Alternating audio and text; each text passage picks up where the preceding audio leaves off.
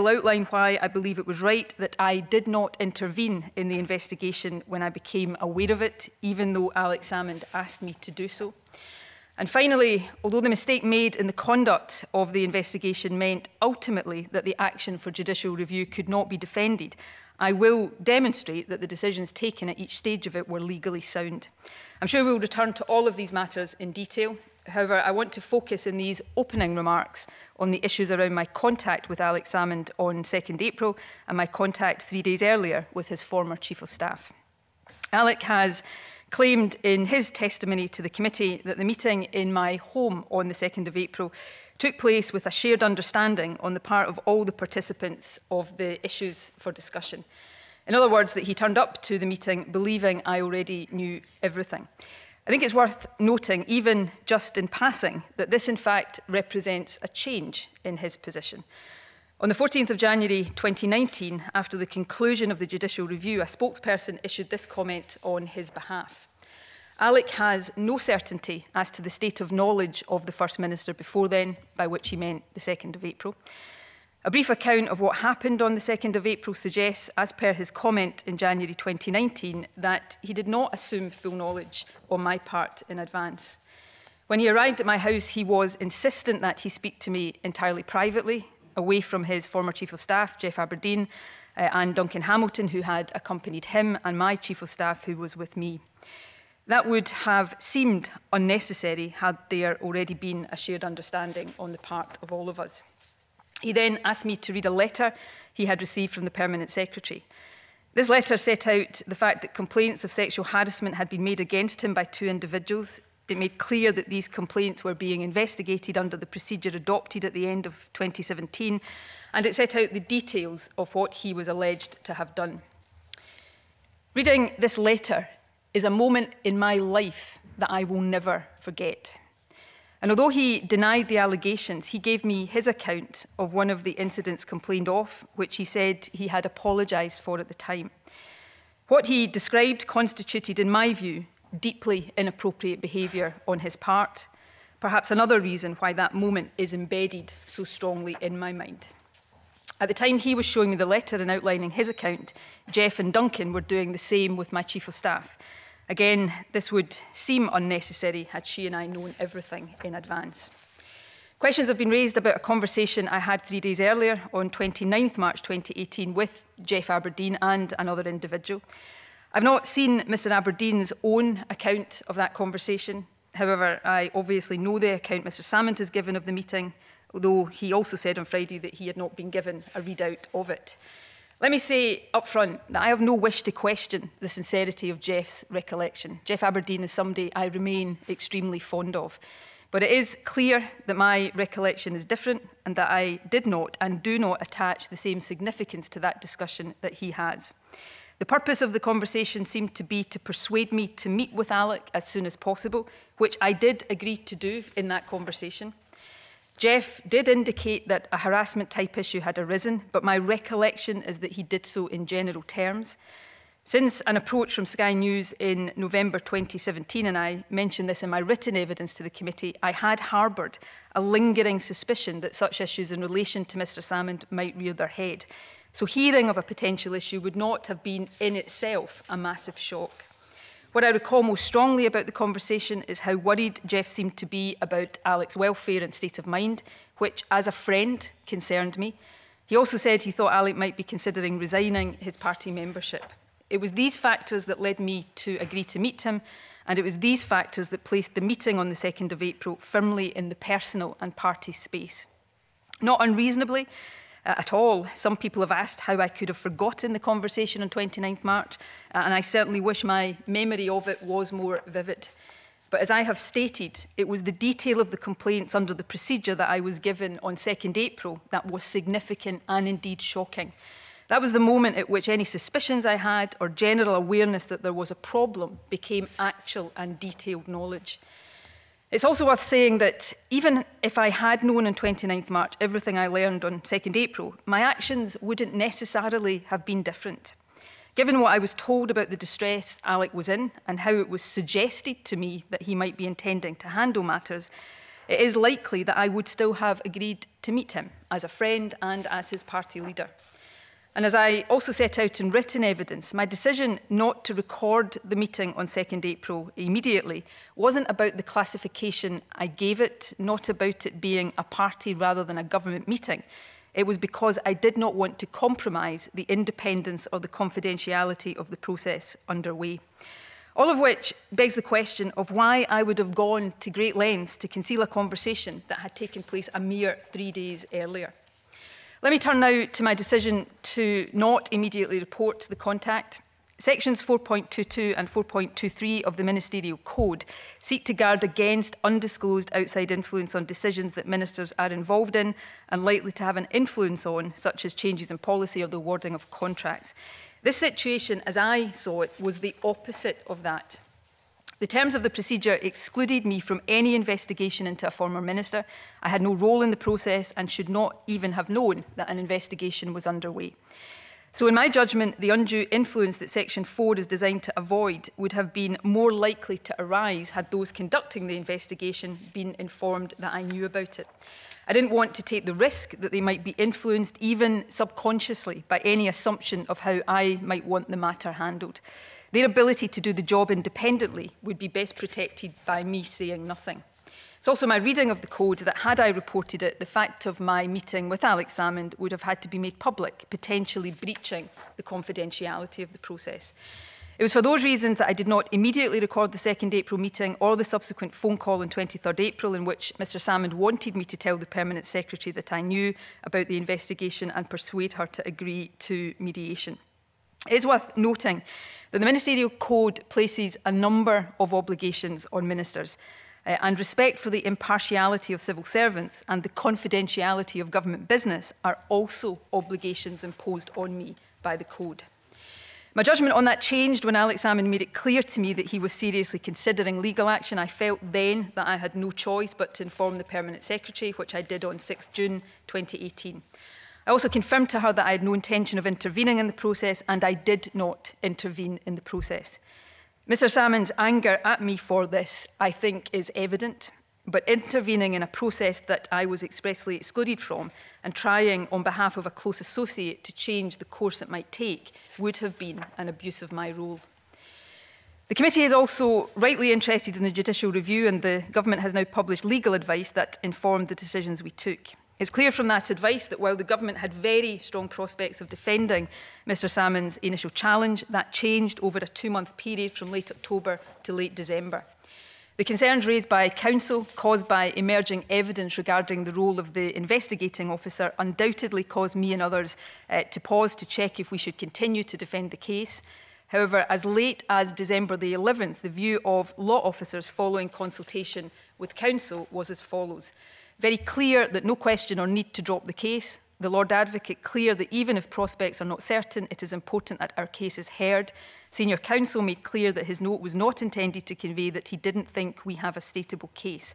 They concluded that, including on the appointment of the investigating officer, and again I'm quoting, we have credible arguments to make across the petition. It was when that changed that the decision was taken to concede. In any legal challenge a government faces, there is a balance of risk. That risk cannot be eliminated, but the task of ministers is to consider carefully all of the advice we receive and consider the broader public interest. And the test in the ministerial code is not the view of external lawyers, but of law officers. Convener, finally, and you'll be glad to hear briefly, um, though I hope to say more as we get into questions, I feel I must rebut the absurd suggestion that anyone acted with malice or as part of a plot against Alex Salmond. That claim is not based in any fact. What happened is this, and it is simple. A number of women made serious complaints about Alex Salmond's behaviour. The government, despite the mistake it undoubtedly made, tried to do the right thing. As First Minister, I refused to follow the age-old pattern of allowing a powerful man to use his status and connections to get what he wants. The police conducted an independent criminal investigation. The Crown Office, as it does in prosecutions every single day of the week, considered the evidence and decided there was a case to answer. A court and a jury did their jobs And now this committee and an independent investigation are considering what happened and why. For my part, I am, if not relishing the prospect, relieved to be finally facing this committee.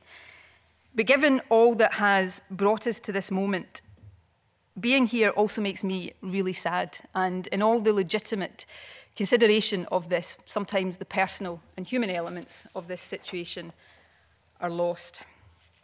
Alex spoke on Friday about what a nightmare the last couple of years have been for him, and I don't doubt that. I have thought often about the impact on him. He was someone I cared about for a long time. And maybe that's why on Friday I found myself searching for any sign, any sign at all that he recognised how difficult this has been for others too. First and foremost, for women who believed his behaviour towards them was inappropriate. But also for those of us who have campaigned with him, worked with him, cared for him, and considered him a friend, and who now stand unfairly accused of plotting against him. That he was acquitted by a jury of criminal conduct is beyond question, beyond question. But I know, just from what he told me, that his behaviour was not always appropriate. And yet, across six hours of testimony, there was not a single word of regret, reflection, or even simple acknowledgement of that. I can only hope that in private, the reality might be different. Today, though, is about my actions. I have never claimed in this or anything else to be infallible. I have searched my soul on all of this many, many times over. It may very well be that I didn't get everything right, that's for others to judge. But in one of the most invidious political and personal situations I have ever faced, I believe I acted properly and appropriately, and that overall I made the best judgments I could. For anyone, at least anyone willing to listen with an open mind, that is what I will seek to demonstrate today. Thank you, uh, First Minister. And uh, we'll now go on to questions. Um, our uh, committee and, and therefore our report is split into various sections. It's about the development and implementation of the policy, it's about the judicial review and of course the ministerial code. And we will attempt to chronologically go through that uh, for ease of the session, although there will be crossovers, that's understandable. So can I ask the first question, please, about the new policy that was put in place and ask you to give us an outline of the development process of that policy. The genesis of the new policy uh, was, of course, the Me Too revelations of late 2017.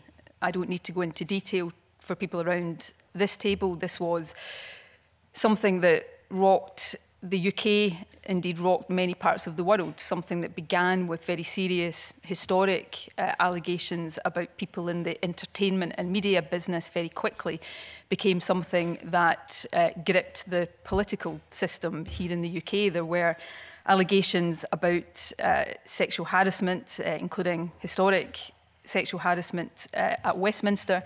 And then in late October, and I'm sure everybody around this table vividly remembers this, there were allegations, I think it was uh, mainly in the Sunday Herald at the time, about uh, allegations of sexual harassment in this institution and a concern that there were not proper processes in place to allow those to come forward and that people, women, didn't have the confidence to bring uh, complaints forward. So that is the backdrop. I wrote to the presiding officer, I, I believe on the Monday after that story to suggest cross-party discussions. They took place the following day, as I recall. And the Cabinet uh, that morning, as I believe the UK government was doing or had been doing, uh, had a discussion about this and decided that we should review our processes. We didn't decide what the outcome of that review should be, but we decided that it was right, given the concerns that had been raised about lack of processes, or at least lack of processes that people had confidence in, that that should happen. Um, that was a commission uh, that was given by Cabinet to the senior civil service, uh, the Deputy First Minister, uh, indicated that to Parliament, I believe that afternoon, that afternoon I think it was, uh, I took part in discussions in the presiding officer's room here with representatives of other parties. And I think it's fair to say at that time all parties were reviewing their processes as well. I know my party was and did. Um, You've heard evidence, I know, from senior civil servants who were very involved in this work. They did an assessment of the gaps. Uh, there's been discussion about a route map that they had prepared. Early drafts uh, of the, the procedure uh, were prepared.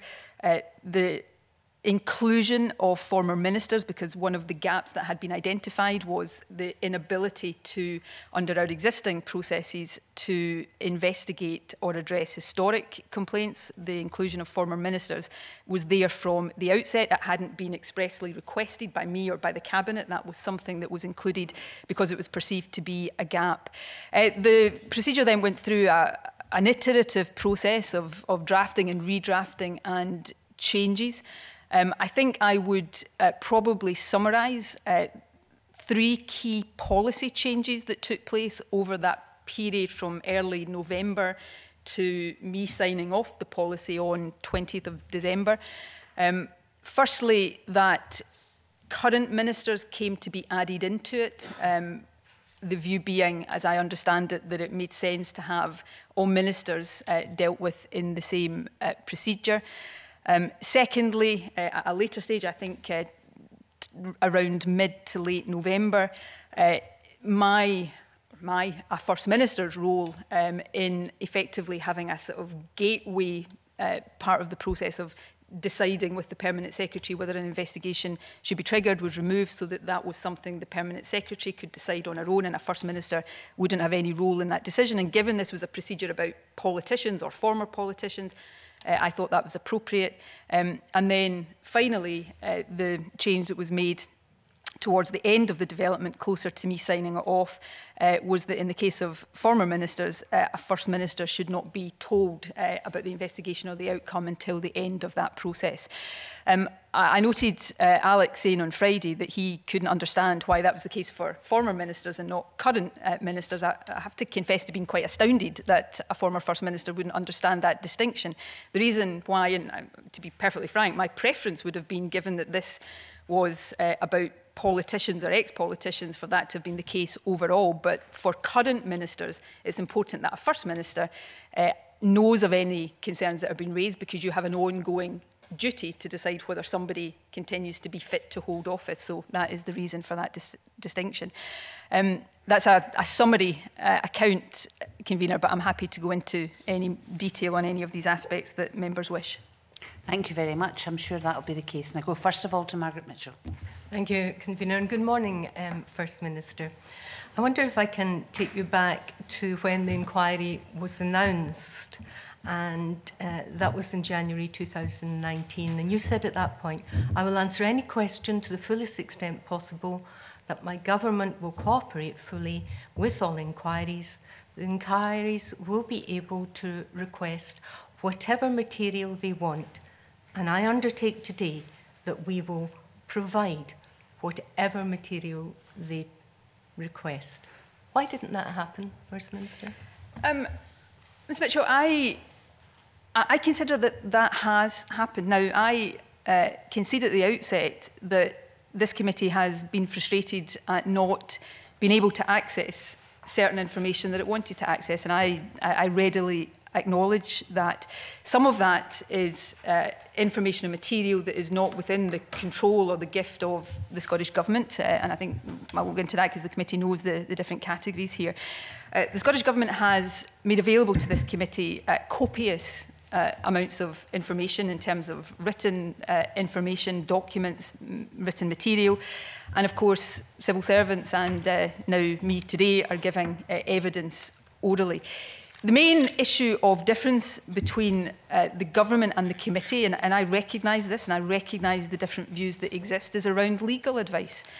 And there is a long-standing convention uh, that governments do not release publicly their legal advice. And it's not a convention that is in place for no good reason. Uh, as a minister of uh, some uh, long-standing now, it is really important for the the governance of the country and to ensure that ministers are able to base their decisions on the best advice possible, open and frank advice, that that exists. Because otherwise, if you had a situation where legal advice was routinely published, lawyers may start to you know, fashion their advice with that in mind. So it's a, it's a convention that is important and it's not just one that uh, the Scottish Government uh, adheres to. It's one that many governments, as I understand it, adhere to. So, so that has been the basis for that decision. We, uh, the Lord Advocate, of course, has sat before this committee and shared very openly uh, the, the decision-making process around the judicial review and the factors that were taken into account by the government at different stages of consideration.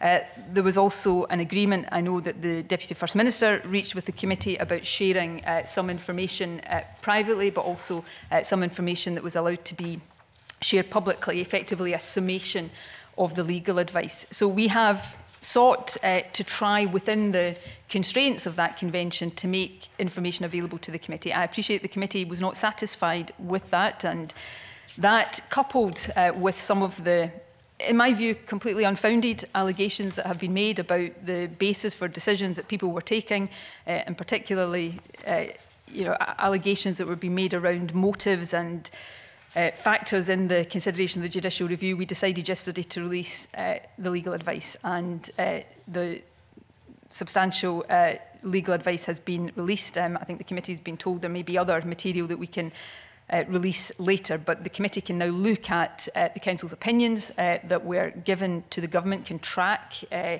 the changing uh, prospects of, of the government, but also crucially, as I read out in my initial uh, remarks, can see that up until uh, well into December, the view of law officers was that it was appropriate that we continued to defend the case. And I'm sure as we come on to the judicial review later, I can go into more detail about why exactly that was the case. Um, openness, transparency and accountability is essential for any government to maintain trust.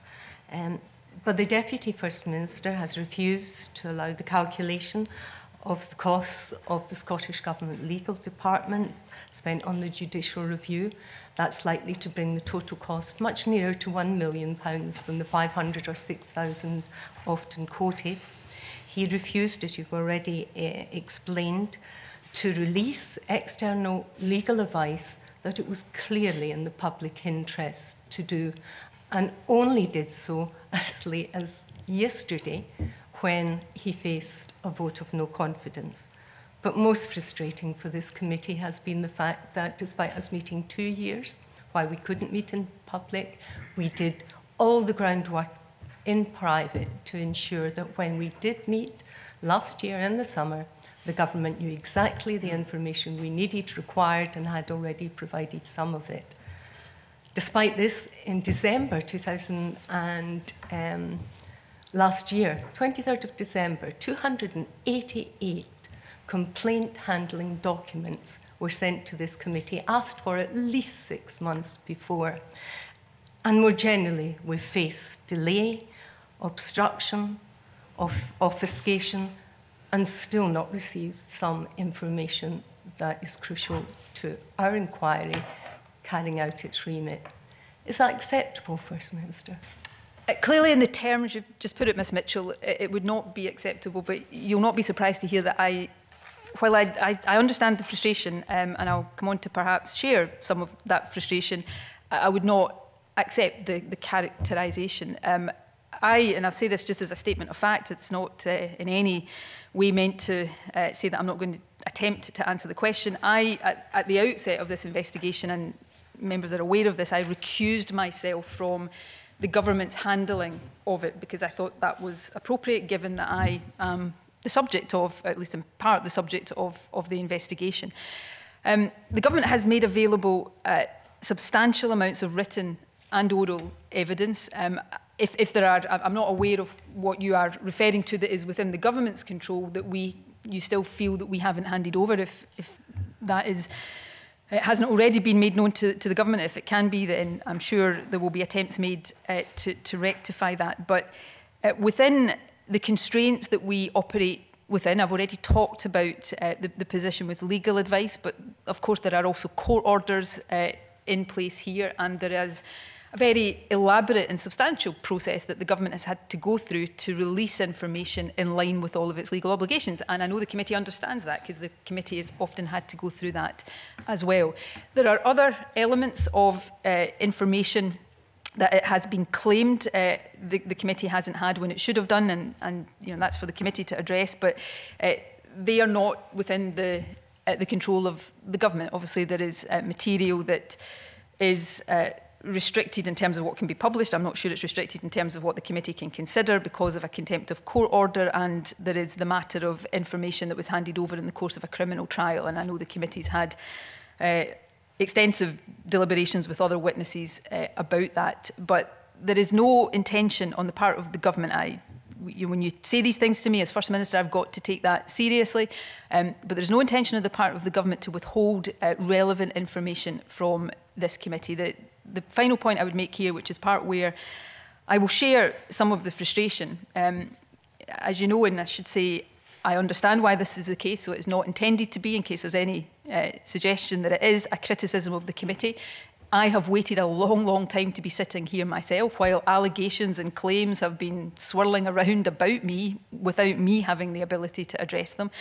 And as information that has been claimed was devastating to the government's position and proved all sorts of things has come to light, um, including information that this committee has seen, it has proved to be nothing of the sort. Um, and therefore, I suppose there is also frustration on my part where information is not known to the committee. Often what is suggested about it bears very little relation to the, the reality of it. And therefore, what I would say is the more about this, within all the legal constraints that none of us can magic away, uh, I want as much of this to be known out there and public because while the government made mistakes, and we'll come on to those, there's nothing here uh, that the government uh, has to hide. You mentioned, First Minister, that you've been frustrated waiting two years to give evidence. Most of us here have been in exactly the same position and more frustrated because the delay has been fairly and squarely because the government hasn't provided the information it could have had when it had. But let me turn to your submission. Um, you say, as First Minister, I wanted to ensure that the Scottish Government had robust procedures in place to allow any concerns or complaints by those in its employment to be properly and fairly considered. That hasn't happened, First Minister. Why do you think that's the case? It, it didn't happen in the case of the two complaints that we're considering here because the government made a mistake and a very serious mistake in how it applied the procedure to the investigation against uh, into Alex Salmond. Um, and as I said, I think in Parliament the day the judicial review was conceded, and I've said again today, I deeply regret that. I, you know, those words don't do justice to how I feel about that. Um, I feel sorry for it. I feel very angry uh, about it, uh, and I'm not going to try and suggest otherwise. Uh, that's what went wrong. The procedure itself, uh, and again, we'll come back to this no doubt when we talk about the judicial review, one of the reasons why even when the prospects were not as strong as they had been at the outset, the government wanted to continue with the judicial review was that a number of attacks, legal attacks and challenges had been made on the procedure itself, on the, the lawfulness uh, and appropriateness of the procedure. We thought and think that the procedure is lawful um, and sound. The procedure has, itself has never been declared unlawful, despite what Mr Salmond was trying to suggest to you on Friday. And we wanted, given the challenges that had been directed to the procedure, we wanted to find out through a court process whether they were justified or not, because this was you know, again, despite some suggestions to the contrary, this was not a procedure that was put in place for Alex Salmond. This is a procedure that we intended to be in operation uh, and is still in operation uh, so that anybody who had complaints against ministers or former ministers could if they wanted to use it. So there was a public, legitimate public interest in determining whether any of these fundamental challenges to its, its essential lawfulness were, were justified. Now, you heard Alex say on Friday um, that his legal advice said that he had really good prospects You've seen now the initial note on prospects of the Scottish Government, where the Scottish Government was confident that it could successfully defend um, and rebut all of these challenges. The fact is, we don't know who, who would have prevailed in that because the judicial review, entirely down to the mistake the Government made in the application of the procedure, uh, it didn't get to that stage. But what went wrong, Ms Mitchell, and I, you, you will not get me today in any way trying to sugarcoat uh, or shy away from this. The government made a serious error around the appointment of the investigating officer um, and that's of course something that as well as this committee looking into Laura Dunlop QC is carrying out uh, an independent internal investigation for the government. Um, can I merely comment that to refer to this as a mistake or um, a serious error, somewhat disingenuous. Uh, if you could let me finish, First Minister. Um, the judicial review um, made it quite clear in Lord Pentland's order that the process was unlawful and it was tainted with bias. But that's for others to go into. Just to concentrate now on your role uh, as Deputy First Minister under fairness to, to work. In your submission, you said I had no general concerns from 2008 to 2014. Um, when the, you, as Deputy First Minister, had a key role in that um, procedure, then can you outline just exactly what that involved?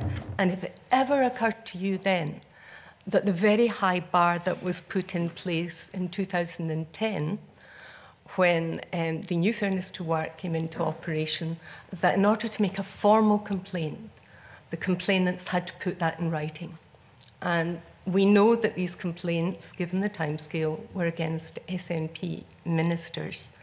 That's a very high bar, um, First Minister, given it's someone so powerful, given it the effects potentially in career prospects. Did it ever occur to you that that wasn't um, the best way to encourage people to come forward and to have their complaints resolved.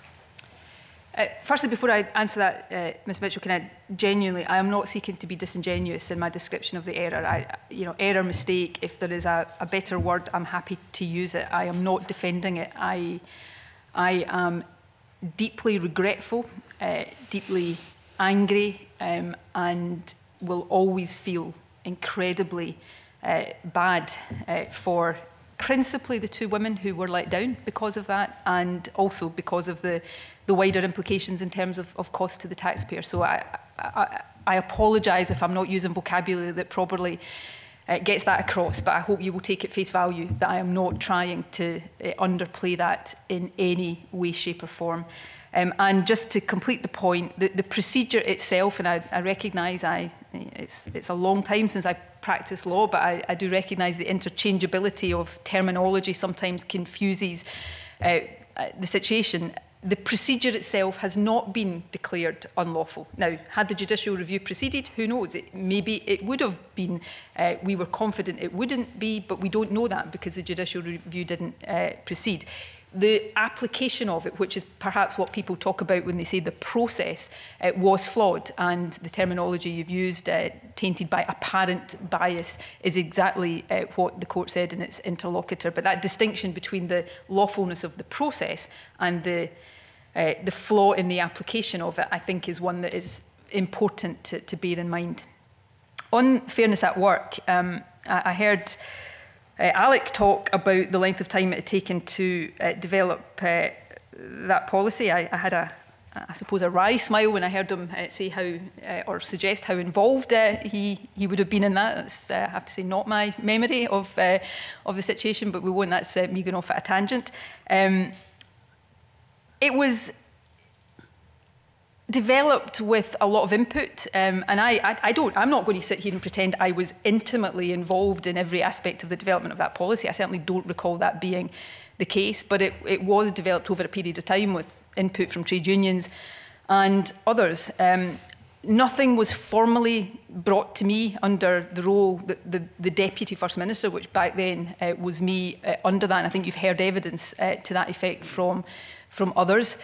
Um, did I, and, and this probably is something I would reflect on myself, did I spend that much time thinking about whether fairness at work was fit for purpose back then? No, I didn't. And, and maybe I should have done. And I, you know, That's uh, perhaps one of the lessons I have to learn out of this. But it was because, you know, if we go back to October, late October 2017, in the wake of Me Too, it was a general sense that people didn't think current processes were fit for purpose that led us to review these processes. And, and one of the things that I think uh, led to a distinct standalone procedure was exactly what you're saying, that there, there's a lot of focus on fairness at work in informal, on informal resolution, on mediation, um, and perhaps the bar is too high in terms of when things get to, to formal complaints, and also perhaps that kind of approach is not entirely appropriate when you're dealing with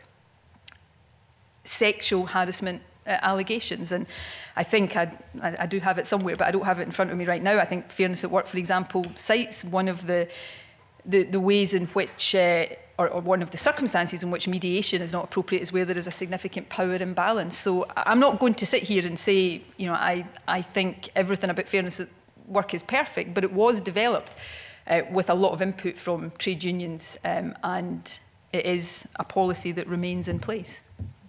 I'm conscious of time, um, uh, but all I would say, First Minister, was entirely in your remit as the Deputy First Minister to look at these complaints, to look at it in an informal stage. And were you aware that there had been complaints raised, all predominantly from females? And you, you certainly always set yourself up as someone who was a champion for women's issues, and yet you didn't pay that much attention to it. I, I was not, um, and again, you know, I think you've heard evidence from others. I, I was not aware, um, and we'll come on to you know, when I did become aware of, of things, but you know, before the the November 2017 uh, media query uh, that came from Sky News about Edinburgh Airport, and I'm sure we'll come on to that later, I was not aware of uh, allegations or concerns about in sexually inappropriate behaviour on the part of Alex Salmond. And And that is just... It's generally, it was, it um, was five SNP ministers. And can I remind you, Alex Salmond is a key witness to this inquiry. He's not under trial. Your actions are, and if you could focus on that, Sorry, uh, that would be much appreciated. My apologies. I was saying I hadn't heard anything, so I was, wasn't putting him on trial for that. Um, I don't with, forgive me, uh, Ms Mitchell, I don't know exactly what you are referring to in terms of five SNP ministers. So if that's something that I can, you know, be given in more detail, I'm happy to respond to but I don't know right now what it is you're referring to. Nothing came to me as Deputy First Minister um, under the Fairness at Work policy in terms of the role that the Deputy First Minister had and still has. Um, in terms of more general concerns about sex, not in relate, relation to any one individual, have I for my entire working life been aware of uh, problems of sexual harassment and sexism and, and misogyny? Uh, you bet I have. Uh, but to say that that means that things were brought to me um, or that there were things that I could have acted upon back then that I didn't, that's not the same thing. Just for reference, um, it'll be my last. Um, yeah, could, in, you, could you give the reference to I where will. it comes from? I'll just please? say, in reflecting back to the, this is the FDA, In reflecting back the last 10 years, we are aware of approaches on behalf of around 30 members in relation to at least five ministerial offices. So that was five SNP uh, ministerial offices. Um, you, you're happy to look at that, uh, and I'm glad to pass it over now, to now that you, have any time. Given me the reference, I, I, I apologise. I have not been able to watch all of the evidence that has been given to the committee. I've tried to read as much of it as, as I could before coming here today, so I, I recognise now the reference you're, you're talking about. Um, these were not things that were brought to me at the time under Fairness at Work, um, and you know that means that there is not much beyond what I've already said that I can usefully say on these matters. If you're asking me, does that concern me? Of course, I, I wouldn't. I don't want uh, to be in a position I wouldn't have back then, and I certainly don't now, where uh, people in government feel that they have any need, formally or informally, to complain about behaviours in ministerial offices. Thank you. Yeah, we'll go on, please, to Maureen Watt. Thank you, Convener. Good morning, First Minister.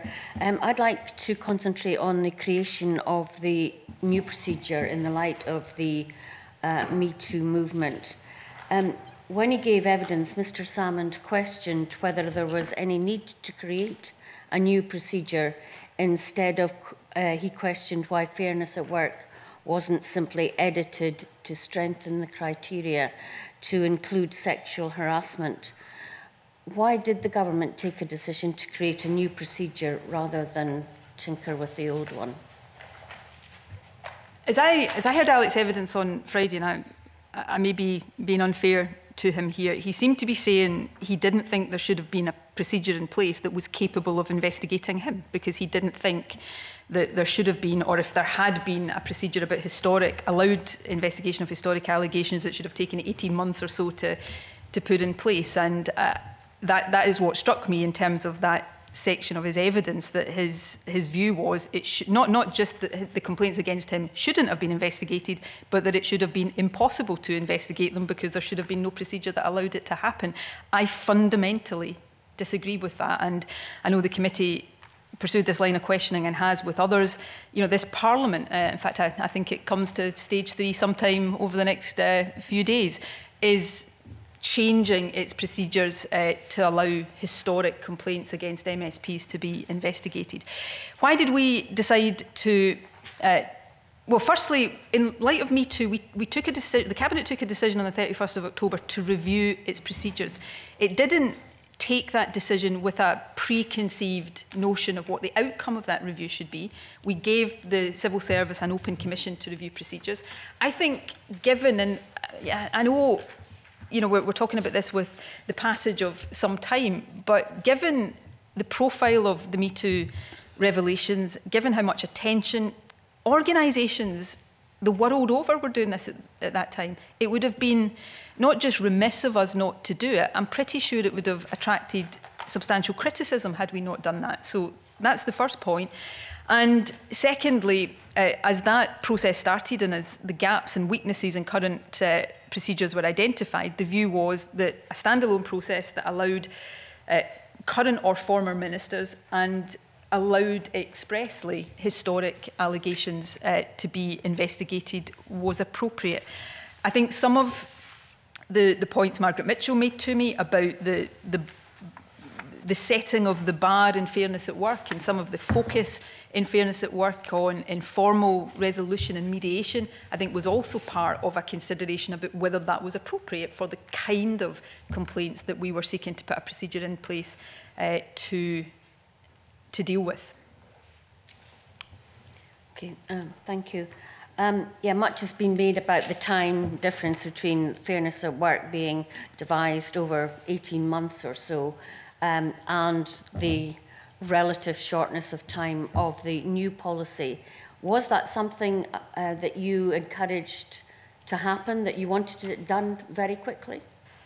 Again, I go back to the, the, the climate at the time and, and the sort of, for want of a better expression, the sort of consensus of opinion that there was a big problem here, not just in Scotland or the UK, but globally, about an inability for women who felt they'd experienced sexual harassment to come forward, a lack of confidence on their part coming forward, and uh, part of those concerns was a perception that there was it was particularly difficult to investigate allegations uh, of historic uh, harassment. So, yes, we felt we had a big problem, not just us, but we had to to contend with and to address a problem that people thought was was a serious one.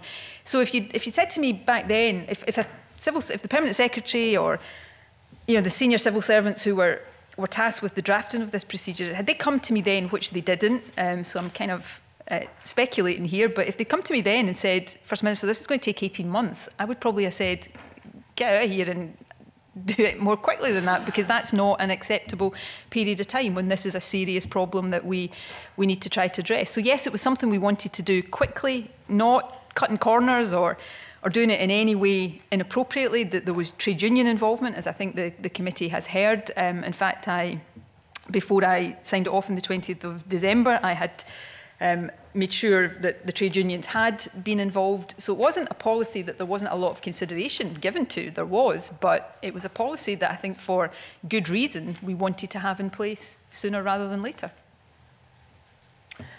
And under the Fairness at Work procedure, medi mediation is an option available in the cases of complaints against current ministers.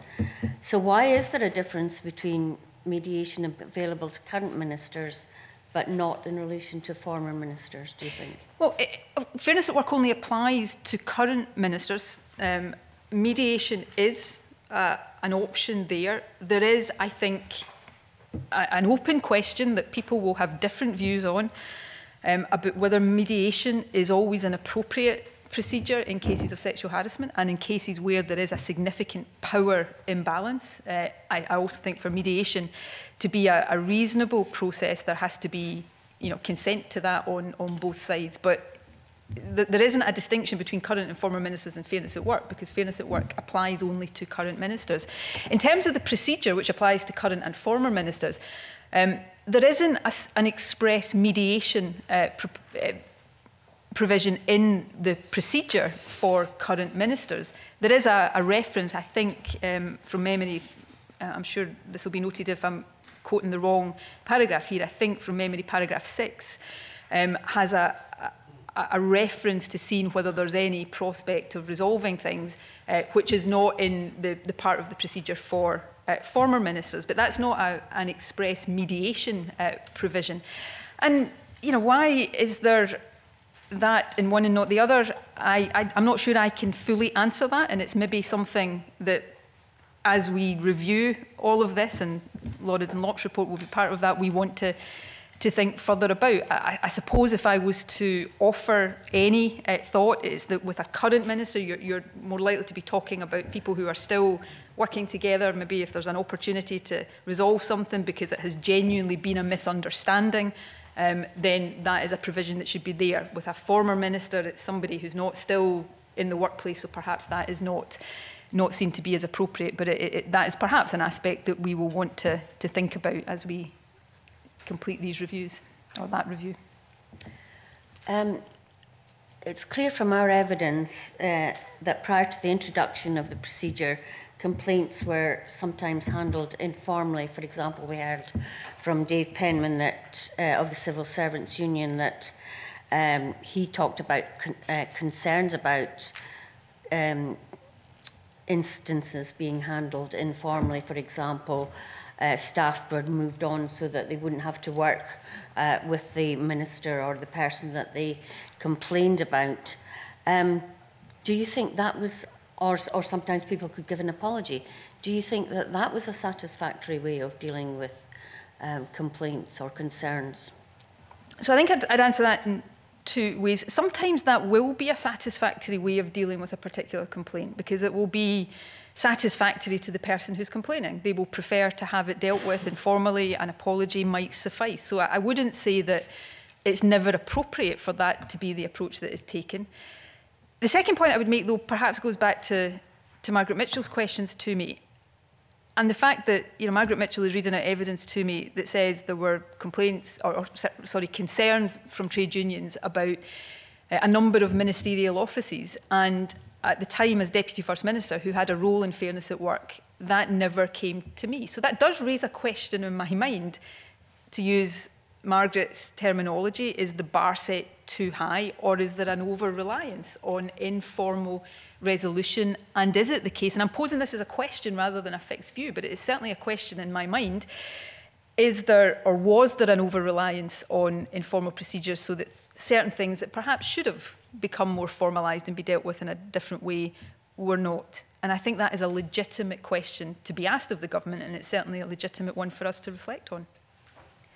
Can you tell us um, if this policy or procedure was discussed at Cabinet and how often, you know, during the iteration of the process of drawing up this new procedure was discussed at Cabinet? It wasn't discussed uh, particularly at Cabinet. Um, I'd have to check Cabinet minutes to see, uh, you know, how many times, uh, if at all, it was. We have a thing uh, which you'll be aware of uh, at Cabinet called uh, SCANS, which is just, you know, things that ministers have to bring. It doesn't have a full cabinet paper, but things that, and it may be of, that it, it was raised under that. It, the permanent secretary, you know, kept me updated in terms of how the development of the policy, uh, the procedure was was progressing. Um, I think the first draft of it I got sent was uh, towards the end of November, um, and uh, I, at that point, I think that was at, at the point where the role of the First Minister in effectively being a bit of a gatekeeper with the Permanent Secretary's complaints had been removed. Um, I had, before that, the 22nd of November, I had formally written to uh, the Permanent Secretary because there was a view that, uh, given that not just former ministers but current ministers had been included, the interrelationship that that then created with the ministerial code meant that there should be express ministerial authority for the procedure being developed in that way. Um, and then, of course, I ultimately signed it off on the 20th of December. And a couple more questions, uh, Convener. Um, at the time of the commissioning of this new procedure, were you aware of any concerns being raised about the behaviour of any current or former minister? Uh, at the time we commissioned it on the 31st of October, uh, no. Uh, as I said in my written evidence and as we'll no doubt come on to, I became aware through a media inquiry of a, an allegation um, about the former First Minister uh, some days after that at the start of November. And did that influence the way you looked at the policy? No. Sorry, my apologies. you know, it's okay. Um, and uh, just finally, um, do you think the policy which related to the civil service should have been discussed in Parliament, as somebody suggested? Um, I'll come on to the Parliament bit in a minute. Um, I, I was a, maybe a bit too quick. I was definitely a bit too quick to, to answer there because that's, that's obviously one of the, the suggestions that's been made that this policy was somehow a bespoke Alex Salmond policy. And, uh, you know, even in the days when uh, we were besties, you know, Alex Salmond has a tendency to see most things being in some way about him.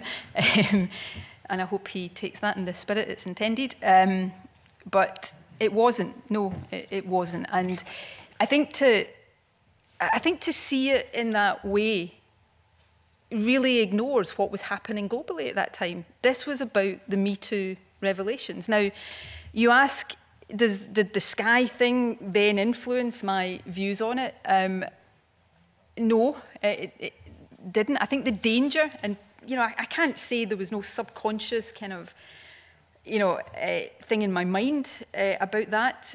But the danger, I think, then would have been had I started to, to, to influence the development of this policy in a way that somehow protected him. You know, if I had, if I'd taken my red pen and, or black pen as it is just now, and gone like that with former ministers, because I had this, you know, this Sky thing had put a lingering suspicion in my mind, then I think I would legitimately be sitting here right now getting a lot of criticism. I, I didn't do that. The policy was not put in place because of Alex Salmond, but nor did I allow any, even subconscious, I hope, uh, considerations about Alex Salmond to influence the decisions I, I took on that.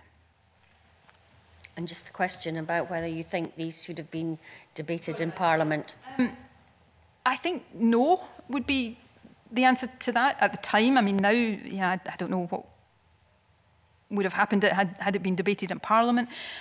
Uh, to the best of my knowledge and recollection, and I will be corrected on this if I'm wrong, I don't think fairness at work was ever debated in Parliament. These are HR policies, and, and the procedure is fundamentally an HR policy. Um, and I, I don't think it would have been appropriate for it to be debated in Parliament. Sim similarly, you know, in a way that obviously Parliament is legislating in terms of the, the situation with investigating former MSPs, but that's because of the legislative underpinning of the standards process. The idea that you would have legislated for a government HR process uh, or even debated it in Parliament, I think, is something very different. Okay, thank you.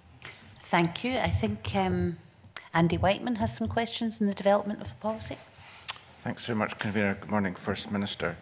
Um, you've said quite clearly that you had received no concerns about Mr Salmond's any behaviour, any alleged behaviour by Mr Salmond before the Sky News inquiry. Um, one of the civil servants whose complaint um, ended up in the court, in fact, said to the journalist Dani Garavelli, uh, if I'd complained, it wouldn't have been swept under the carpet and I would have suffered in my career. I never saw anyone in a senior position in the Scottish Government tackle the First Minister on his behaviour.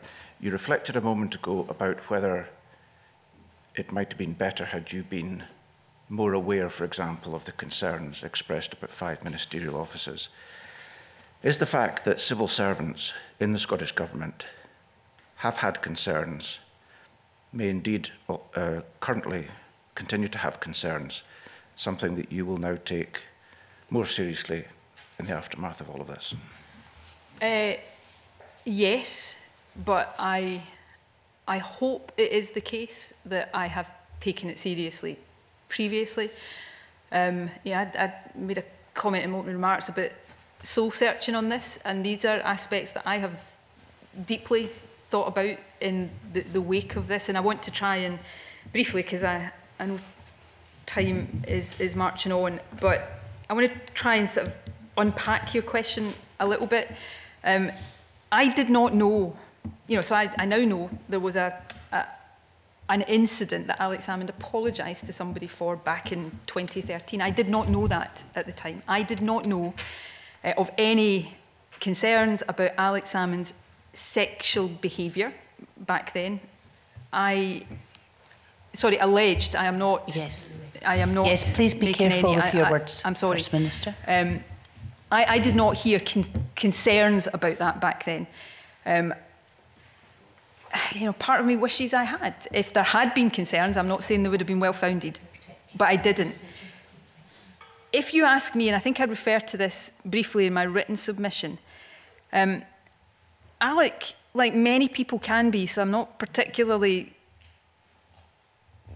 singling him out other than that this is the basis of the, the question.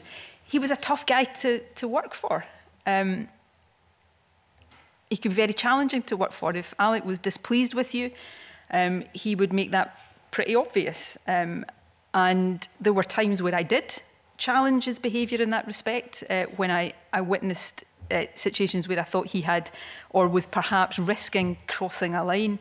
But one of the, one of the things I have thought about um, is whether those of us who had worked very closely with Alec for a long, long time had become a bit inured to that that kind of behaviour, and I'm talking about that, not any, not anything allegedly sexual, um, and whether we had a, a higher threshold for that than perhaps people in government in 2007 had. So, uh, is that something I think about and thought about? Yes.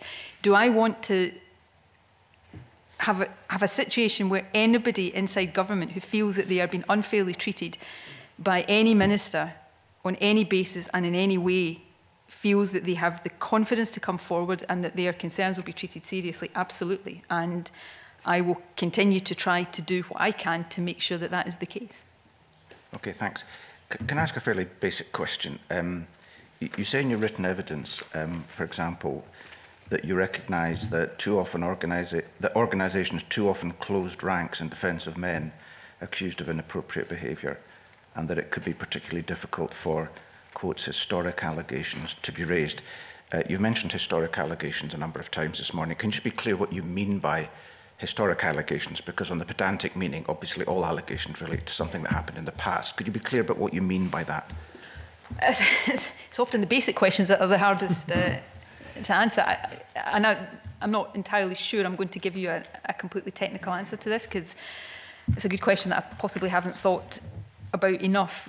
Uh, I suppose what I mean, thinking about it um, in the moment, is that you know you, you have people, uh, and in the context of sexual harassment allegations, it tends to be men rather than women. You have men in positions of authority or power or status over the people that are complaining, which makes it difficult for them to bring those complaints uh, forward at the time the person they're complaining about is in that position of power or, or status or authority.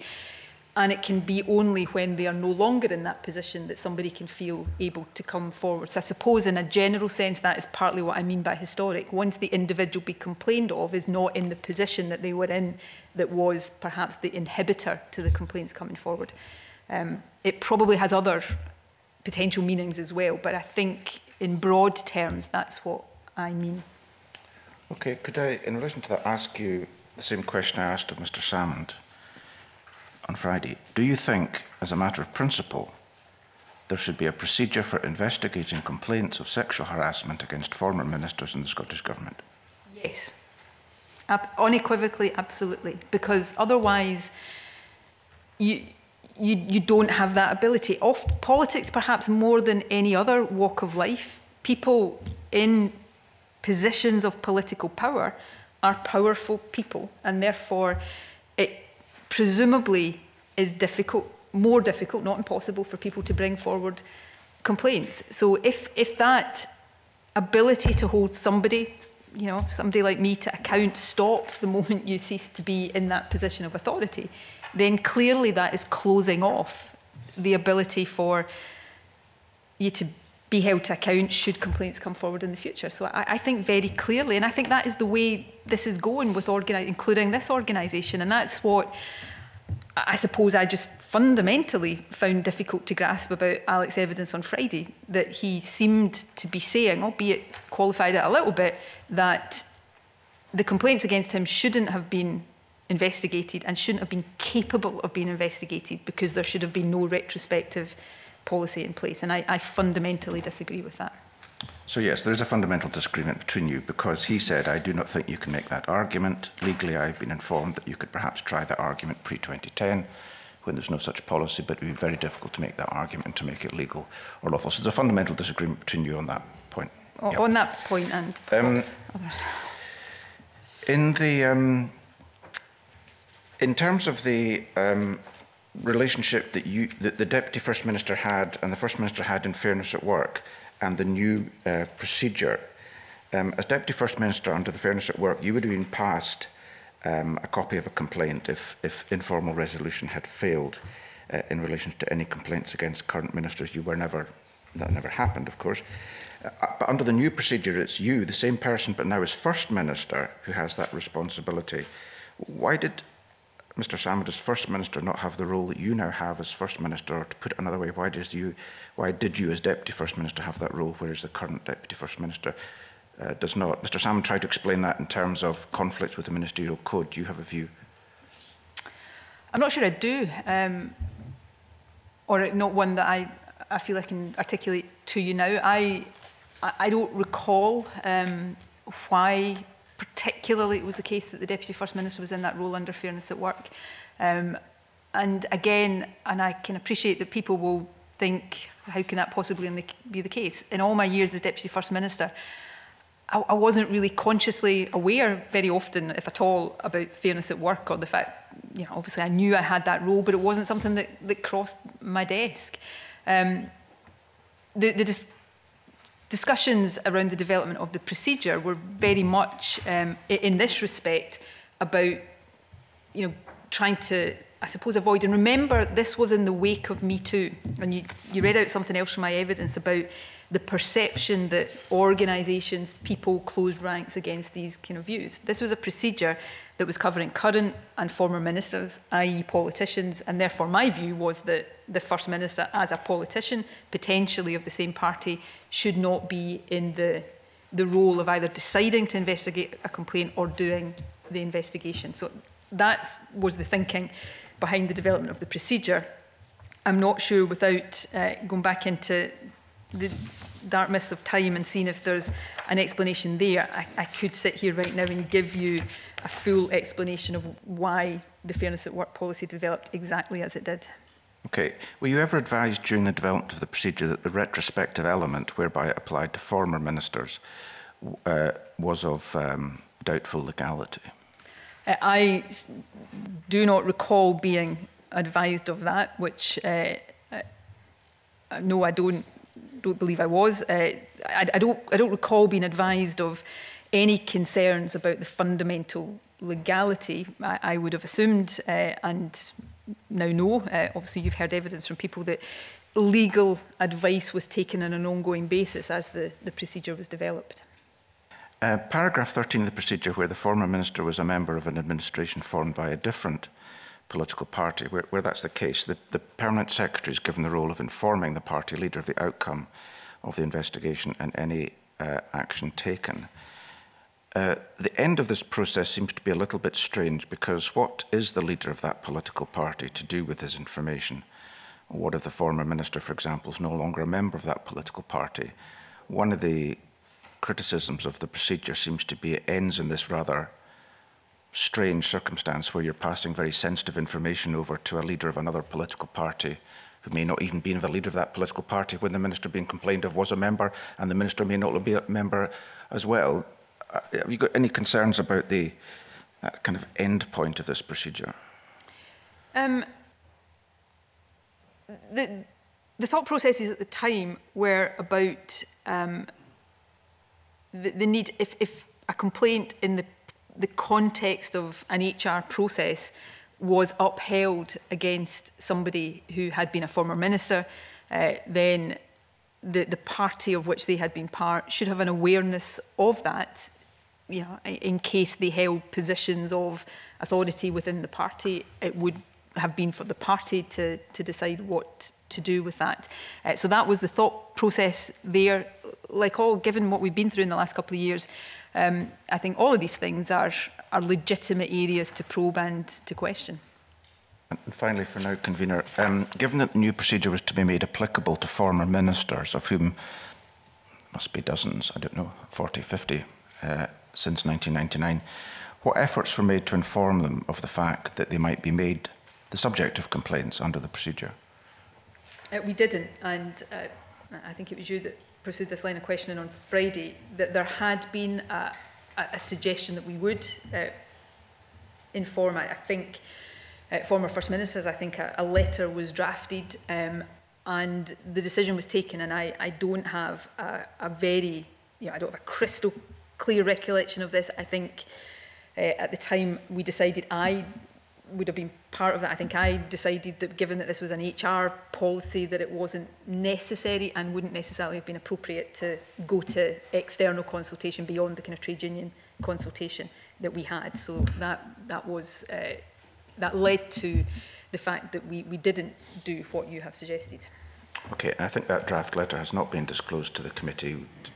The government please supply. Requested yesterday. I am happy. I see no reason why it wouldn't be okay. or shouldn't be. So I'm happy to uh, undertake that that will be done.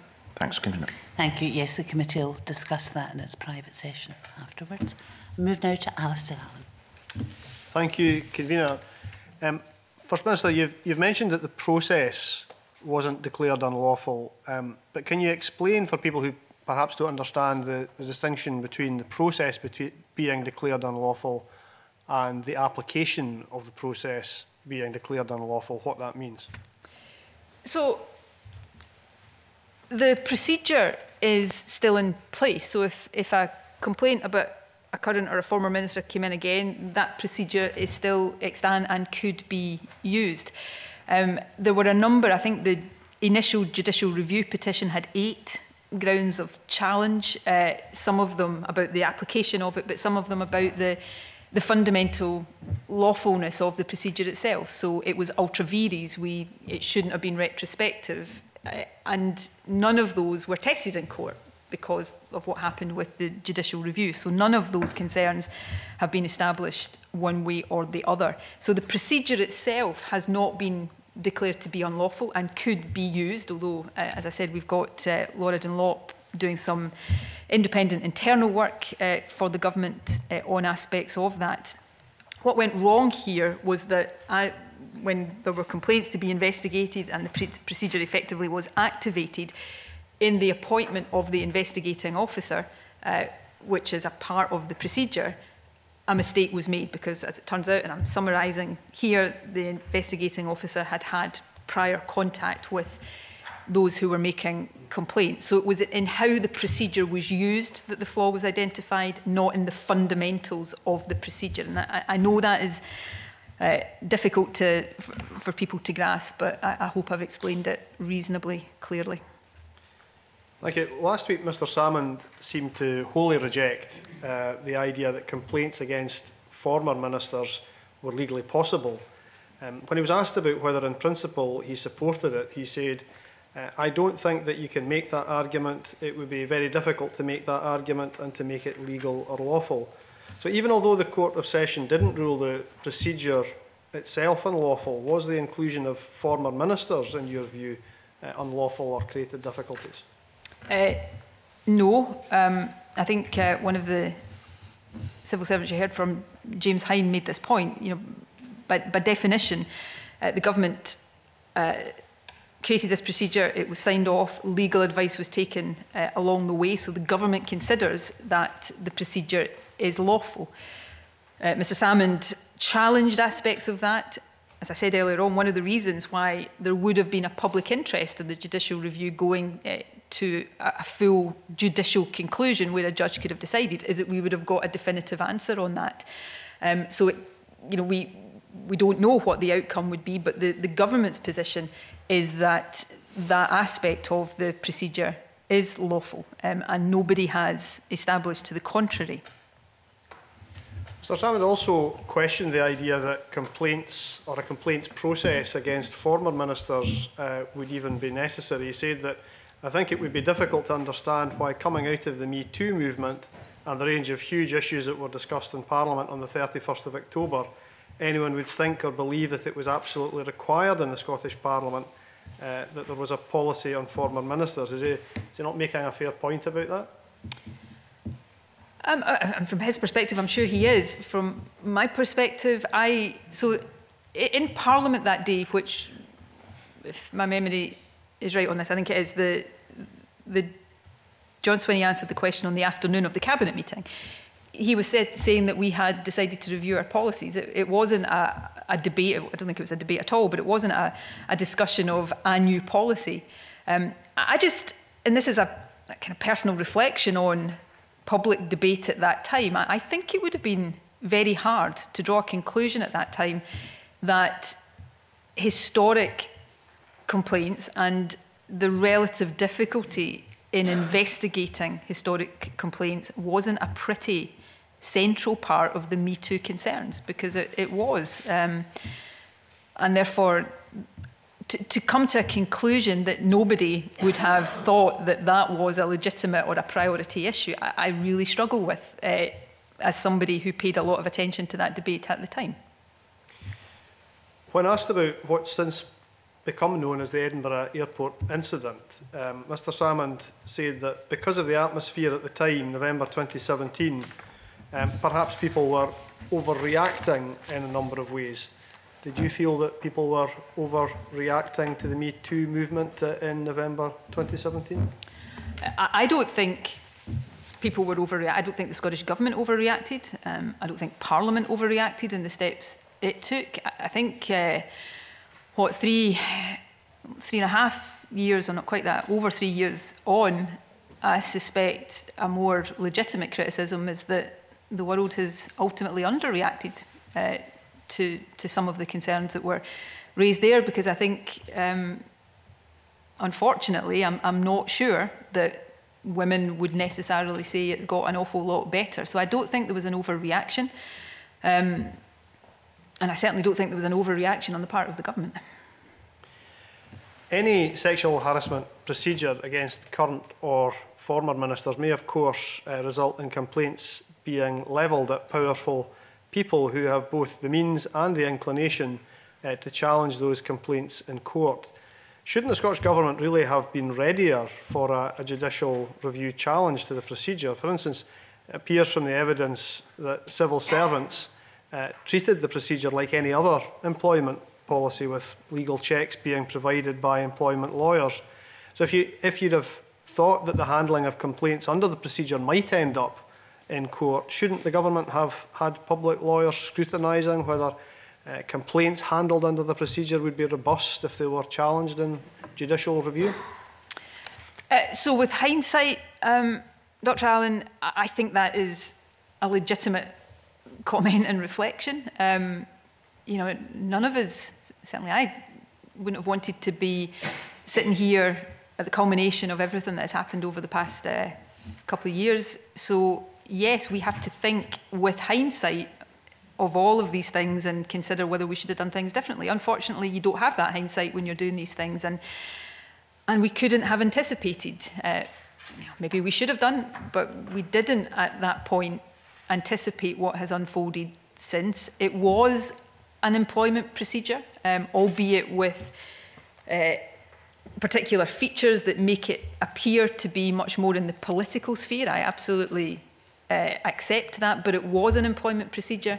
And the government took legal advice and had legal input as it developed that procedure. And I think, obviously, again, having looked back at all of this, I wasn't uh, aware of all the correspondence at the time, but, you know, I think the government was ready for a, a judicial review and until something came to light that hadn't been known and appreciated earlier, the government was confident in its ability to defend the procedure and, and the legal advice that was published yesterday, I think demonstrates that. The, the note of prospects, which uh, I think was late September, um, you know, like any piece of legal advice will, you know, on the one hand and on the other hand, and will rank risks uh, of successful challenge. That's in the nature of legal advice, but across all of the grounds of challenge, the government was confident, as confident as you can ever be in a, a legal action, that it could succeed. Um, and we know now that that changed, and I won't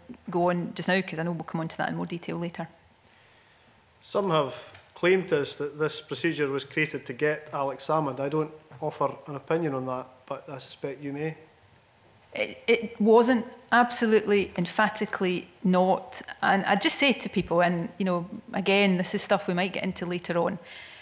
Alex Salmond has been, and I've said this many times, one of the closest people to me in my entire life, and some people around this table know what I mean by that more than, than others might. I would never have wanted to get Alex Salmond. Um, and I would never, ever have wanted any of this to happen. If I could have, short of brushing complaints under the carpet, which would have been wrong to be, if I could turn the clock back and find legitimate ways that none of this would ever have happened, uh, then I would.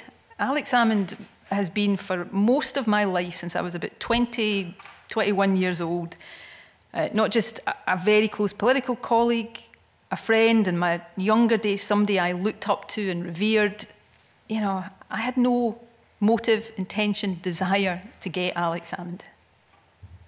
Turning to the, the development of the procedure itself, can you, can you set out what role you personally played? You've given some indication of this, but what role personally you played in the creation of the procedure? And I mean, prior to signing it off.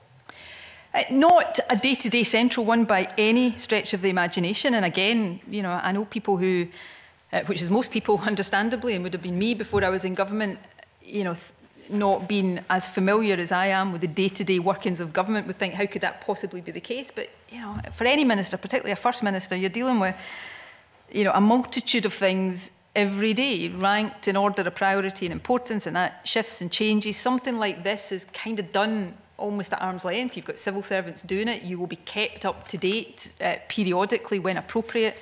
At key moments in something like this, you'll be consulted if there is a, a particular policy issue that, that requires to be uh, discussed or that requires clear ministerial authority. And I, I think I said earlier on, I would, in the development of this policy, I suppose, identify three uh, particular issues that fall into to that category. Um, and I was you know, consulted and, and had a part in the procedure at, at these stages.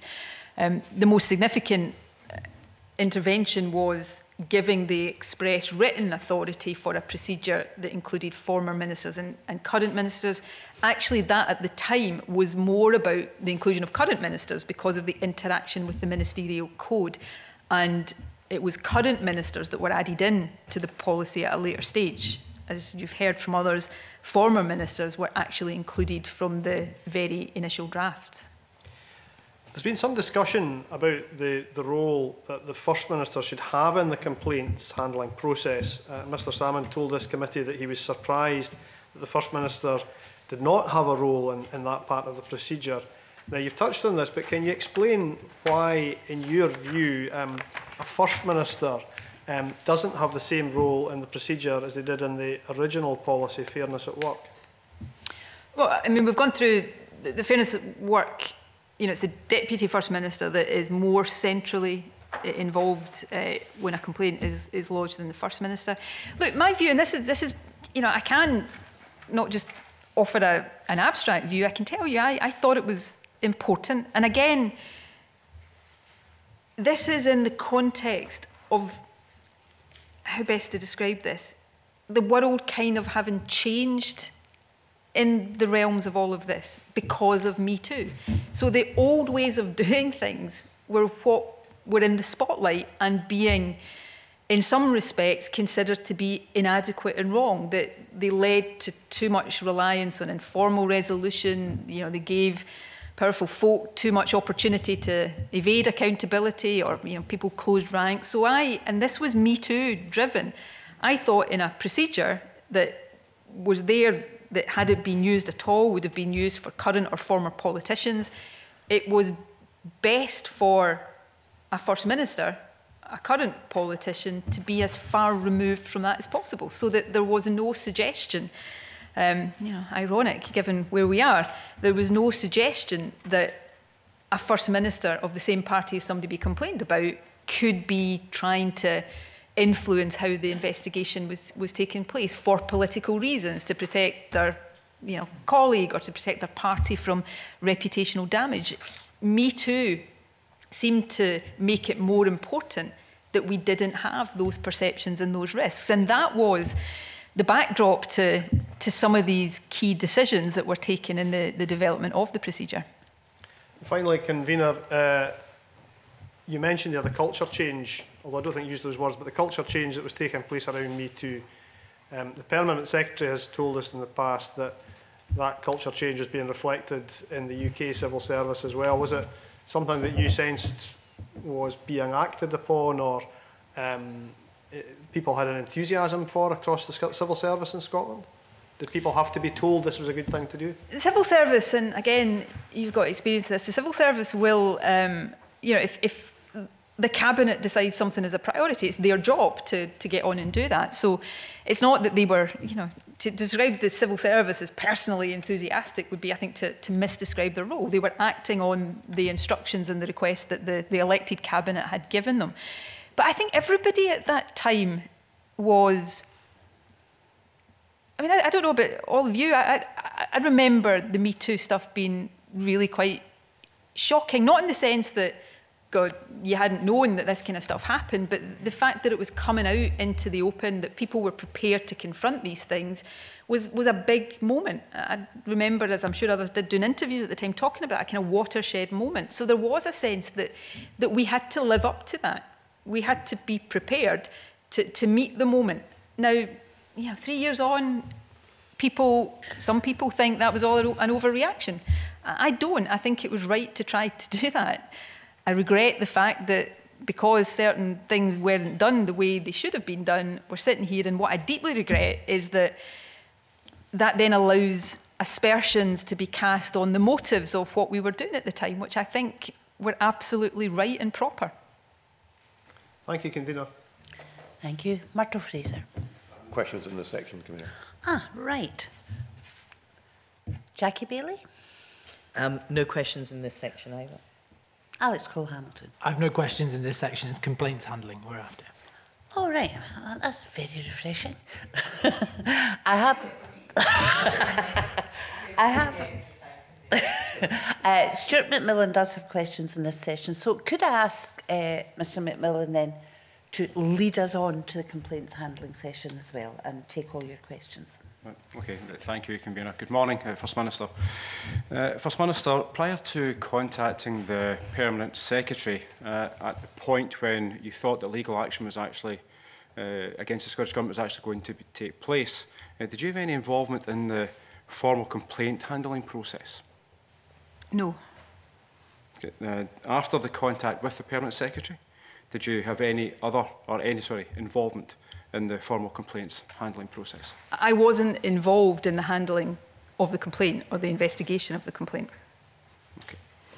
Uh, certainly, another aspect of, the, of this is that much of the focus of the uh, committee has become about the questions of meetings and recollections and conclusions of which certainly are not going to help what's happened in the past, the present, uh, or future complainers of sexual harassment. But what certainly will help uh, is the correcting of the errors uh, in the complaints handling process, and uh, something you've also touched upon earlier. And our evidence has highlighted that clear mistakes were made in the division of the responsibilities between those tasked uh, with that role uh, of communicating uh, with uh, complainants uh, and also those tasked with the role of investigating complaints. Do you accept that this went wrong and uh, certainly and what can be done to avoid it actually going wrong in the future?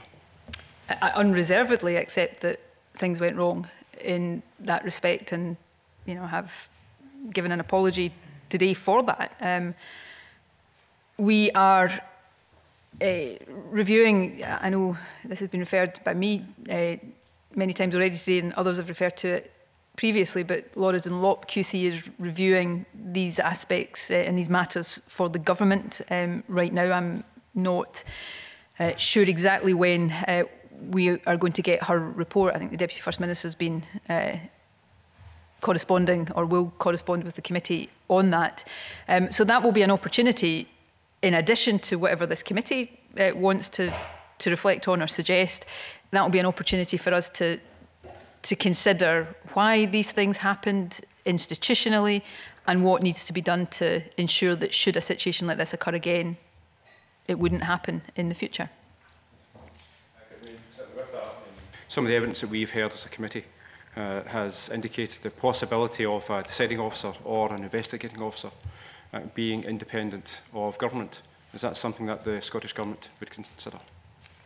We'll consider any recommendations that the committee puts forward. It's not one I've particularly given any consideration to to date, uh, but if it is a, a recommendation that we get, of course we'll consider it. Um, just I want to touch upon a, a question from earlier on. We've heard that uh, a concern uh, about Mr Salmond himself was uh, handled by him uh, giving an informal apology, and something that's been touched upon earlier, and only years later did the, the person concerned feel able to make a formal complaint.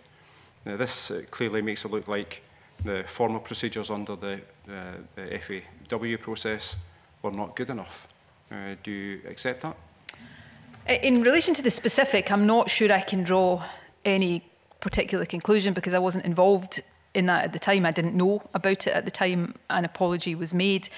So I have no uh, direct knowledge of exactly what went on then, uh, what happened in terms of the apology or, or what the basis of the, the person involved uh, was for accepting that as a, a resolution at the time. I, to be frank, only know about that what I have since been told uh, by Alex Salmond or heard more generally in the the wider proceedings that have been underway. So I, I couldn't say that I can, I couldn't say categorically that that particular incident meant that there was a flaw or a failing in fairness at work. I think generally, as I've already commented on, you know, I think there is something to reflect on there, particularly about sexual harassment and the appropriateness of informal resolution over more formal action being taken. Could I remind all members, please, to be general uh, rather than specific in talking about individual complaints, etc. Sorry, Convener. Um, the Permanent Secretary uh, certainly told this committee uh, that her direct line manager, the, the head of the UK Civil Service, wanted all permanent secretaries to ensure that their procedures could tackle the challenges of Me Too. And the official report shows us that MSPs of all parties spoke in favour uh, of more being done to actually tackle the issue. Uh, did you feel that uh, that you have got a broad base of support uh, for the idea of putting in place uh, a new procedure to tackle sexual harassment?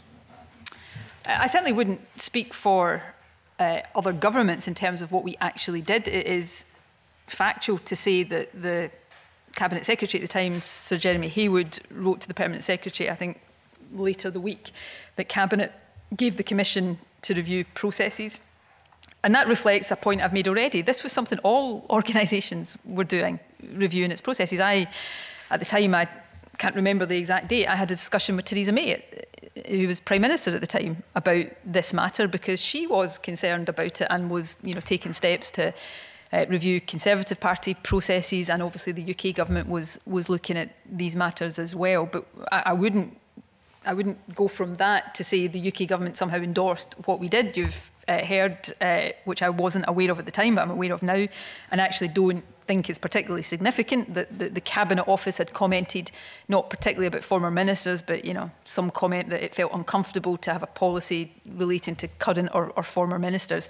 So I wouldn't, I wouldn't claim their endorsement one way or another for what we did. I think what we did was done for the right reasons. I think we have a procedure that uh, has not been declared unlawful, and I'm, I'm not going to I'm not going to labour that point because it hasn't been tested in court. Um, but a mistake was made in its its application, and nobody can get away from that. Um, in terms of endorsement, and again, I, I know you've heard from trade unions. I think, and I don't want to speak for them, and I certainly don't want to misquote their evidence. I think there was a general agreement that putting, looking at procedures, putting a procedure of this nature in place, applying it to former ministers was not an unreasonable thing to be doing. Thank you. I'm going to move on to Minister of the Court now. Convener. Um, uh, in your... Mr McMillan, can, can I stop you? Did you say ministerial code? Yes. I would prefer to leave that till after the break. Okay. If you've got anything further on the implementation of the no, policy. No, I'm fine, thank you. Okay, thank you very much. Um, Jackie Bailey. Thank you very much and good morning, First Minister. Um, I, can I just note, though, that the procedure that, that you discussed with some of my colleagues hasn't actually been used. Since uh, it was last used with Alex Salmond, um, and it's essentially been lying on the shelf gathering dust. So we have concerns that the procedure itself isn't robust enough, given that it's not been used. Um, can I explore with you the confidentiality of complainants, something that I think you and I will both care about? And can I start with the issue that I raised with you, along with Willie Rennie at FMQs last week? Um, there was a series of meetings prior to the meeting on the 29th of March between yourself, Geoff Aberdein, um, Alex Salmond's former Chief of Staff, and a senior member of your team. At one of those early meetings, the complaints against Alex Salmond um, were revealed to Geoff Aberdein. Could I ask you, who authorised the senior member of your team to have that meeting? Was it you? Was it the permanent secretary? Or were they simply freelancing? Um, first, before I go on to that, can I just say for the record, I was not claiming that the procedure had been used for complaints other than Alex Salmond. Um, but that doesn't change the fact that the procedure is still extant and hasn't been declared unlawful. Um, convener, I, I want to answer this question as fully as I can, but uh, like the rest of the committee, I am under uh, legal constraints uh, as to what uh, I can say. Um, in terms of uh, meetings, I think I would uh, not accept Jackie Baillie's characterisation of it. I certainly, uh, you know, was not at uh, the the meeting that has been described. Uh, neither, uh, should I say, were people who are seeking to attest to the, the content of that meeting. What I would say is that, as I understand it, uh, James Hamilton, who is uh, conducting the independent investigation under the Ministerial Code, uh, has evidence from uh, the people who were at that meeting. Um, I wasn't, therefore I cannot uh, give uh, a direct account. What I can say is that the account I have been given um, has assured me uh, or given me assurances uh, that what is uh, alleged to have happened at it didn't happen in the way that has been uh, described. Uh, but as I say, as I understand it, James Hamilton has the accounts of uh, those who were at the meeting. Um, I understand uh, the, the person who's been described as a, a senior government official um, is willing and has offered to give private evidence to the committee uh, on this matter, and that's for the committee to decide whether uh, they want to take it uh, take it up. So the, to describe this as a meeting that was authorised and that it happened in the way Jackie Baillie is suggesting is not something I would, I would accept. Uh, obviously, the constraints that I am under, unfortunately, mean that it's not possible for me to go much further than, than that. What I would do, though, and what I can speak to, um, is, and I don't want to stray into territory we'll come on to later, um, but the, the discussion I had with Alex Salmond on the 2nd of April um, in terms of the identity of complainants, uh, I, I heard him, you know, he seemed very certain um, on Friday that a complainant had been named uh, by somebody in government at a meeting he wasn't at, but seemed less sure about whether a complainant had been named at a meeting he was at. Alexander was open uh, with me uh, about uh, the identity of one complainant because he knew he had been told about it and there was no suggestion that I can recall that anybody um, in the government had told him. He knew about the identity of one complainant uh, because he knew about the incident, because he had apologised to the person uh, concerned. The other complainant, and I can't, what I can't recall is if the name of the other complainant was uh, shared openly on the 2nd of April in the way that uh, the, the one I've just spoken about was. But he also knew the identity of that complainant. And I remember him talking about how he had gone through the Scottish Government Flickr account to find out who had been with him on particular days. So the point I'm making is that on the 2nd of April, I don't recall any suggestion from Alex Salmond that he had been told about the name of a complainant via uh, or, or in the way that is being suggested. Um, what I do know is that he knew the identity of both complainants in one respect because he knew about the incident and in the other respect through his own investigations. Thank you, First Minister. I'll come on to exploring that in a minute, but can I take you back to my question, which was the point at which complaints against Alex Salmond were revealed to Geoff Aberdein. Um, did you know the meeting was taking place?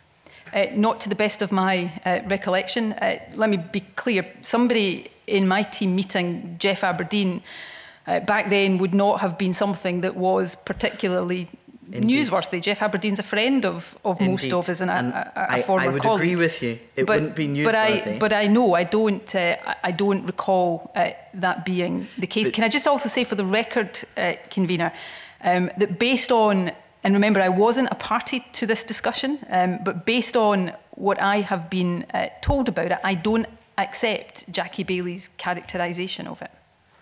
Okay, you might not accept my characterisation of it, but um, it, Geoff Aberdein's um, conversation with Kevin Pringle and Duncan Hamilton QC um, is confirmed in written evidence to this committee. Mm -hmm. Are you saying that they're not telling the truth? Or I'm are you not, saying that Geoff Aberdein isn't telling the truth? I'm not casting uh, aspersions on uh, the veracity of, of anybody else. That's not what I'm here to do. What I would say is that uh, Kevin and Duncan also weren't at this Correct. discussion. So, you know, this is but, but they are corroborating something well, that Geoff Aberdein said. So is Geoff Aberdein's recollection incorrect? I, I don't know because I don't know what Geoff Aberdein. I don't know directly what Geoff Aberdein is is saying about this. What what I do know is that uh, James Hamilton has the accounts of uh, the people who were at uh, that meeting and therefore uh, will be able to properly consider this. This committee, it's not for me to tell this committee how to do its work, obviously, but I, I listened to the Lord Advocate yesterday um, say that while there are certain things this committee cannot publish, it is not prevented from considering. And I say again, I, I understand that there has been, I actually understand there has been evidence given to this committee that, that denies that allegation, and I think there's been an offer of private evidence as, as well. Can I move you on to the name of a complainer being revealed to Mr Aberdein? Um, and then him communicating that subsequently to Mr Salmond. Um, I'm sure you will agree that that is an extraordinary breach of confidentiality and in any other employment would be a sackable offence. So can I ask, who authorised the senior member of your team to reveal that name of one of the complainants to Geoff Aberdein? Was it you? Was it the permanent secretary? Or were they freelancing? Um, I am not accepting that that happened. So therefore, I am clearly not accepting that that was authorised in the way that Jackie Baillie... I accept that this is a matter of contention um, and unfortunately there are legal constraints in terms of what we can discuss publicly at this committee, but that is not a, a constraint that in his consideration James Hamilton um, is under. So I'm not going to, yeah, I'm not going to sit here and just accept the premise of, of questions that are being put to me where I, I dispute the premise of the question. Um, and the next thing I would say, which I, I don't know for certain, uh, but based on what I said about uh, Alex Salmond's knowledge of the identity of complainants and the basis for that knowledge when he spoke to me on the 2nd of April, um, I, I did note in Duncan Hamilton's uh, written submission yesterday that he said something along the lines of this was communicated in the days after Alex Salmond had had uh, his letter from the government. Certainly, in relation to one of the complainants, uh, Alex Salmond was pretty clear he had found out through investigations of Scottish Government social media accounts who that was. And in relation to the other one, which must have been the case, and this is the bit I'm, I'm perhaps just speculating on, must have been the case when he got that letter because he knew about the incident because he had apologised to the person.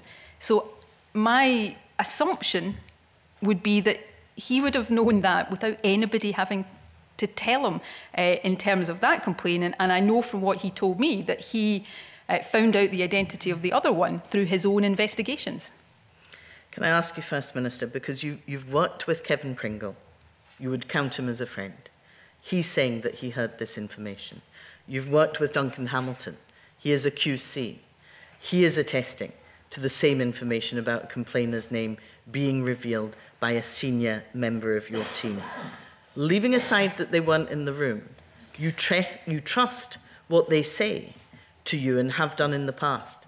But Geoff Aberdein, who was in the room, who you describe as a friend, are you saying that he is lying about this? I'm not here to make that accusation of anybody. Um, what I am saying is that Kevin and, and Duncan weren't part of that discussion.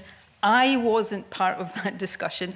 And the two people who were part of that discussion, I have, I have heard accounts of Jeff's version. I have not heard that directly from Jeff. And in terms of the, the other party to that discussion, they have a different uh, account of that. Um, the committee, it's up to the committee to decide how, whether in private it can hear directly from these people. Um, and James Hamilton, of course, has the accounts of these people. So there is a, a clear difference uh, here. The, the point I am making is that because of the reasons I have set out in, in relation to one complainant, where, I, where Alex Salmond uh, knew about the incident because he had apologised to her, um, the, the, the knowledge of the identity of that complainant uh, may well have been known, and my assumption is that it would have been known to Alex Salmond at that time for these reasons.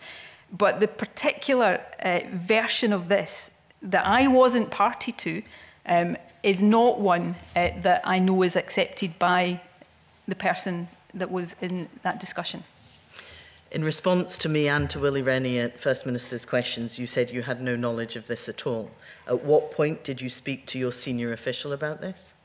Um, when there was a suggestion uh, made um, about this, I can't remember uh, the exact uh, date, uh, but I, I can check that for you if, if you want. I can't remember the date. So it predated First Minister's questions? Uh, I think you can take it uh, as read that when I said that to to the best of my knowledge, let, let me reiterate, I wasn't at this discussion, so no, I'm, but you've I'm spoken, not capable. You've spoken to the but senior I, official. I do not believe, uh, based on what I have been told, that that account is is accurate. Um, but that is based on not actually being party to that discussion. And as I say, there are others who will and, and this committee could, uh, I'm sure, speak privately, even if it can't do so publicly, to the individuals concerned. So just so I'm clear, you spoke to the senior official before First Minister's questions last week, and therefore the answer you gave to both myself and to Willie Rennie wasn't necessarily strictly accurate. Sorry, I don't follow. Okay, it's really simple.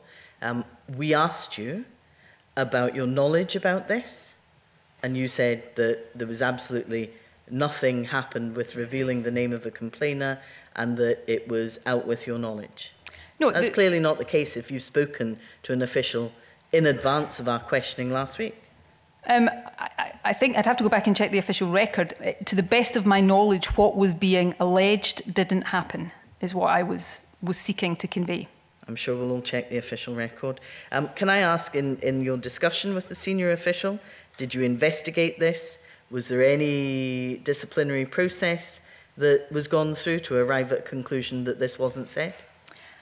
Um, the, the clear view of the the person who is being accused of this is that this didn't happen and uh, you know I am not able to go into for the legal constraints that I am under uh, the reasons uh, why that is the case and, and the reasons and what uh, may actually uh, be the situation here but others can do that uh, and you know, James Hamilton is one of them. And I say again, I, I don't know of any reason why the committee cannot, at least privately, speak to the individuals concerned. Are you not worried that a senior member of your staff was freelancing in this way? I don't accept that characterisation. Okay. Can I move on, convener, to um, the leak to the Daily Record, because this again concerns the confidentiality of complainants. Um, when did you become aware of the leak to the Daily Record? Uh, I became aware there had been a query to the Scottish Government from the Daily Record on uh, sometime, uh, I think, in the afternoon of, from memory, quite late afternoon of the 23rd of, of August, which is the day before the story uh, ran in the Daily Record. Um, that's when I, I became aware of it. Um, that's when I became okay. aware of it. I think, I think just my understanding was there were actually two stories. I think one on the 23rd and the other perhaps on the 25th, which actually had details of complainants. The first, as I understand it, and please correct me if I'm wrong, um, talked about complaints against Alex Salmond, but the second leak went into details Mm. of those complaints. Um, where do you consider the leaks came from? Mr. Salmond believes it was somebody within your team. The ICO identified a small group of people, 23 people, that would be broadly consistent with Mr. Salmond's view. So I'm curious to know where you think the leaks came from. Um, I don't know where the leaks came from. Uh, I can tell you where I know they didn't come from. Uh, they didn't come from me. Um, they didn't come from anybody acting on my authority or on my instruction or at my request. I am as certain as I can be that they didn't come from anybody within my, my office.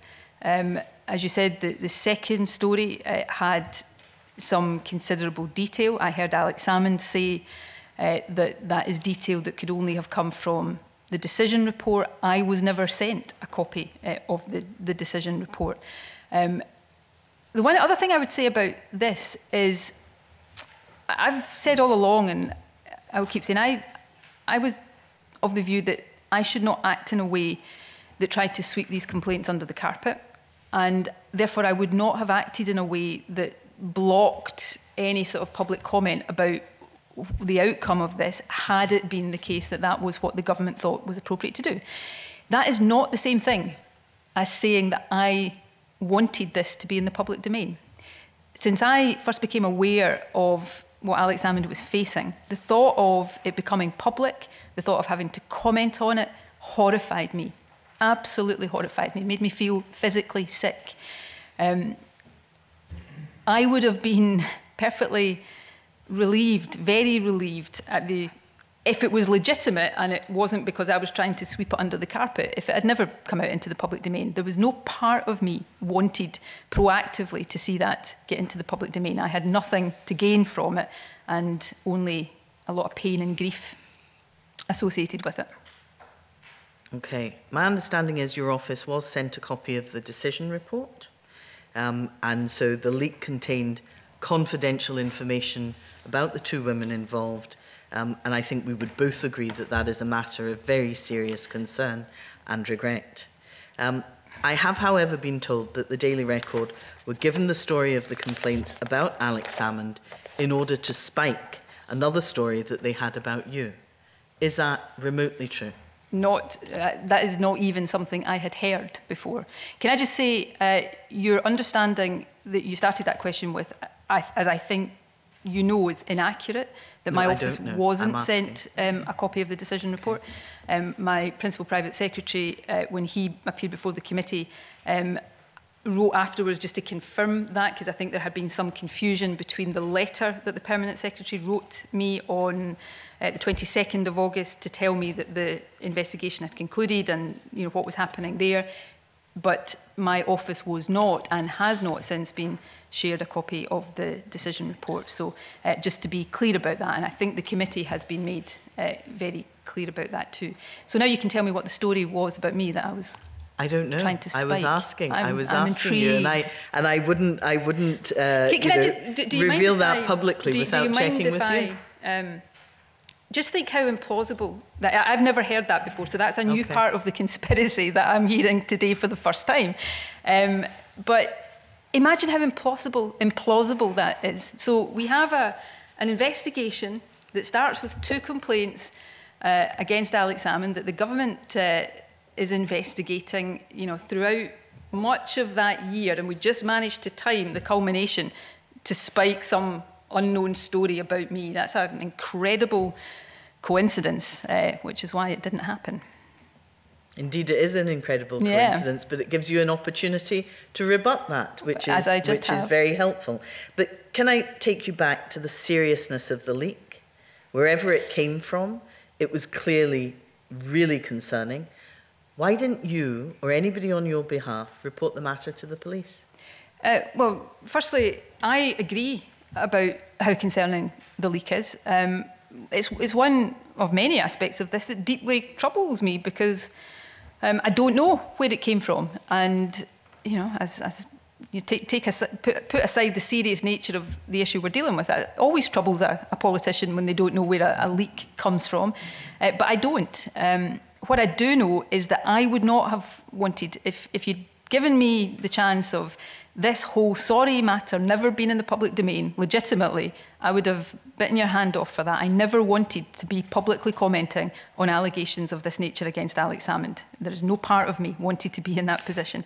It's also the case that you know, the government didn't benefit in any way from this leak. Now, okay, I appreciate that's with hindsight, but it was this leak that has allowed some people from day one almost to cast the government as as the, the aggressor, the guilty party on this. So I don't know where the leak came from. I emphatically know it did not come from me or anybody acting um, on my authority or uh, instruction.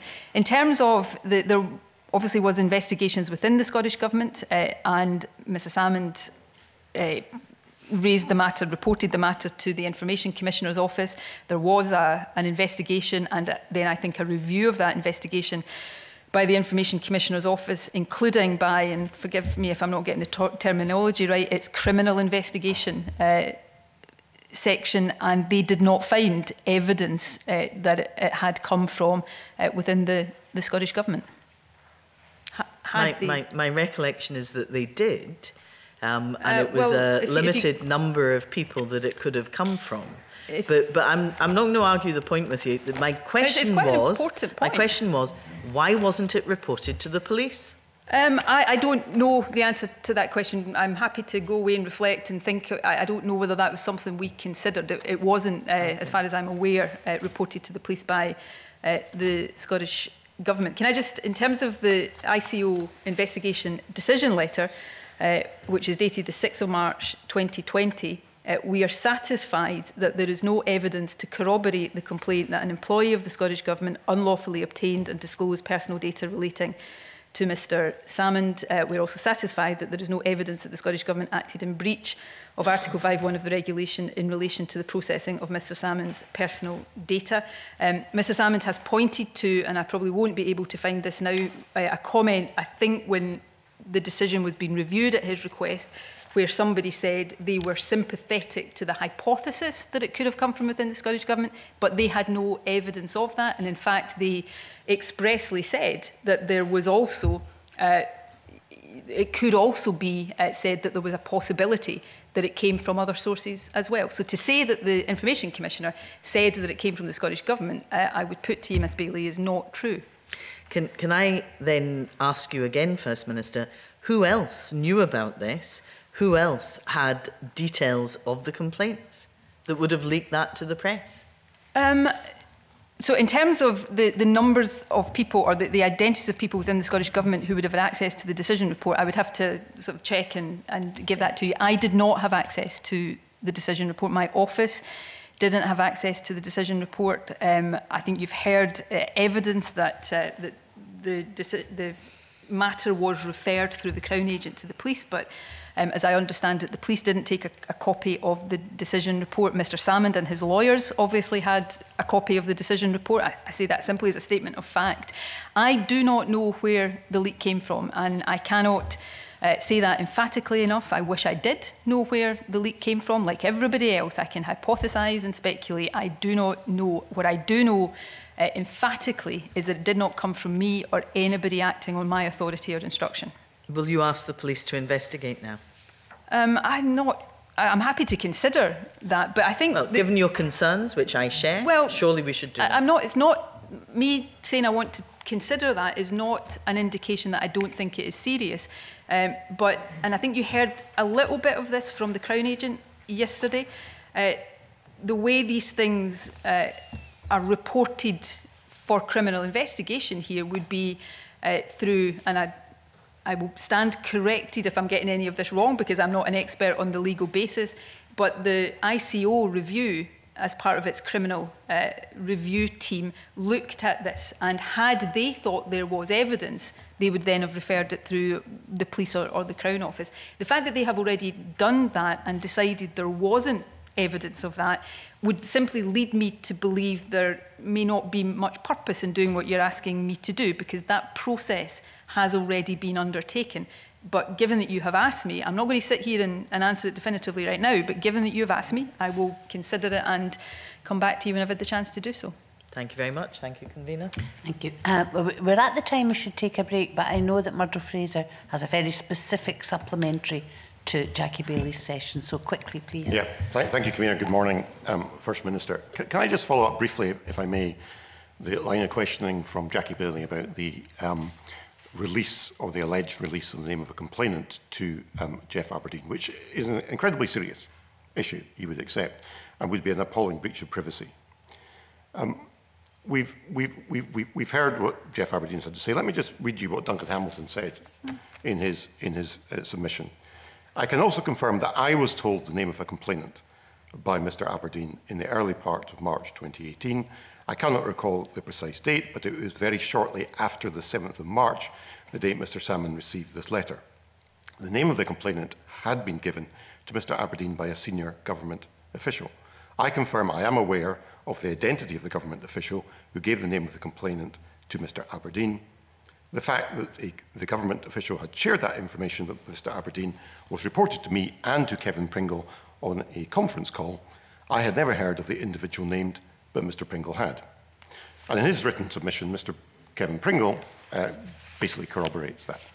So here we have a statement by Geoff Aberdein, corroborated by Duncan Hamilton, and corroborated by Kevin Pringle. You're a lawyer, you're well aware in the rules of evidence of the importance of corroboration. You've suggested that the senior official we're talking about has a different version of events. Who would corroborate that alternative version of events? Um, you, so you would have to, and you know, it's not for me to tell the committee how to do its work, but it is, you, you started your question to me there um, with the statement, I think, that we have heard from Geoff Aberdein. I, I'm not aware that the committee has heard from Geoff Aberdein. If I'm wrong about that, I apologise.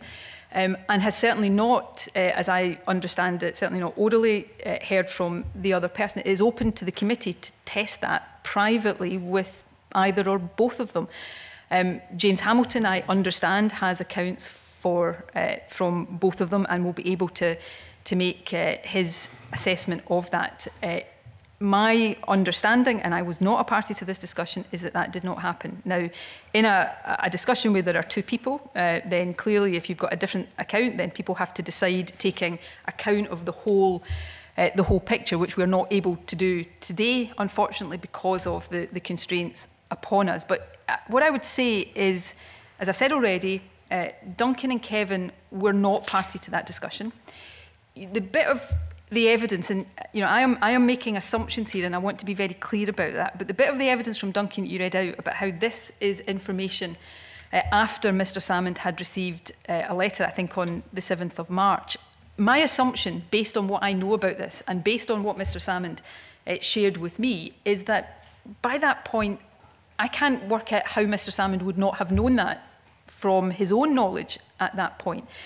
Uh, I, I think and again, I will stand to be corrected. I think Geoff knew uh, at the time about the apology to this individual in 2013. So the fact that there was a knowledge of the identity of this individual may well have been the case. But you know, I can only say what I have been uh, advised about this uh, conversation. I wasn't party to it. It would be serious if the, the identity of a complainant was revealed. I absolutely accept that, but that is not what I understand happened in the way that is being uh, set out. And as I say, it is open to the committee to take uh, evidence, even if it is in private, from both of the people who were party to that. I come back to um, another point, and again, my you know, if my recollection is wrong about this, then no doubt uh, somebody will say so. But I do not recall Alex Salmond giving me any suggestion on the 2nd of April that he had known the identity of a complainant, uh, a complainer, because it had been told to him by somebody in the Scottish Government. I repeat again, one of the complainers he knew about because he knew about the incident. Uh, uh, you know, if, if you are openly saying you've apologised to somebody for an alleged incident, then clearly you know who they are. And I do remember him telling I don't remember if he used the name in the second complainer, but he had identified the second complainer by going through the Scottish Government Flickr account. So I'm trying here to tell you what I know from uh, my own recollection and my own direct discussions. Um, I've gone as far as I can in telling you uh, my understanding of a, a discussion that I wasn't party to. Thank you, First Minister. But it doesn't get away from the fact that we have a statement here that two other individuals will corroborate. Mm -hmm. I, I've given you the opportunity to say who might corroborate the alternative version of events that you put forward, and there's no corroboration for that.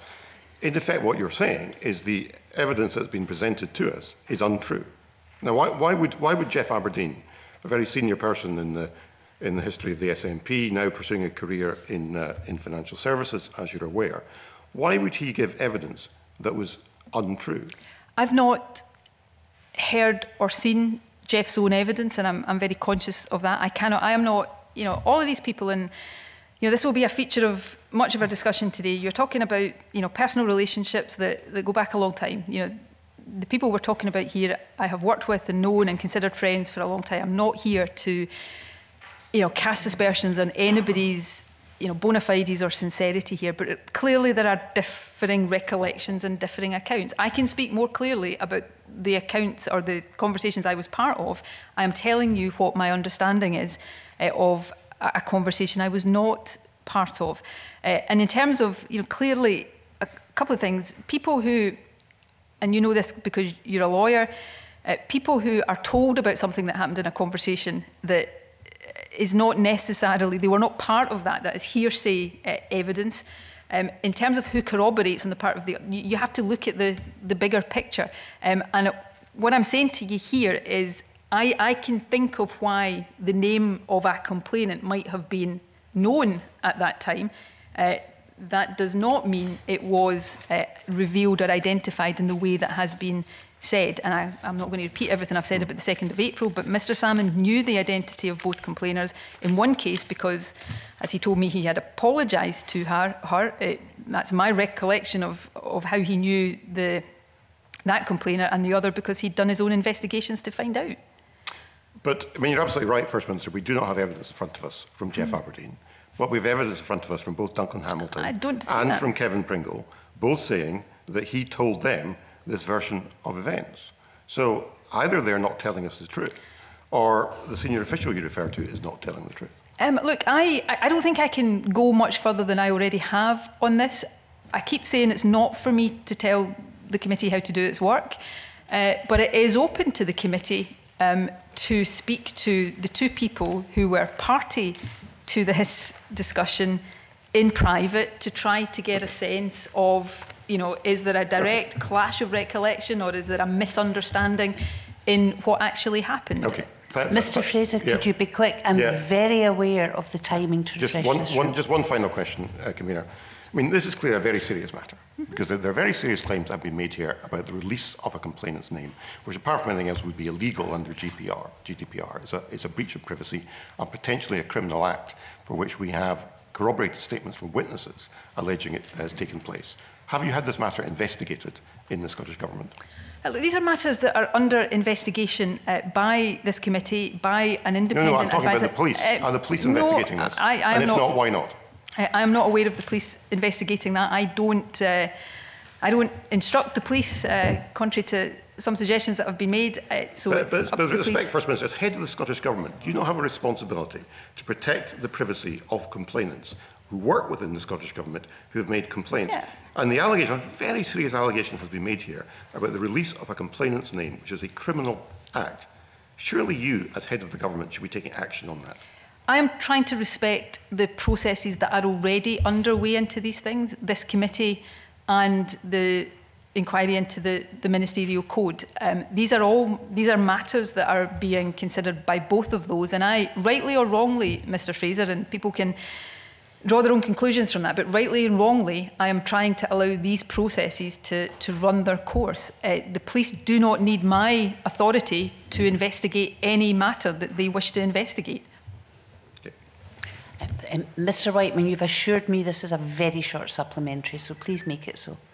It, it is, just to confirm in the ICO, so the, the, the review of the decision by the Criminal Investigation Team, uh, which was reported to Levy and on the 20th May 2020, says at para 4.8, there remains the possibility that the leak came from elsewhere.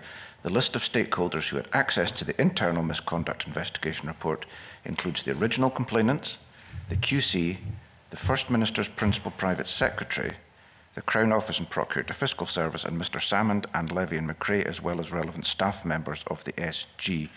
So it appears from the Information Commissioner's report that the First Minister's Principal Private Secretary did have a copy of the internal misconduct investigation report. I think you said previously that your office had not got a copy. So my, my understanding, and I think uh, my principal private secretary has written to the committee on this, is that that is a, a, misapprehension from the internal government uh, investigation into this, that he did not get sent, my office did not get sent the decision report. Um, if there's further clarification we can usefully, usefully provide on that, we will do. But I did not get sent the uh, decision report and my office did not get sent the decision report. Okay, and finally, the kind of uh, leak of the name of a complainer, or indeed the leak of a decision report, anyone in Scottish Government who did leak or make public or communicate to third parties such information, that would be a dismissal offence, wouldn't it, fairly clearly? I, I would- I would imagine so, yes. Uh -huh. Okay, thanks. Okay, uh, thank you everyone and in line with the agreed mitigations to allow us to meet safely in person today, I will suspend this session for around 20 minutes, so we will reconvene at 11.35. Uh, can I remind members and everyone else to observe social distancing when leaving the committee room and during the break, and I now suspend this session.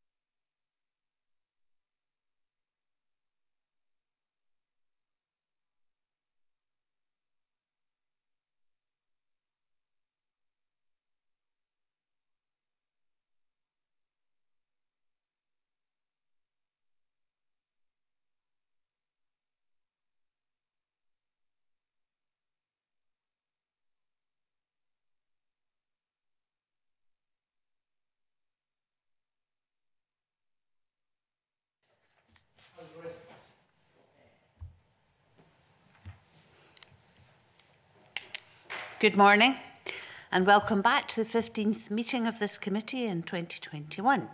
And this is an evidence session with the First Minister of Scotland, Nicola Sturgeon, MSP. I can confirm that the First Minister took the affirmation at the start of this morning's evidence session. Uh, before um, we suspended, we were discussing the theme of complaints handling. Uh, we'll stick with that and I therefore go to Alex Cole-Hamilton. Thank you very much, Convener. Good uh, morning, First Minister. Thanks for coming to see us today. Um, I'd like to continue the theme of discussion around uh, confidentiality around complainers. But before I do, I have a couple of very specific questions, just around the way you phrase things, because I think that words matter.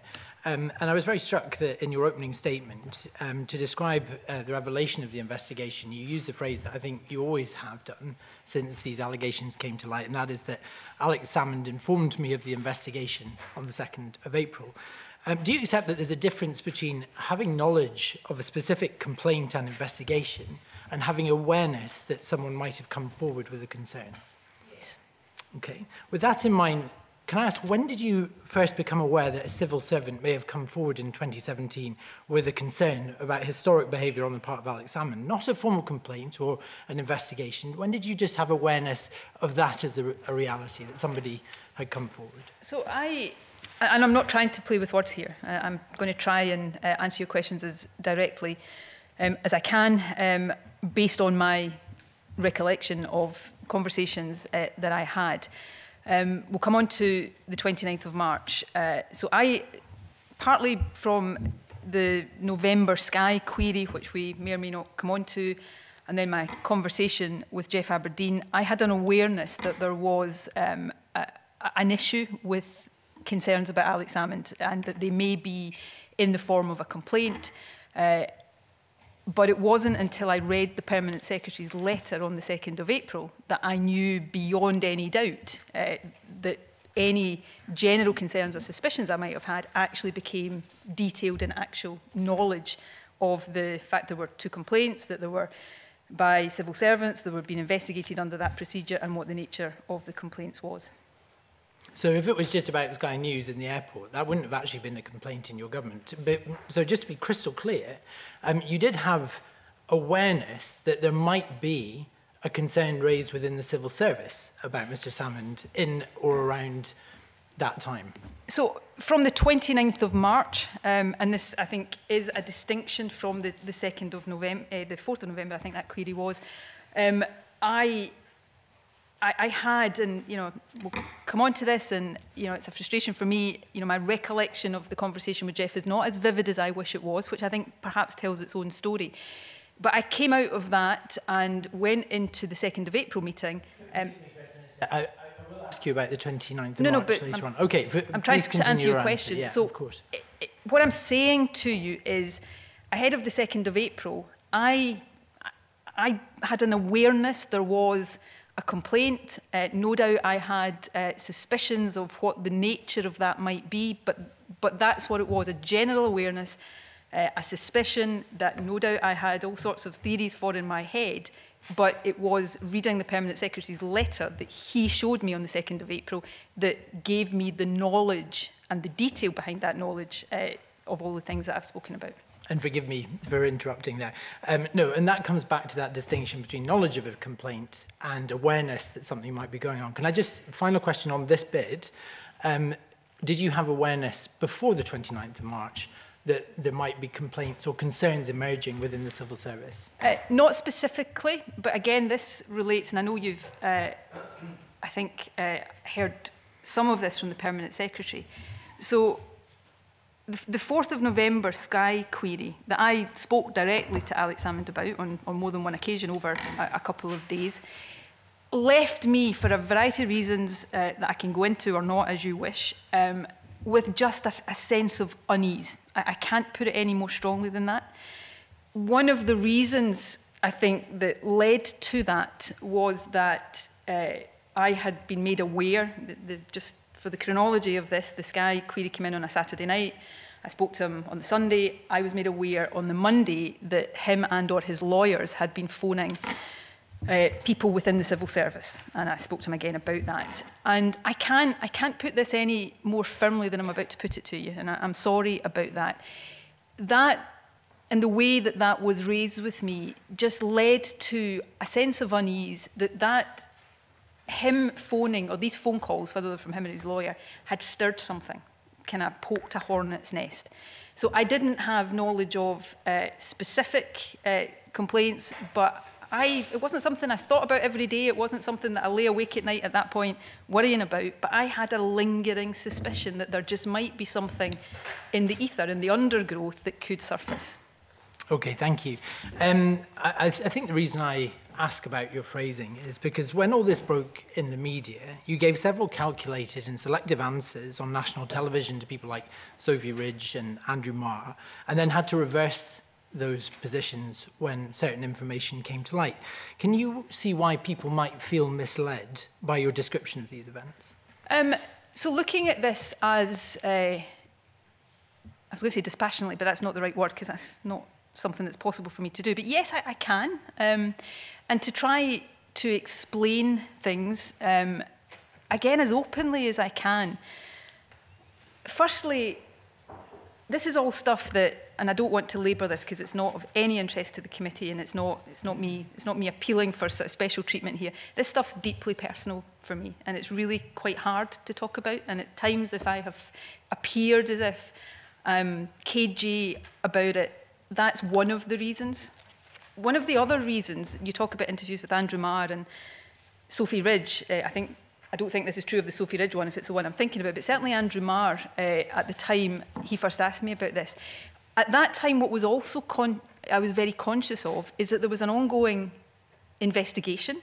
I was really, really uh, worried that anything I, anything I said about this at any time would cause headlines, news, commentary.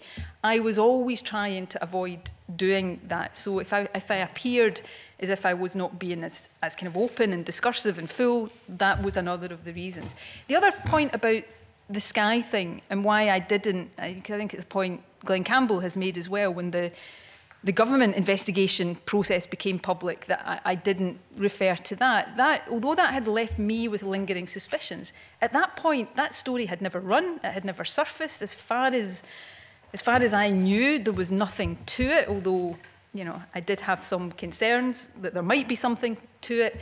Uh, so I had nothing to base that on beyond what I'm telling you here. So yes, I do understand why people might see that. And I, I would just say to people that there are a lot of factors here, not least, you know, I've, I've seen commentary to the effect that I always seem really uncomfortable when I speak about this. I am really uncomfortable when I speak about this. We were talking here about serious allegations that have led to the breakdown in a relationship with somebody that was really important to me on all sorts of levels. So I do feel uncomfortable when I speak about this at a human level. Um, but I'm not here to talk about that. I'm here to answer questions as First Minister, and I, I am trying to do that.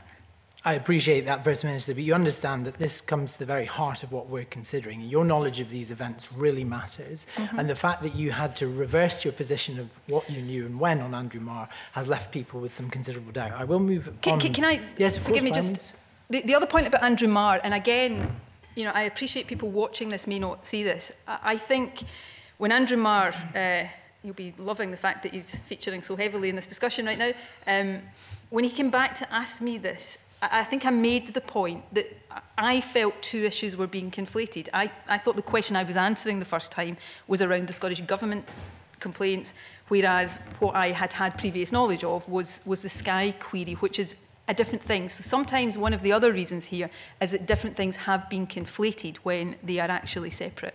Okay. Um, I'd like to move now to the issue that Murdo Fraser and Jackie Baillie were discussing with you before the break about the confidentiality of complainers. And we have had it corroborated, um, the, the assertion that a name of a complainer was given to Geoff Aberdein. Um, if true, that's an egregious breach of confidentiality. Um, and you told Jackie Baillie that you don't accept it. You confirmed that you'd spoken to the senior official who's accused of this um, when you learned of it. Um, is that the reach of your investigation into this issue? Um, I know that... So at the moment, I am trying to respect the, pro the other investigative processes that are underway here. Um, I know that... Uh, I, I can't speak for Jeff Aberdeen, but I, I know that James Hamilton has an account of this, and as I say, it's up to the committee to decide what it does. Can I just... Jackie Bailey suggested earlier on that I had somehow contradicted myself today against what I said last week at First Minister's Questions, I have the official report here, and I did not. Uh, what I said was not that I didn't have knowledge of this allegation. What I said was that, to the best of my knowledge, the allegation wasn't true. I can read the official report should anybody want me to. That, um, with respect, James Hamilton is investigating your actions, not those around you, but I mean, he might have a, a judgment to make on those as well. We, we will discover that. Um, nevertheless, it is a sackable offence to, to breach confidentiality in that way. So um, would you be surprised that the senior official that you asked about this as the reach of your investigation denied it? Um, Look, I, I'm not sure, convener, I can say much more about this than I already have, and I've, I've tried to be as expansive as, as possible within constraints. What I I do know is, I mean, we're talking about breaches of confidentiality and GDPR, and, and actually I think these issues are even more fundamental than that. I don't disagree. If this happened, it would be as serious as you're saying. But I, I've set out why um, I am not uh, sitting here accepting uh, as fact that that happened because I, I think there is uh, an alternative explanation of that. But I can only, in talking about GDPR and confidentiality, Um, the person who told me the identity of certainly one complainant and certainly gave me the impression he knew the identity of the other, and I can't remember if he told me the name, was, was Alex Salmond. Um, final question on this bit, and then I will move on, I promise, convener, to other aspects of confidentiality. I mean, this revelation, if it happened, well, it clearly knocked Geoff Aberdein for six. He had a telephone conference with Kevin Pringle and Duncan Hamilton. We also understand, I believe, that he reached out to a former civil servant um, who he was very close with as well, um, clearly reeling from this. Um, yet, I, I understand you've not attempted to contact any of them?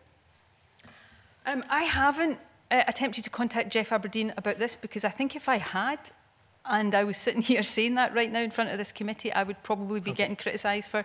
I mean, I, I don't have it in front of me, convener, but you know, the the initial letter I got from this committee asking for written evidence, I think had words to the effect that I shouldn't be comparing stories with with other witnesses. I've tried to respect the processes of of this committee.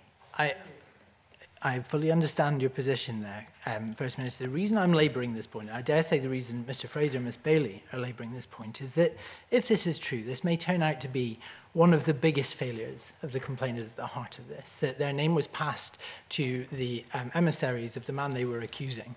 Um, and it just feels like you've just taken the word of the person who's accused and, and not investigated. I, I won't proceed any further can, on that can, can matter. I just of course. uh, I don't want anybody to think that I don't treat this seriously but this and I say again you, you've said things there to me about Geoff's account that certainly to the best of my recollection I've not heard. So I, I've not seen Geoff's account.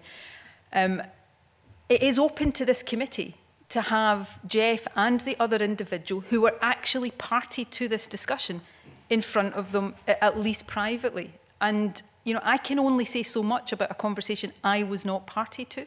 Um, what I do know is that Alex Salmond himself gave me the, uh, or shared uh, openly at the meeting on 2nd of April, the identity of at least one and possibly two of the complainers. And, and to the best of my recollection, did not give me any indication that day that he had got the identity of a complainer for some, from somebody with, with the description that you're using.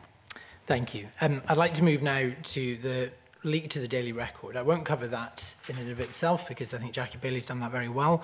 Um, but I find it curious that the day before the leak to the Daily Record, the government was about to press release the fact of the investigation um, and were only stopped by legal action uh, from Mr Salmond. Um, was that press release prepared with your consent? Uh, so the chronology of this is that I was uh, written to by the Permanent Secretary. I, I can't recall whether the committee's got that letter. I'm, I don't see why it wouldn't have. Um, on the 22nd of August, um, I think I've got the letter somewhere here, but I'll go through it from, from memory right now, telling me that the uh, investigation had concluded, that certain things had been upheld, that uh, a decision had been taken to refer, I think, three matters to the police. By the time the Permanent Secretary wrote to me, that referral had taken place. Mm. And that letter on the 22nd of August told me that there was further consideration about uh, putting into the public domain some very limited information, and uh, th but that decision hadn't been taken. I was, so it was not my press release, it was not a press release I was preparing.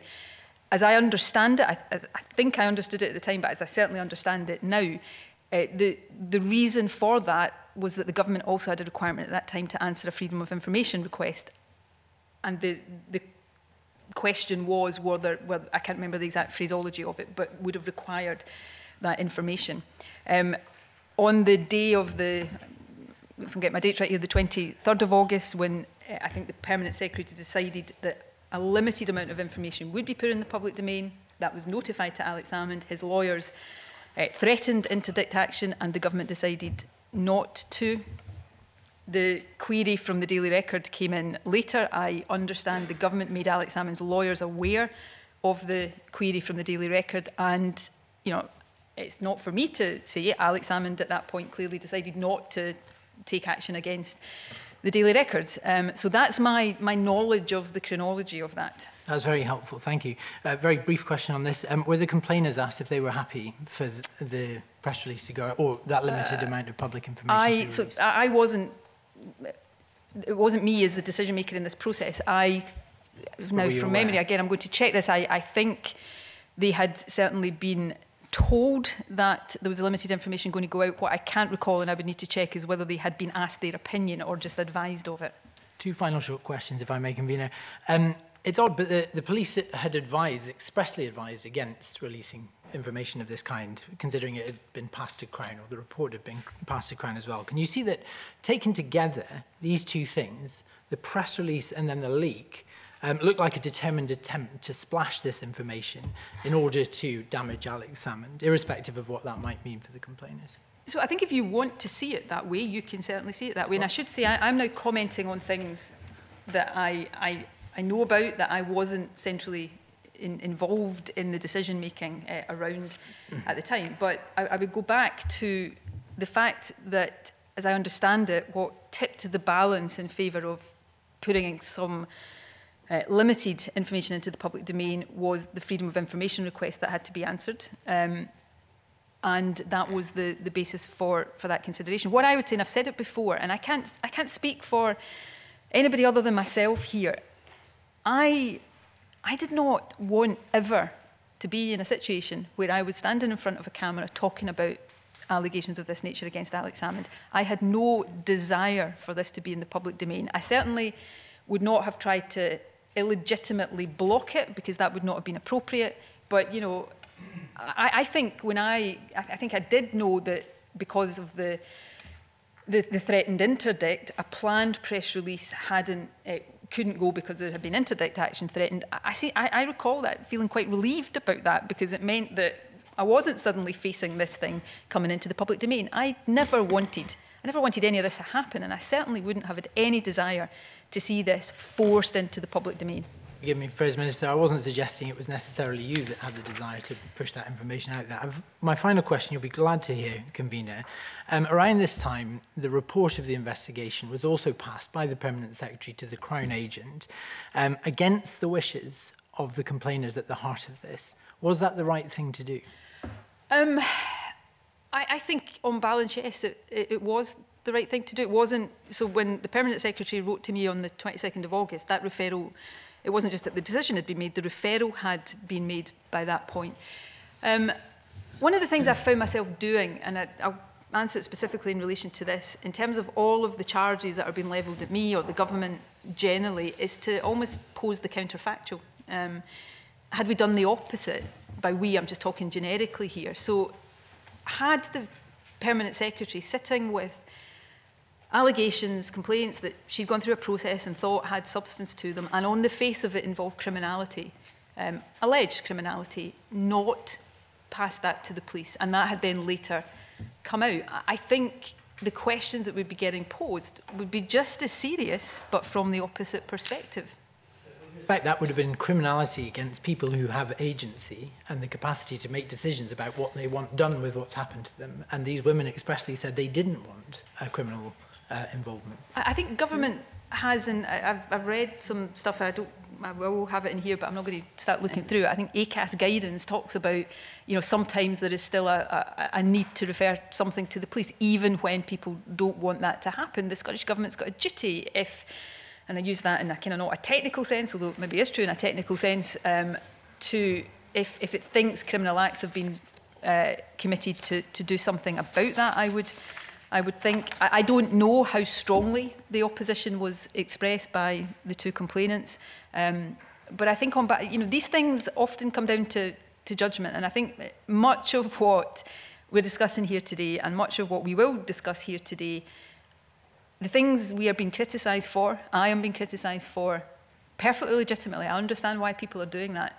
But had I done the opposite, I would also be getting criticised. Um, and That's perhaps just a reflection of the invidious, almost impossible situation this placed a lot of people in. Thank you, Convener. Alistair Allen. Thank you, Convener. Um, to build on some of the questions there, one of the questions asked there by Mr Cole Hamilton, um, you've described this, the circumstances around the, the press release, and indeed Mr Salmond described to us in his view as remarkable, the fact that the Permanent Secretary uh, had planned to, to make a press statement on the 23rd of August announcing the outcome of the complaint against him.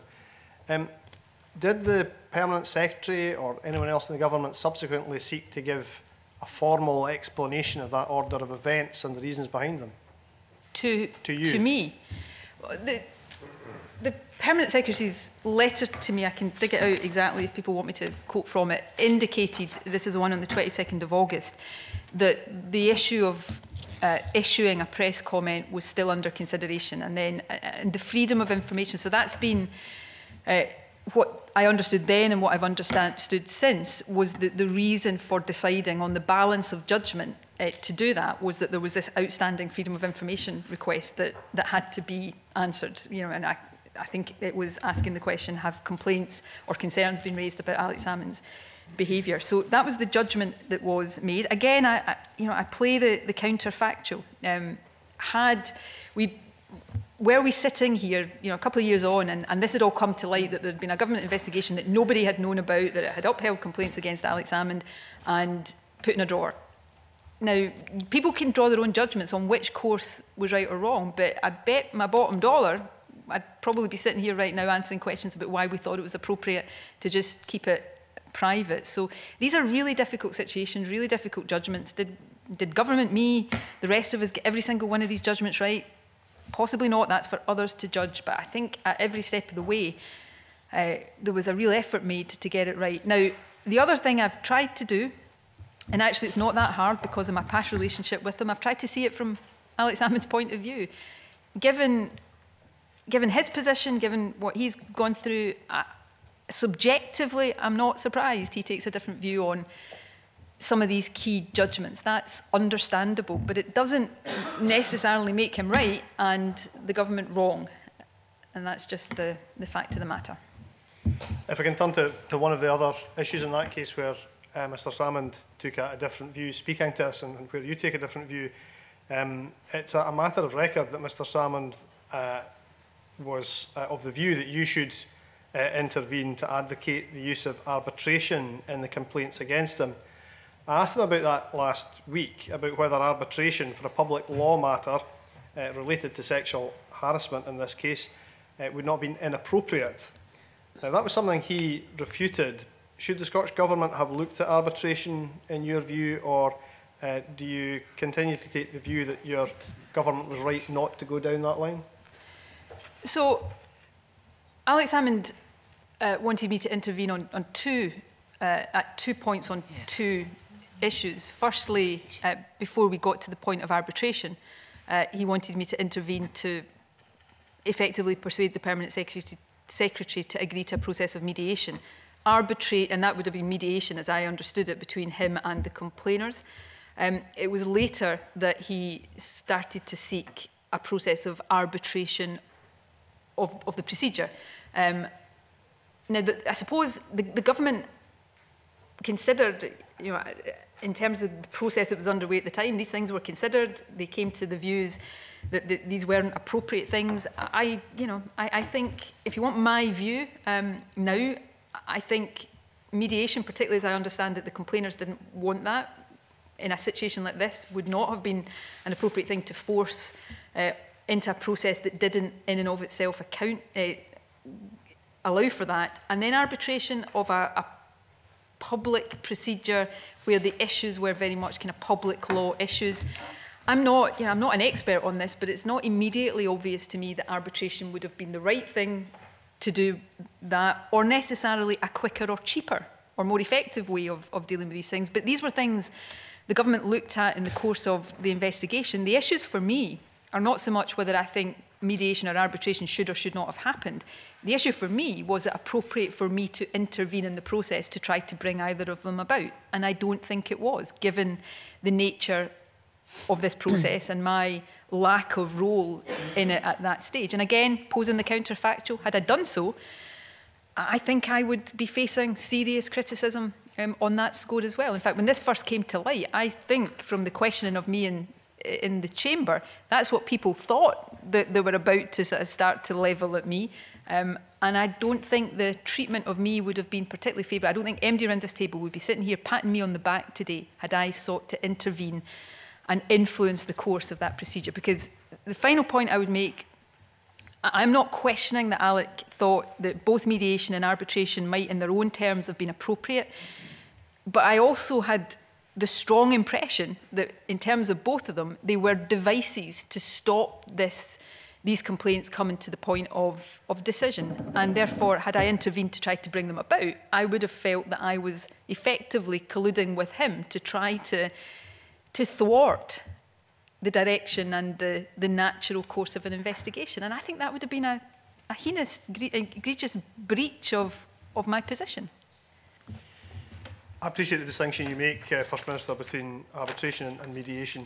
Um, it became clear last week that Mr Salmond uh, does not believe that the original complaints under the procedure were so much made in bad faith. Uh, rather, he seems to believe, or he indicated, that um, in his view, various people were trying to manufacture allegations against him after that point. Um, he cites a variety of emails sent out to past and present members of staff, particularly to women around this time. He believes those, or he indicated to us that he thought they were a fishing exercise uh, rather than offers of support.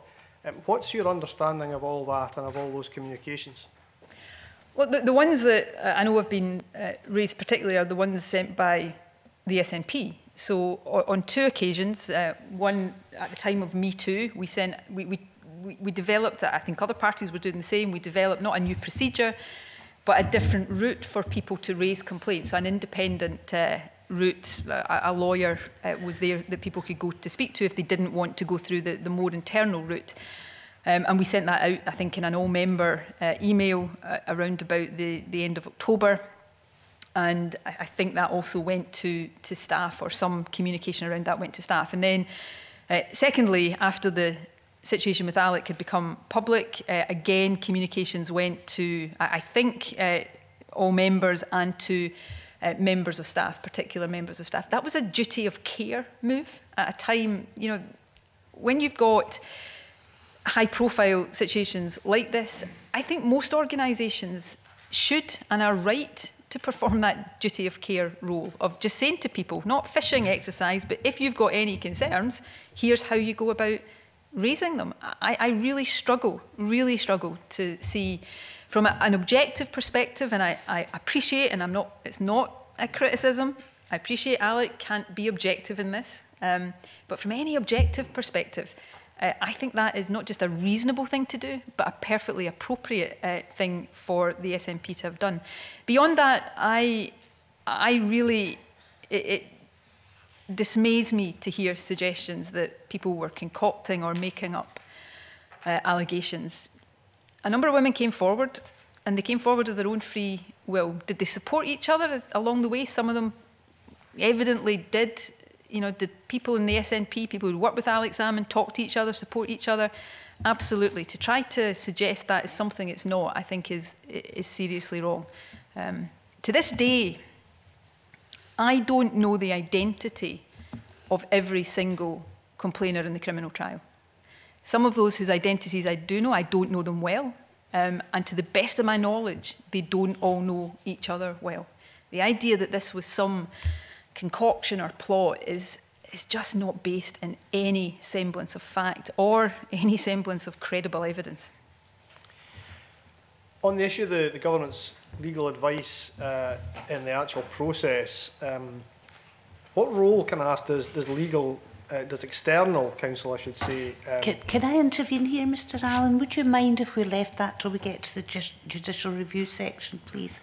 Uh, I think okay. it would make our um, splitting up Yep. of our chronological decisions more sensible. Okay, in that case, um, can I ask uh, more generally um, about um, the evidence, as it were, behind um, your position? I asked Mr Salmond this question about the, the evidence that he could provide uh, behind uh, to back up his position. So, um, Mr Salmond, for instance, has implied to us that there are many documents which have neither been able to be led in the criminal trial nor released to this committee, which back up his uh, position on the claims he made in committee last week. Um, do you have a view on all of that and on why they have or haven't been released or, or the, the, the, um, the conclusions he draws from these facts? Uh, I, I think it's fair to say I do. Um, I mean, uh, firstly, just I heard him say last week that you know the first minister says I've got to produce evidence. You know, it's it's not for me to produce evidence. I've already gone through two court cases. I'm not suggesting and wasn't suggesting that Alex Salmond has to evidence his innocence of criminality. That that was done in a court and that's beyond question. But if you're going to to pose the uh, the suggestion uh, or put forward the suggestion that there is uh, some kind of plot or as I think he described it concerted malicious campaign. I, I do think there is a, a need to evidence that and I have not heard evidence of that. There, there has been references repeatedly to material that was handed over to his defence uh, as part of the criminal trial. By definition that is material that must have been seen by the police by the Crown. I understand there were applications to have that material introduced into the criminal trial and the court decided it was not relevant. I, I would just, I suppose, put forward the view that if, there, if this material showed what Mr Salmond wants us to believe it shows, then somebody in the police or the Crown or the court might have seen that too. The fact that they didn't, I think people should draw some conclusions from. Um, in terms of the, the messages that have been quoted, uh, I, yes, I have tried to find out you know, where they're from, who they're to, you know, what the context is. And every single one that I've managed to, to get to a point where I can have a view myself, they are completely not the, opposite of what he's trying to suggest. They're taken out of context, misrepresented, twisted. Um, what they show um, in terms of what I have seen are people supporting each other, uh, people uh, talking to each other. Yeah, a bit of gossip about what was going on. Uh, remember, this was a massive thing for the SNP, particularly for people who had worked closely with them. And also, people cooperating with police inquiries. People, the SNP and individuals in the SNP were being asked to cooperate with police inquiries. And some of what's been misrepresented as trying to find or concoct evidence is actually people cooperating with the police at their request.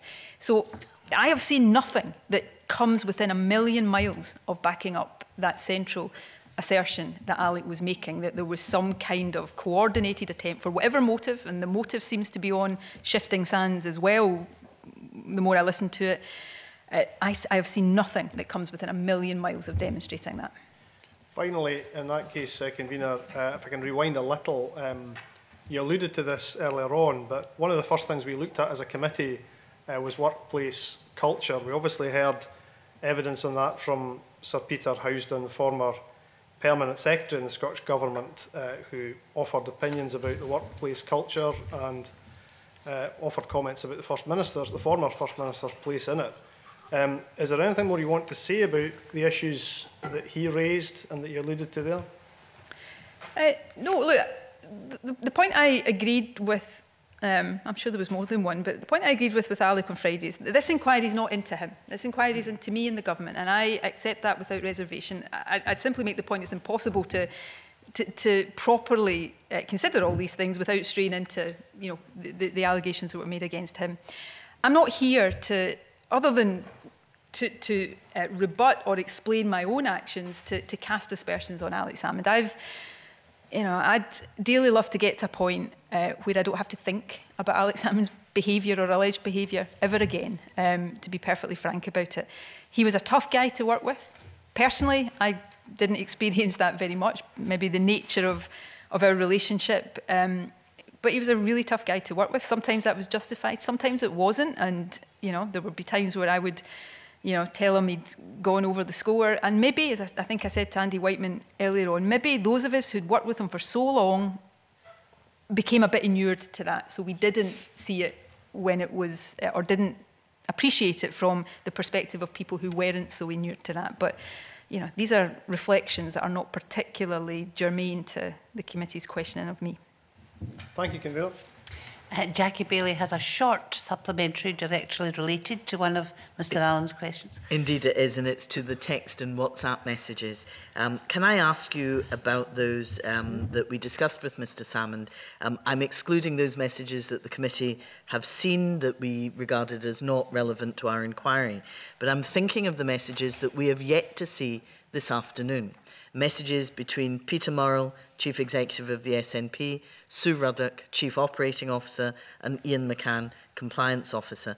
Um, given that you're also the leader of the SNP, did you ask to see those messages? Um, I've made inquiries about the messages to satisfy myself. They're not my messages, uh, but I've, so, you know, if you, if you take the ones between Sue and Peter, uh, the ones that have been quoted, the ones that I have seen, you know, they are just not as presented. Uh, you know, Peter's given his own account of his messages you know, it is, and, and you know, if, if, and I don't know, if the committee gets to see the full version of one of the messages that, you know, pressuring the police has been taken from, I think you see a very, very different impression from that. You know, these are messages about from people who were cooperating with police inquiries, supporting each other. Uh, the, that message I've just spoken about, if I'm getting my dates right here, was the day after he'd been charged. I mean, just just pause on this for a moment. This man that we had worked with, campaigned for, helped to get elected twice as First Minister, on the part of some of his people like me, considered him a really close personal friend, was just, had just been charged with a number of serious sexual offences. I defy anybody in that position not to be really upset, a bit angry, um, and for that perhaps to come across in their communications. But the idea that that suggests some kind of plot or conspiracy is actually quite offensive, uh, given the years of loyalty that the people being accused of that have shown to, to Alex Salmond. You know, he quoted four messages uh, on Friday that I have taken steps to kind of make sure I, I could satisfy myself uh, are not untoward. And, you know, they are just, one of them, as I understand it, because I've been you know, told this by people whose messages they are. One of them I think the committee has seen um, as part of what it saw previously. Um, you know, and others are just about people. You know, there was one where he said something like, um, uh, where is it? Yeah, tell me, tell me the evidence I want, or I'll, and I'll get it for them. What that is is somebody uh, who had made a complaint, who'd spent hours and hours and hours with the police. And uh, First Minister, can I stop you there, okay. please? Um, our committee is going to see some messages later on that we um, requested of the Crown Office. And I don't think it's appropriate for us to be taking a view on them before we've okay. read them in context. My apologies. I, I was trying to answer I know. I know. Suffice yeah, to say, fine. these messages and the committee will draw its own conclusions. I, I'm not saying I've seen all of the ones that the committee will see. I have no idea.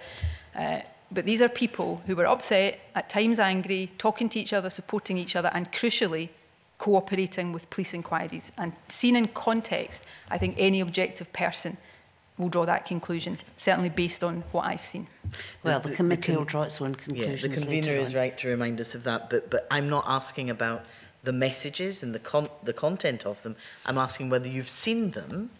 And whether you're, you're reassured by them. I- so I, don't know if I've seen all of the messages okay. Alex Salmond is referring to, because I don't know all of the messages refer he's referring to. I have seen uh, or I've had an account of uh, the ones he has quoted. And yes, I am satisfied that they are not, as he is suggesting, in terms of the motive and what lies behind them, is anything like what he is suggesting. I, sorry to press you on this, but, but I'm asking, have you asked to see them all as leader of the SNP? Have you asked to see them all? I, I don't know what all is, Ms Baillie. Okay, I, I- you know, I, I don't know what all means in this context. fine, I'll leave it oh, there. Thank you, okay. convener. I have two more requests in this particular section on complaints handling. I have Margaret Mitchell and then Andy Wightman. And it's now good afternoon, Mr. First Minister. Before I get to my substantive point, it would be good to clarify just some timescales here. We know Fairness to Work took 18 months to um, develop. This procedure took three months. Um, can you confirm when the claimants, uh, the complainants, finally decided that they, they would officially complain? Um, I, uh, if you give me, I can find that uh, this is stuff I only know in the way you know because I, I now, well, not quite in the way you know it, but this is stuff I am telling you with hindsight. So um, as I now understand it, uh, the, the official complaints were made in the January, uh, although there had been some informal uh, contact in the, uh, the latter part of the previous year. Okay, thank you. And can you tell me when the procedure uh, was uh, published on the Scottish Government website? It was published in February of uh, 20... So I'm getting my years mixed up here. 2018, that would be. Um, I can find the date. I want to say the 8th, but I'm not 100% sure that it's precisely the 8th, but February. And there's been an issue made of why did it take so long to publish it. Um, we were also doing some uh, work to review the ministerial code for the same reasons out of Me Too, and the decision had been taken to publish it all together. Right. So when was the um, policy signed off? The 20th of December. That uh, you'll be aware is being disputed by the, the First Minister and um, I am the First Minister. by the former First Minister. Um, just in his last submission, so it's maybe something that. Um, What, does he dis- does, does he dispute the he's- date of the sign off of the policy? I wasn't was aware he did that. Three months in the development. It started in November, Mm-hmm. December, January, and then published immediately. It was signed off, which would be February. Yet the complainants, as you just said, made their um, complaint in January before um, he is alleging the the complaints procedure was signed off.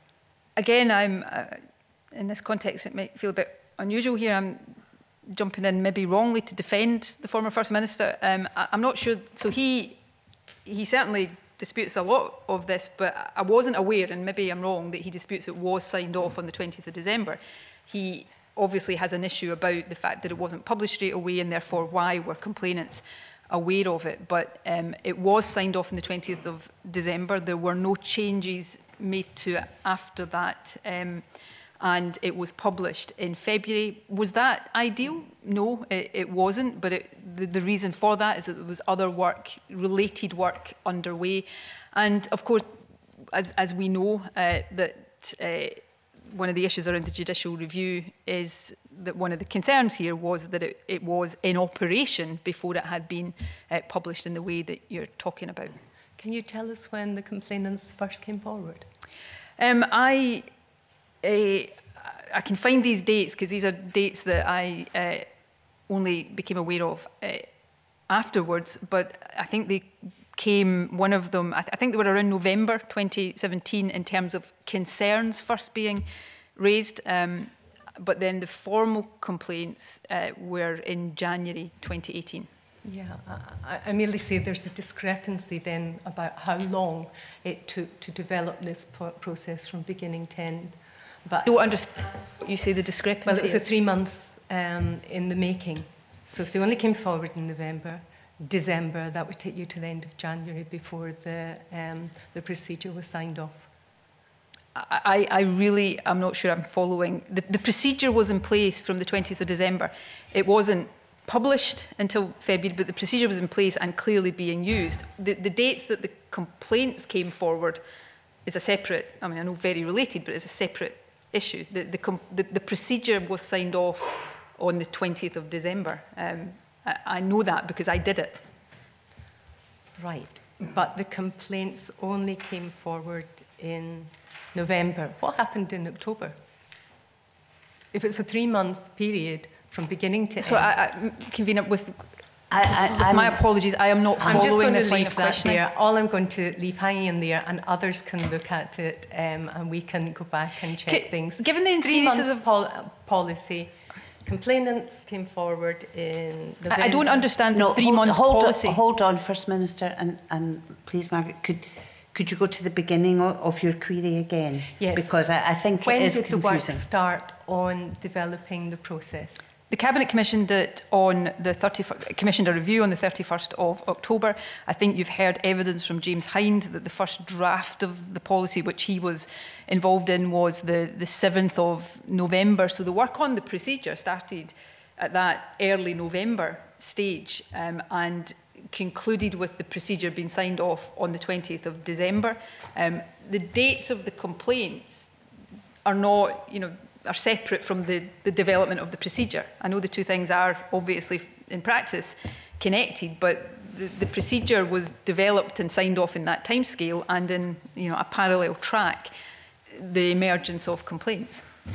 Okay, I'm going to leave that there because I don't think we're going to get too much further with that, um, First Minister. I'm not sure I'm going to get much further with it, that's for sure. And um, turn now to the issue that Alex Cole-Hamilton raised, and, and that's the fact that we know the complainants did not want to um, report their complaints to the police. Um, but it was on the basis of the IO report and the Permanent Secretary's final decision this was done.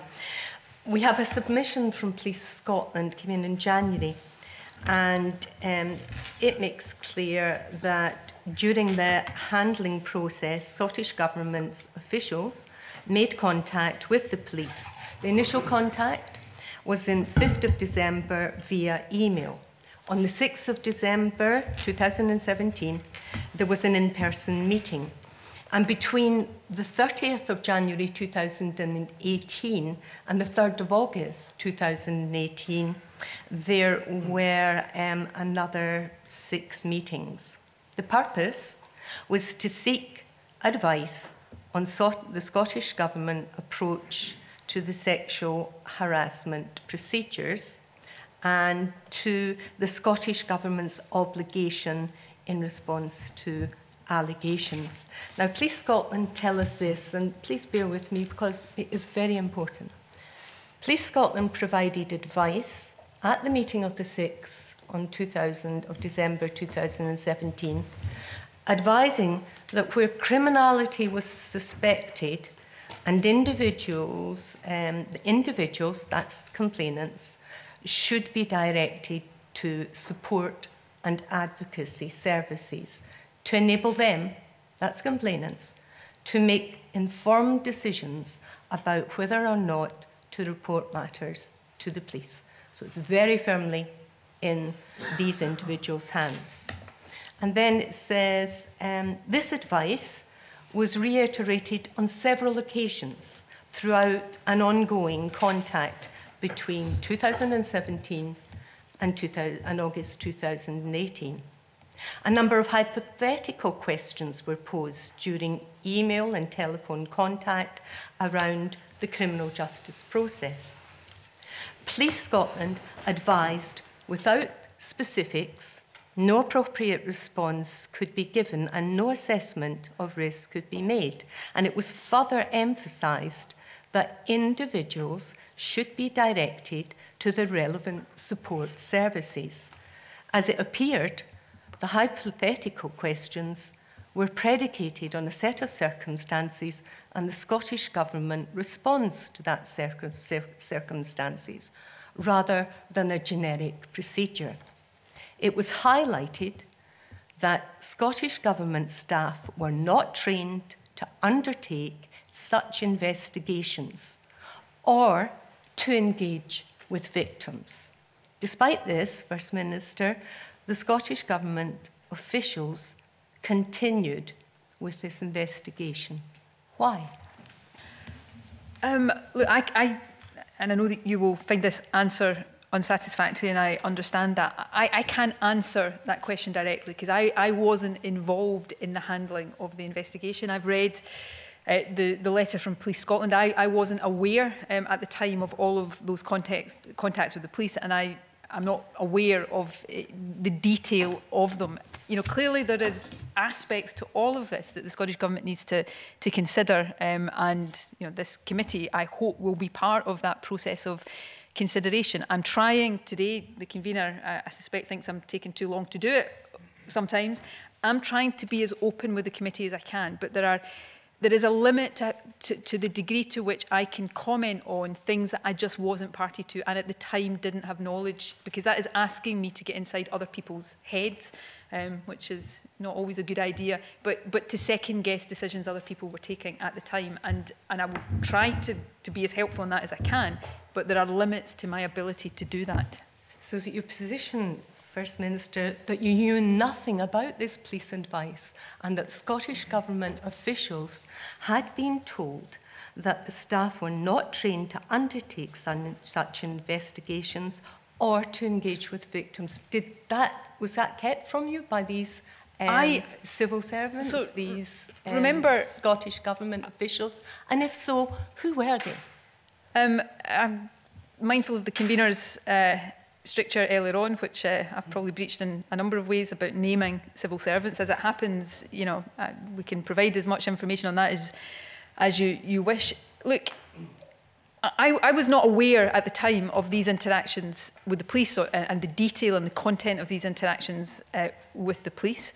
Um, this is an investigation that uh, I had no role in. I wasn't involved in the handling of the, the investigation. Now, you know, you may well be raising issues that we have to, and this committee may also want to reflect on these issues. I'm not suggesting otherwise. I'm simply saying if you, your question was why did a civil servant having been told X by the police decide to do Y? And, and I cannot today sit here and answer that question because I, I don't know the thought processes and the, uh, the decision making that lay behind that.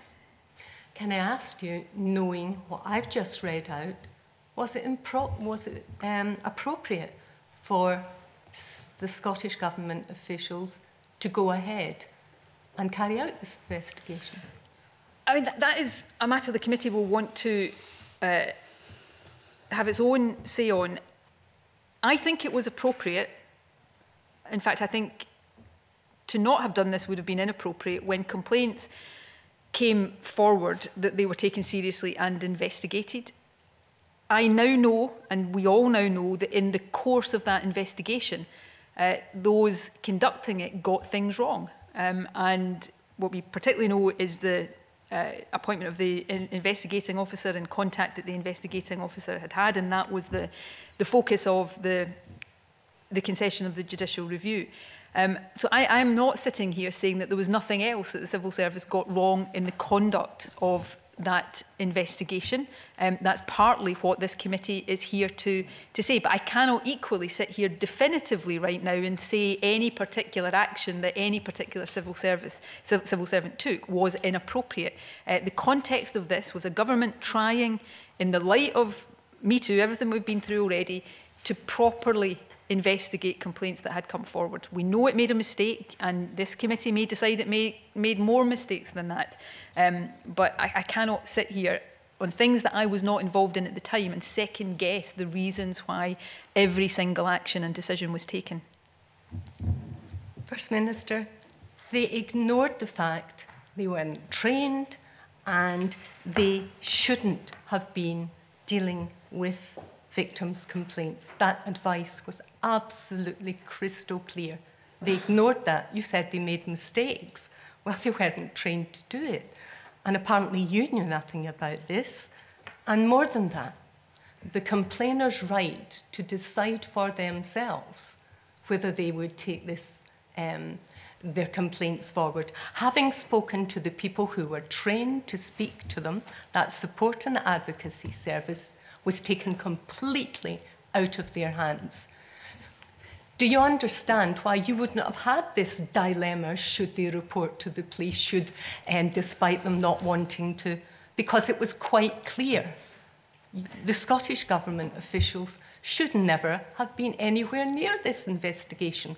At that point, it should have ceased, and the complainers um, uh, uh should be referred to support and advocacy, and the choice would therefore be with them. Can I intervene here? Because I think, um, for the benefit of clarity, there, there's two different things here. That, um, could you let the, the First Minister no, then maybe no, give some no, clarity? I, no, I, I would like some clarity myself, thank you. Um, I, I think that what we're talking about here is two different things. I think the first thing was about the development of the policy. Yes. Uh, yes. The first thing was about the development of the policy and advice um, that was asked for and given uh, by the police about the development of the policy and then the implementation of that policy, which um, was about whether there should be independent trained people involved in that in such serious cases. And I think, Deputy Convener, you then got on to whether it was appropriate for the matter, once investigated, to be passed on to the police. I appreciate that, Convener. Yes. You're just wrong. Um, it was 2000. Well, okay. Can was- I then, Can I tell uh, you why? Um, No, These no, approaches were made Uh, Deputy in Convener, Deputy Convener, This is a crucially important Deputy point, Convener, and you're well, shutting it down. No, um, I'm not Convener. shutting it down. I'm trying to get some clarity for myself. So if you let me finish, you can come back and clarify. What I picked up beyond the development of the policy was that there was an issue about whether it was appropriate for the civil service, therefore to have passed the complaints on to the police for a police investigation. Right. Well, if that wasn't the case and there was no confusion in your mind, Deputy Convener, about that, can I then supplement your question with that as well while we're on the subject of the police? That's, I appreciate you trying to be helpful, but it confuses the, the issue. The issue was the investigation officer's role. And when they approached the police, these um, Scottish Government officials, it was to look at how the procedure would be developed. And then they, they gave some hypothetical questions. And from that, the police began to suspect that this wasn't just a procedure, they had something in mind. And they were told quite clearly that they weren't trained and they shouldn't be talking to the complainants about that if cr criminality was suspected. Hmm. And therefore, and therefore, they should have gone to advocacy services and the complainants should have had the ability to complain for themselves. Now, you appear to be totally unaware of that, First Minister. Um, Does that mean that the officials didn't report this to you? no, no, they didn't report this to me because they were conducting an investigation that I was not meant to be be party to. I, I, I, I have to confess, and I take responsibility for this myself, I am a little bit confused about what exactly you are trying to get from me here, so I will do my best, and if I'm getting it wrong, I know you'll jump in and tell me. Um, there was advice taken by the police, as I understand it, both on the development of the policy and then they were going to the police, I think, taking advice that perhaps was more about the, the application of that policy. Was that always right and appropriate? Did they always follow uh, the, the right uh, advice there? That's what I cannot sit here and say categorically because and that's something that the, the committee is looking at. What I, I do know is that these complainants made complaints to the Scottish Government. So I, I do, I, think I would uh, push back on the idea that the Scottish Government should not have tried in any way to investigate them. Uh, uh, th there is perhaps a question about the appropriate moment uh, and was the right moment chosen to refer to the police, and that is something that the committee may want to say something about. There is then the question of should that referral to the police have happened? Um, given that, and as I said to, I think, Alec Cole-Hamilton, I, I don't know how strong the views on this were uh, on the part of the complainants, but that they didn't want uh, that. Now, I do think on some occasions there are duties on public authorities to report um, suspected criminality, uh, even if others don't want them to do that. But on, on what, what the complainers wanted, what might have been a better way for the complainers, you know, I, I don't know if the committee has taken views, uh, I know it would have to be done privately, but from complainers themselves, because you know, there was then a police inquiry where presumably people had to decide the extent to which they wanted to, to, to make complaints to the police that would be investigated in, in that way. I, I can't speak for complainers, and I, I do think, I, again, not a criticism of the committee, I think one of the, the genuine worries I have here is the, the extent to which this whole process is kind of sidelined and silenced the voices of complainers. And I know that's not what anybody in this committee has wanted or uh, tried to do. So I, I keep saying it's not for me to tell you how to do your work, and it's certainly not. Um, but if you want to know what the complainers thought, then perhaps trying to speak to them would be a better way than trying to get me to second guess their views and then what that should have meant for how the government did things. Let me just reiterate that the first approach to the police was before the process, had been signed out. It was the handling. And um, that was in the beginning of December, uh, 5th and 6th December, with various meetings thereafter. And it was made clear at that point that it wouldn't be appropriate for the investigation officer that carried out the investigation. And, and for the people who spoke to the complainants to, to carry out that role, that at that point, beginning of December, if they knew about something, if they had concerns, they should have been, the complainers should have been referred to the appropriate people who were trained and, and could properly, properly give them the advice to decide if they wanted to go forward with the complaints. And while this whole process is about the complainers, they were denied that opportunity and that decision was taken out of their, their hands because of the Scottish Government's handling of the complaint. And that goes to the very essence, First Minister, of our remit, and it goes to what we have to look at to make sure that this never ever happens again because as things stand, there's absolutely no possibility, I think, in everyone's mind that anyone would want to come forward with a complaint as a, result of how this was handled.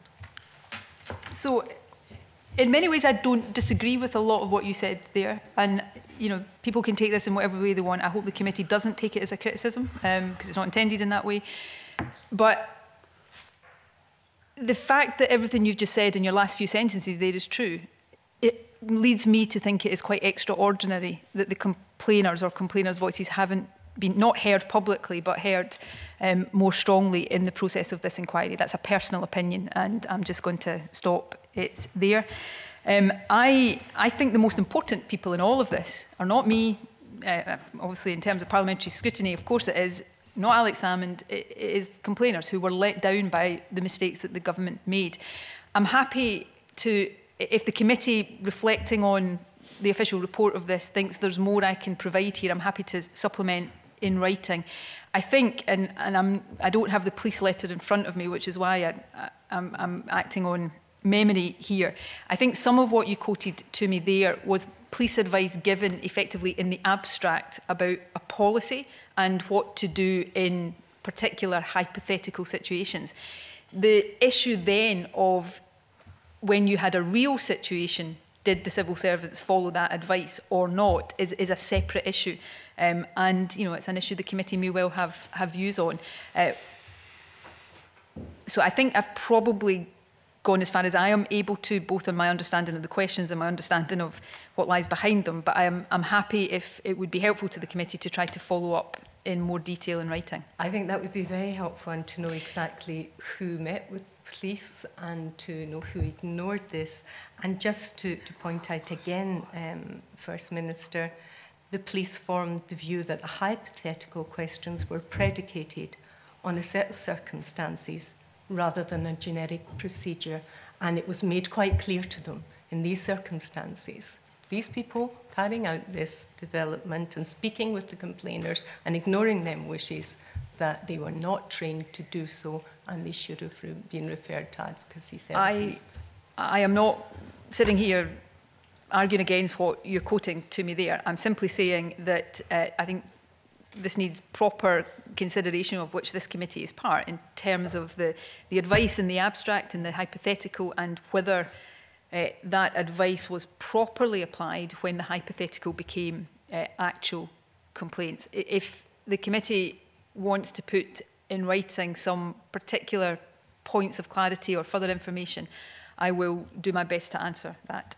That would be very much appreciated because it's absolutely essential to make sure this never, ever happens. And this kind of advice is never, ever ignored again by Scottish Government officials Um, and I'm sure, First Minister, you wouldn't want to be party to, to that happening within a government that you lead. You will get nobody agreeing with you more strongly than me that I never want a situation like this to happen again. And I would like to think complaints like this wouldn't have to come forward again, but that we don't make mistakes here. But equally, I don't want to have a situation where, uh, because of the experience of this, there is a reluctance on the part of government to properly investigate complaints or a reluctance on the part of complainers to come forward. And that's going to be a difficult thing to make sure we get uh, right overall. And I, I remain hopeful uh, that this committee will be part of the process. But I do think complainers' voices themselves uh, matter in all of this as well. You just seem to have missed a crucial point. It's not for the Uh, government Ms Mitchell, we've spent half an hour on one question, To so take I- them on board and then refer them to the, ple- the piece who are the people who are qualified and trained to deal with the complainers. Can you have the last very short things. word on this, please, First Minister, and then we really I'm not must sure. move on. So I think you can raise a question about whether the complaint should have been referred to the police earlier in the process. Um, I'm not sure about just handing them over for advocacy and effectively not doing the complaint. I, I don't know whether I think that would have been right in this situation, but I'm not, I'm not sure I'm helping the situation here.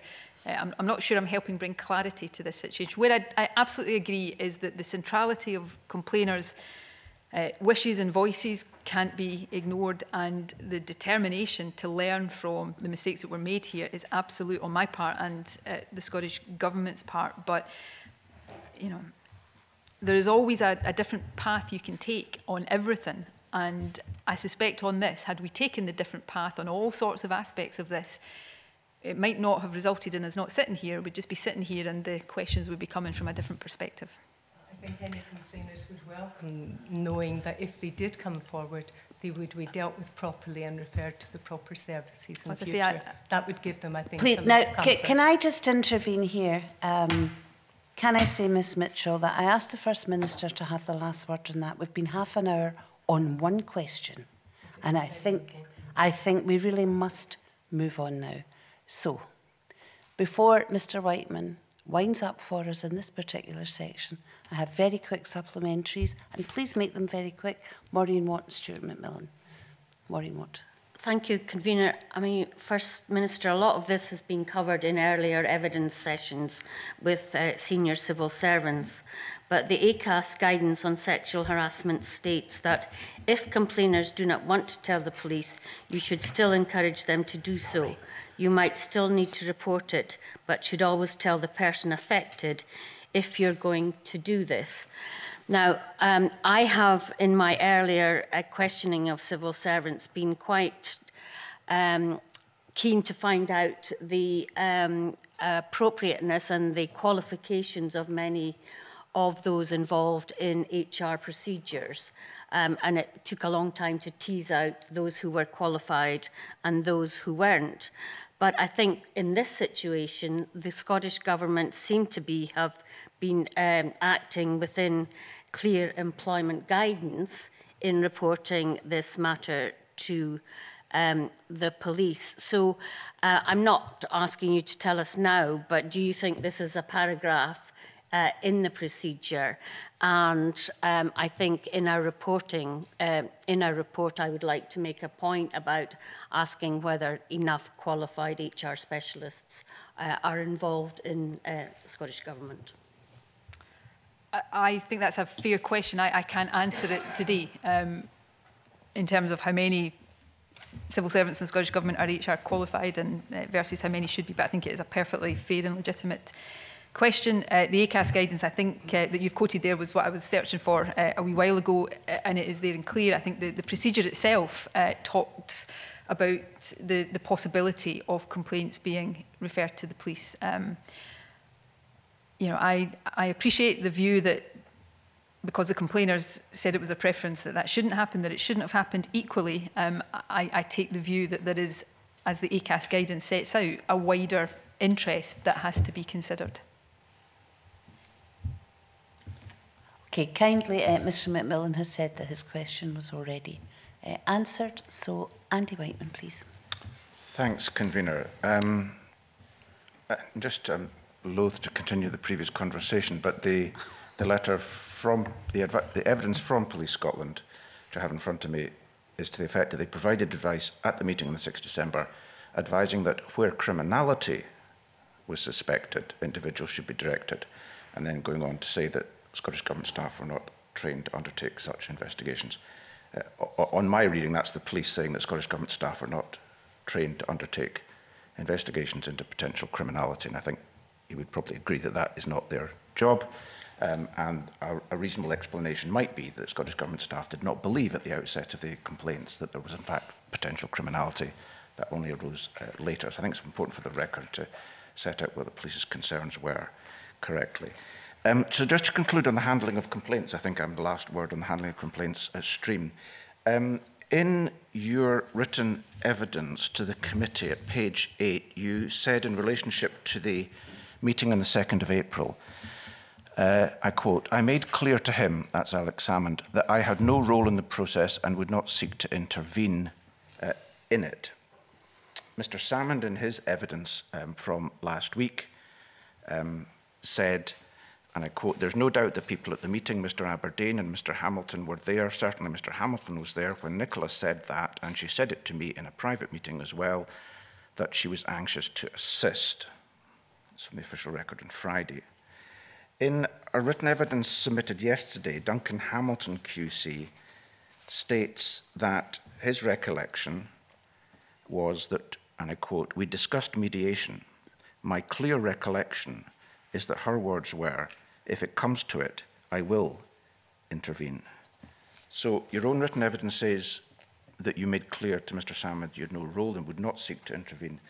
Mr uh, Hamilton's recollection is that your words were, if it comes to, I will intervene. Can you explain that contradiction? Um, I certainly will uh, attempt to. I believe I did make it clear that I would not intervene. Um, I also know, and I'll maybe expand on this in a minute, that uh, I was perhaps uh, trying to, how, how would I best put this, let a long-standing friend and colleague down gently, and maybe I did it too gently, and he left with an impression that I did not intend to give him. I, I think I was clear, and certainly intended to be clear.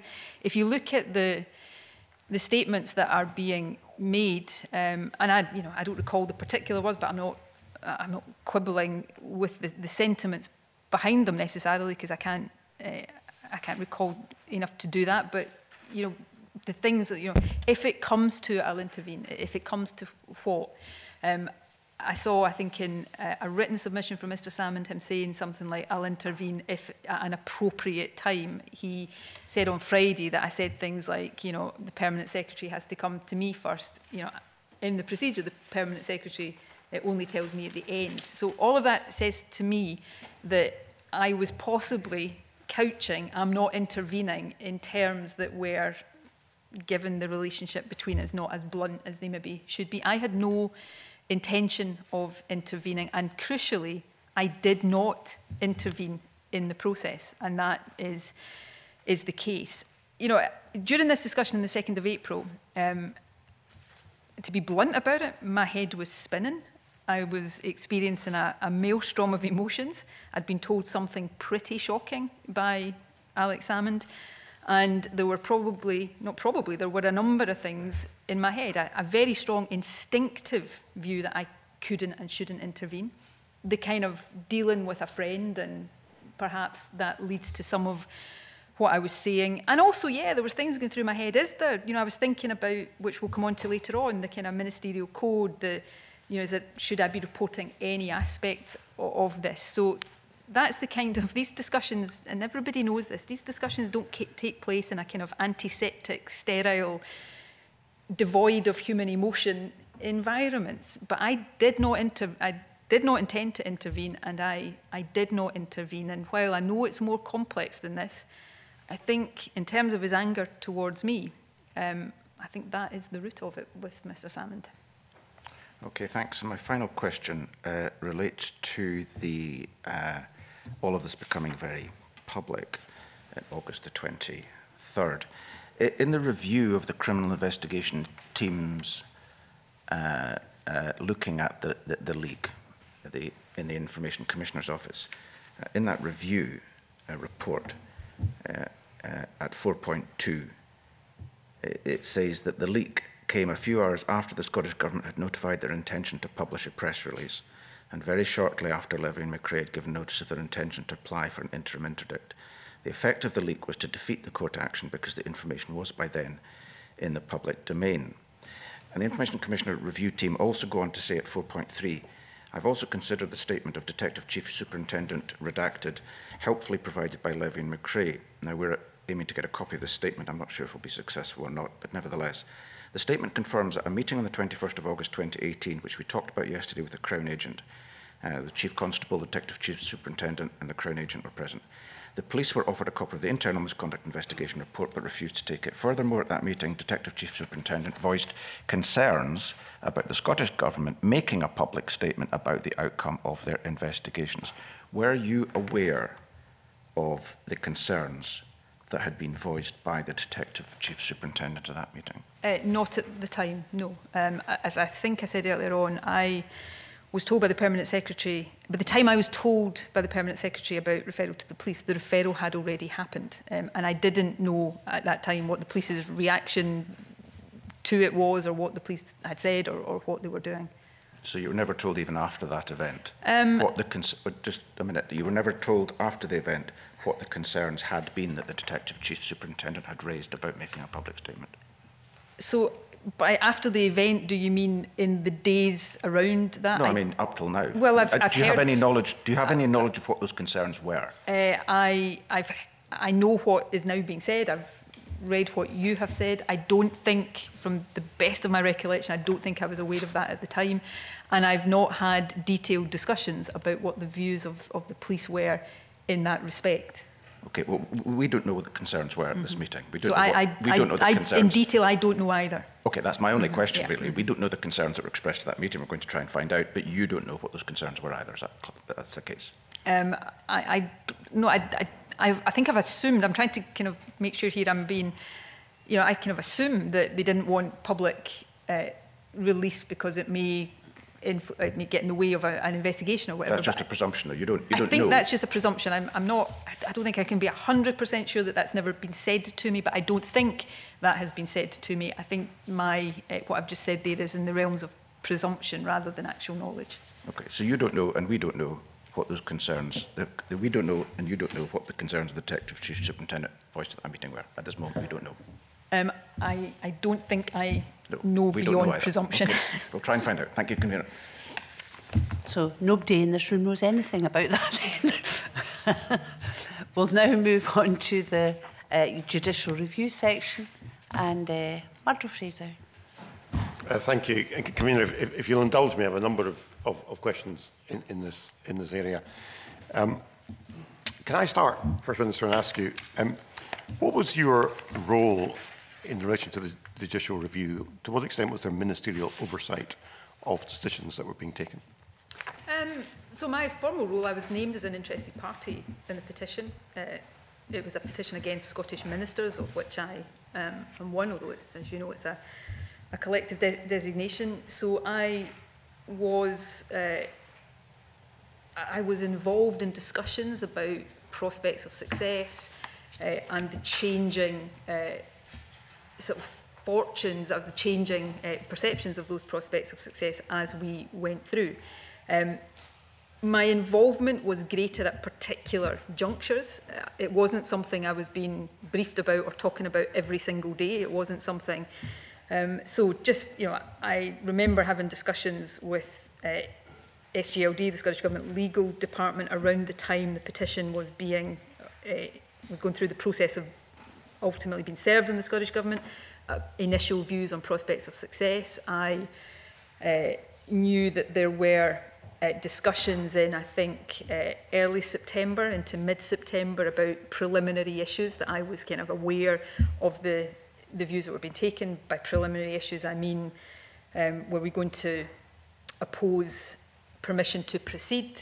Uh, things like time bar, were there any parts of this that we considered time barred? Um, there was a preliminary issue about you know, the designation, whether it should have been against the Permanent Secretary or just Scottish Ministers, and the issue which I know the committee heard about from Mr Salmond about whether there was uh, a case for sisting at that stage because of the criminal procedure or whether reporting restrictions. So I was aware of all of that in the early days. I then saw the note, uh, which you have now seen, of prospects, which I think was late September, um, and saw uh, initial uh, pleadings, uh, you know, the initial government answers to to the pleading. So, so it was that kind of. I was, I've been as a minister. I've had not lots, I, I hasten to add, but there's been some big high-profile judicial reviews against the Scottish Government that in my min so minimum pricing, for example, being one of them. It was not an unusual degree of, uh, of involvement or oversight. I mean, obviously, given who was taking the Scottish Government to court, made it slightly unusual. Um, and then the, I suppose the next period where I would have been uh, particularly aware of the detail of what was going on was around that end of October point. And then clearly, I'm not saying there was nothing in between there, clearly the next key point would have been into December and ultimately the period where we decided to concede. Okay, thank you. Well, that's, that's helpful. I'll maybe want to explore some of the detail with you if I can, but it sounds like you were you know, quite well briefed all the way through the process. Uh, and can I ask you? myself up for a fall here. Um, can I ask you? Um, your chief of staff was also involved, I understand, and attended a number of meetings, presumably to, to represent you and to feed back information to you. I think she, uh, and again, if I'm getting the detail of this wrong, I uh, will stand corrected. I think she attended three meetings with counsel, um, would have seen the stuff that was coming across my desk. That, again, is not unusual. Um, I mean, you, you'll understand this, Mr Fraser. I'm a, I'm a lawyer by background. There is a natural kind of interest in some of this stuff that goes beyond the sort of ministerial interest. It's, it can be a bit weird, but that's it. So she was involved to the extent that she will be involved in a lot of things to make sure she's hearing anything that, need, I need to be aware of and, and representing my interests. I was named on the petition, so that's not unusual, but she didn't have, you know, a, a, an involvement that was any way unusual um, for a chief of staff. Thank you. Um, I'd like to take, take you through some of the legal advice that we obtained. Now, I think it's fair to say you'll, you'll recognise the committee's frustration. We've been trying to get hold of the legal advice for, for months. There have been two votes in Parliament the, the government has not uh, acceded to, and it's only with a threat of a, a vote of no confidence in the Deputy First Minister that finally do we see some aspects of the legal advice.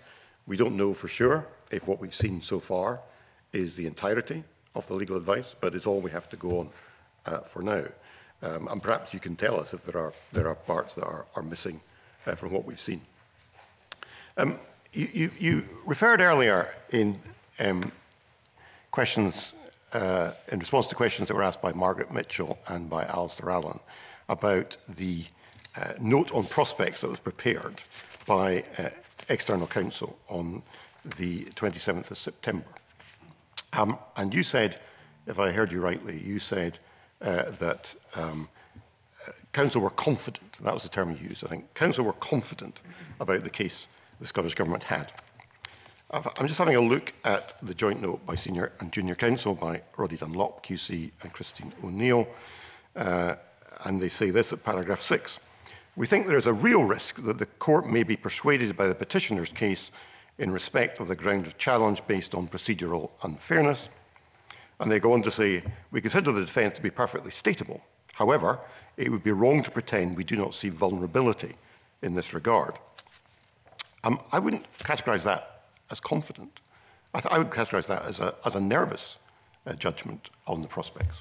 So I, I wouldn't, um, in, in any kind of proper legal sense, and other, other people may take a different view of this. I, um, I don't think, and I've not gone back and checked all of this, so it may not be 100% uh, accurate, but I don't think in all of the, the legal action, judicial review action that I have had ministerial involvement in, oversight of, um, during my years in government, I, don't think I've ever seen um, an opinion that says 100% this is a cast iron case, there is no risk of of losing this. You, the, you, you get the, the risks ranked in order. And actually, this would be, this note of prospects would be at the more optimistic end of some that I've seen. It, it, it highlights what they consider to be the greatest vulnerability. It turned out not to be the greatest vulnerability, uh, but says we should stress that we do see an answer to this point. Um, and that is actually the kind of thing in a legal opinion that does give you confidence if, you've if you're having uh, a potential vulnerability pointed out. In fact, maybe the, I mentioned it a moment ago, um, and I've not gone back and looked at all of the opinion and all the legal advice on minimum pricing, so I'm, I am speaking from recollection here. But in the early days of minimum pricing, and it's a, a subject I cared deeply about, was very associated with, losing it in court would have been, you know, posed great questions for me, um, as well as being really regrettable from a public health policy perspective. But in the early days of minimum pricing, um, I think if you were to apply anything like the test you're applying to this note prospects, we would never have done it because, eh, particularly in those early days, the, the, the view on our prospects of success were actually not that confident. But we took a view that this was an important public health policy. We thought we could argue it and therefore it was worth doing because of the importance of it. Um, and that's just the nature of, of this. And so in the context of all the legal opinions I've seen in different court cases, that actually is probably at the more optimistic end of the spectrum. Okay. I'm, I'm not going to argue the toss with you on that because, um, it, to be fair, the Counsel's opinion says there's a stateable case. So I think it, is, it was reasonable for the Scottish Government to defend what, what was a stateable case. Let, let's jump to the 31st of October because we have nothing in between that and the 31st of October. Now, on the 31st of October, there's an urgent note by Senior Counsel, uh, Roddy Dunlop, Uh, and this, this has emerged because um, what's happened is it's been disclosed at that point that Judith McKinnon was the investigating officer, and there had been this issue of prior involvement identified at that point. And if you read uh, paragraphs uh, 9 and 10 of that opinion, uh, Senior Counsel is clear this presents a very real problem indeed, he says, and he goes on to say in paragraph 10, uh, it would be wrong for me to suggest that this revelation is anything other than an extremely concerning one. He goes on to say, uh, paragraph 13, um, he, has had he is so concerned by this, he is sufficiently concerned by this, he's had to contact uh, the Lord Advocate to express his concern as to the potential repercussions for the wider case.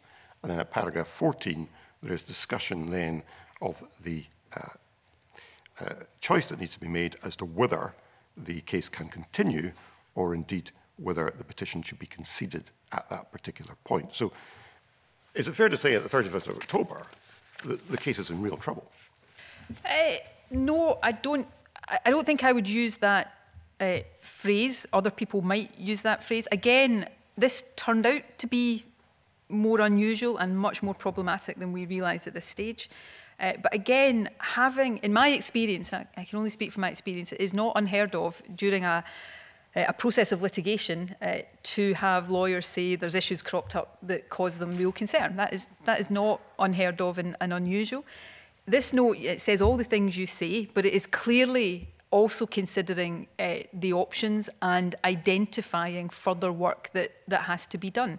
Um, after that uh, opinion was submitted by Roddy Dunlop. There was a, a consultation with counsel, I think two days later. Um, I wasn't personally at that. And as a result of those discussions, and at that point, the discussion was round the interpretation of Article uh, Section 10 of the procedure and the differing interpretations that we thought that was open to. And the conclusion out of that was that it was a point, not that it wasn't a point we should be concerned about, and not that it wasn't uh, a point of vulnerability, and certainly not that it wasn't a point that weakened our prospects of success, but that it was a point that was arguable and defensible, and that the government thought that uh, argument could be made, and therefore the decision was taken uh, to, to continue. And actually, right up until I think the 11th of December, and I think you've got this as well, views of the law officers was that across the petition, um, including on the issue of the appointment of the uh, investigating officer, there was a stateable case and uh, arguments that, that could be made. So I, I know we're seeing this in the context of a, a judicial review that's very high profile, very sensitive, that uh, obviously has turned out to be incredibly so. But in terms of the process of litigation, this kind of thing in general is not, in my experience, hugely uh, unusual that problems are identified and assessments are made of whether they are fatal problems or problems that can be overcome. And there was, and you heard this from the Lord Advocate, right up until the point where it became unstatable, there were wider issues that we were weighing up. I mean, firstly, you have to be certain that you've got a statable case.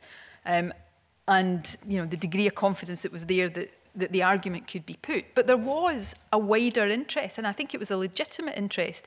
There were eight grounds of challenge that had been made to, to the procedure and to its application, and therefore the government, this, the government wanted, if possible, to hear from a court whether it thought those challenges were well founded or not, so that we could have confidence, uh, hopefully, that whatever you know might have happened in the Alex Salmond case or whatever turned out to have happened there, we had a procedure that was lawfully based and, and sound. So that was the wider legitimate interest the government had in all of this.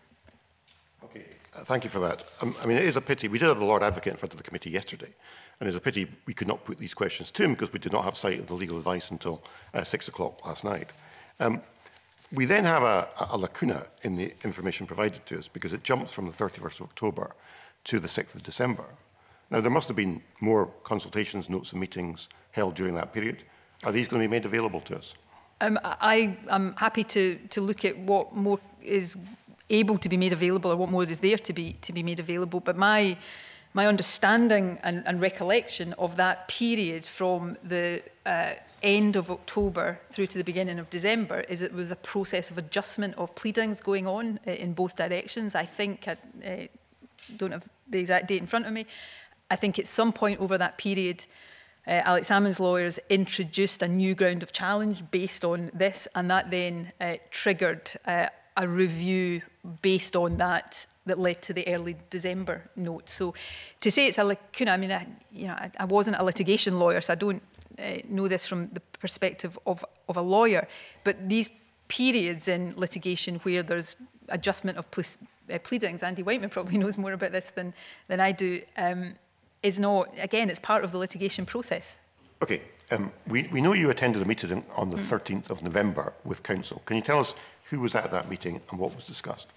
Uh, I was clearly at it. Uh, senior and junior counsel were at it. Uh, from memory, the permanent secretary was at it. Liz Lloyd, my chief of staff, was at it. I think SGLD was was represented.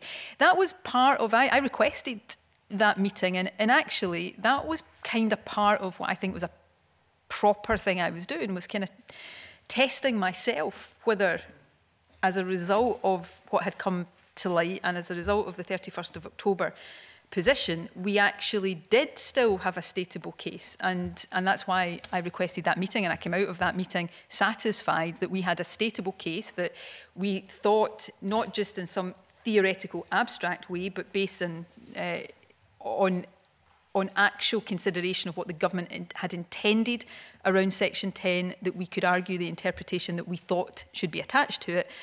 Of course, what happened uh, later in December was things emerged not, not about the interpretation of uh, Section 10 per se, but about the extent of the actual contact between the IO and the complainers that changed that judgment and also, to be fair, gave rise to suggestions that the, the government had not been as open about this as it should have been, which was not intentional but gave that impression. Okay, so a decision was, was, was a decision taken at, at that meeting to proceed with the case, and were, were you party um, to that decision? I don't, I don't think, so I don't think that was a decision meeting. There, there had never been any question, there had never been a point at which the decision had been taken not to proceed or mm. we got to that point. This was part of a process of me saying, and, and this maybe is given the, the high profile of this, would I normally meet with counsel in a judicial review? Probably not. Um, and it was just basically me getting an assurance that for all, because this note, the 31st of October note, which actually when you read it is not as it has been presented by some, uh, in this, but you know, it, it kind of raises concerns. So I, I just wanted to make sure we weren't uh, in some way prolonging a judicial review that was was dead in the water. And I was satisfied out of that meeting that that wasn't the case, that we had a stateable case and were confident that we could continue to put those arguments. Okay, um, just to quote you again from paragraph 14 of Roddy Dunlop's um, opinion of the 31st of October, uh, Halloween as it turned out, um, he says this, depending on the information available on Friday, a swift decision is going to have to be taken whether the issue is disclosed and, any argument based thereon uh, then resisted, or B, the issue is disclosed and the petition then conceded as a result thereof. So who took that decision? I think the consensus that emerged, I wasn't at that meeting, I think one of the law officers, uh, uh, we're not meant to usually say this, obviously, but we're, we're in a different position with legal advice. I, th I think uh, the Solicitor General was present at that meeting, and the consensus out of that meeting was that there was a, a, a, a, a case that continued to be stateable and that there was a perfectly credible and arguable interpretation that could be on uh, Section 10. Thank you.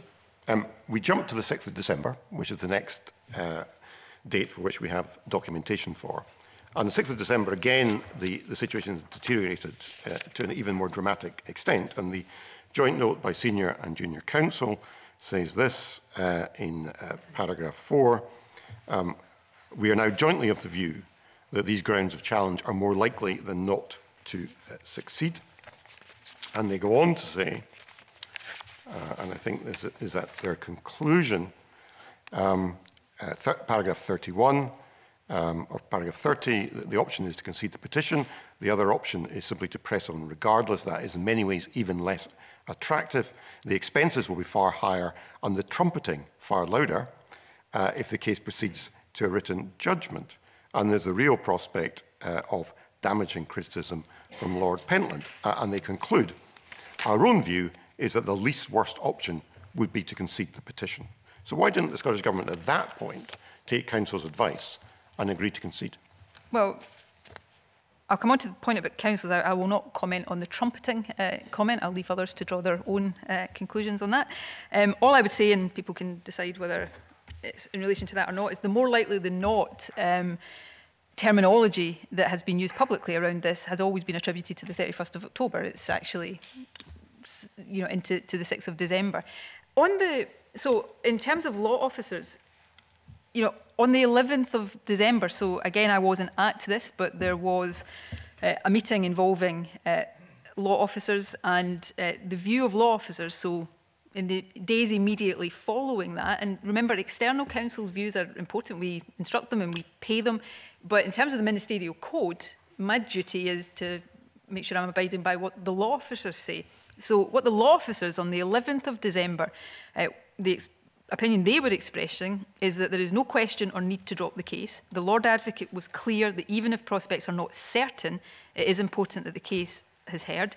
Senior counsel made clear that his note was not intended to convey that he didn't think we had a stateable case.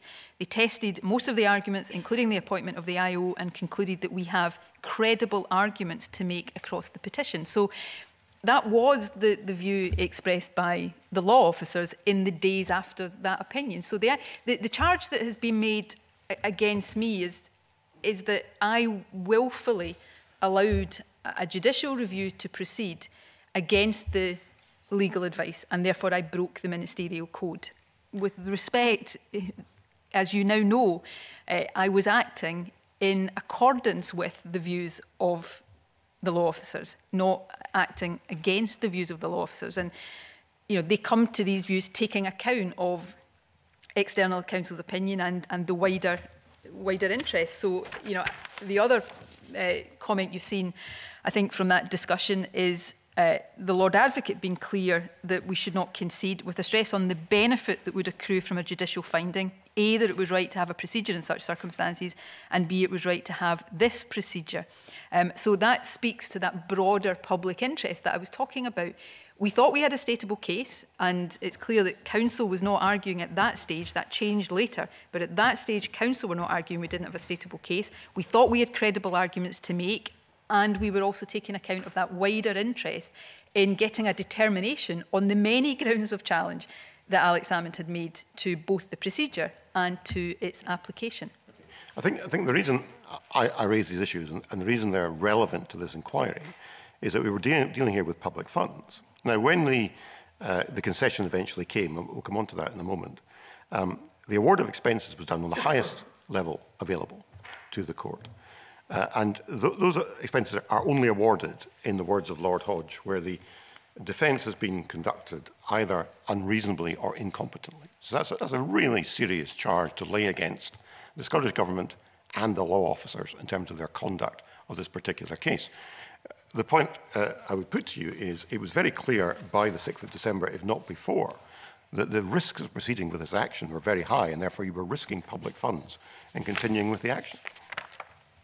So I think every time a government defends a legal action, it is risking public funds because there is never a guarantee you're going to be successful. I, I don't want to keep go back to this point, but on minimum pricing, you know, if I had taken the risk-averse approach on minimum pricing, we'd have thrown in the towel on that before we got started. So, you know, there are sometimes good reasons why you have to defend in order to establish uh, wider points. Uh, you can't do that if your case is unstatable, but if you think you've got a statable, arguable case, and indeed credible arguments up to the 11th of, or as late as the 11th of December, then I think uh, that is, is the case. Um, in terms of the, and I'll come back on to the issue of expenses in a second, but in terms of that, uh, you know, taxpayers' money, and I, I feel very, very, very sorry for, for that, um, and I expressly said that earlier on. Um, but we had a procedure here that was not just being challenged in terms of its application to Alex Salmond. It was a procedure that was being challenged in its fundamentals. And in terms of that wider public interest, including, you know, should we have complaints again that required this procedure to be activated, were we on solid ground using it? And that, so in the wider taxpayer public interest, that is not insignificant, uh, I would argue.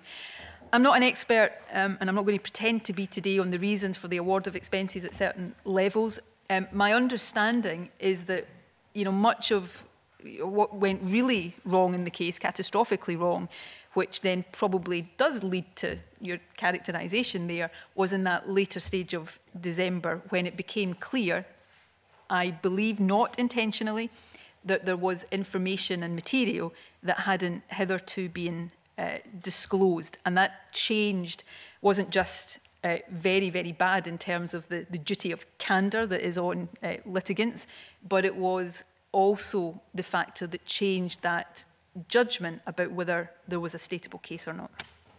Okay. Um, thank you for that. I mean, I, I, I do understand the argument that says it was, it was reasonable to use public funds uh, to try and push this, even though, even though the prospects were receding. But of course, the Scottish Government did not, in the end, subject this to the judgment of the court because the court reached no view on, on, on the uh, basis of the, the policy. It was a concession mm -hmm. on one ground. So the court never actually got a point to determine uh, the issues that Mr. Salmond had raised. Um, uh, so you, you, you highlight what happened later in December. On the 19th of December, we have this astonishing note from senior and junior counsel. Uh, and I have to say, I've never seen anything quite like it uh, in terms of what it says about the conduct of the case. Uh, the uh, Counsel refers to the uh, regrettable way in which the document disclosure was unfolded, the extreme uh, professional embarrassment uh, that they have faced uh, in court. They say that the, the havers uh, who are cited for the, the, the commission hearing will expect a torrid time in the witness box. Uh, they say the late nature of the revelations uh, are unexplained and inexplicable. Um, there are acute difficulties to them in the way that they have on instructions pled uh, the case. Uh, I mean, this is, uh, this is catastrophic, is it not? That was catastrophic, and that's what led to the ultimate concession. So you're, you're right that we didn't get to the point we wanted to get to where we got a judicial determination of all the grounds for challenge. The point I'm making is that up until around that point, we thought that was a stateable, credible, arguable position to be in. That completely change that. Um, and for the reasons that you've set out there, that fundamentally changed uh, the, the position in, in the court case. And had I at that point said, no, we're, we're steaming ahead anyway, that is where I would potentially uh, be sitting here with some justification, probably a lot of justification for the charges that are being made of me. But I, I don't think that is the case because up until I've read out the position as late as the 11th of December. It was the opinion of law officers that we had a stateable case with credible arguments and for that reason, as well as the wider public interest, we should continue. That that you've described there was dreadful, catastrophic. That is uh, the heart of what went wrong in the ju judicial review and of course it then reflects what went wrong in the application of the procedure and I'll defend our decision making throughout this judicial review, including up to that, where it was right that the decision then followed that we would concede the case. Um, I will not defend what led to that note because I actually share your views of it. So who is to blame for that?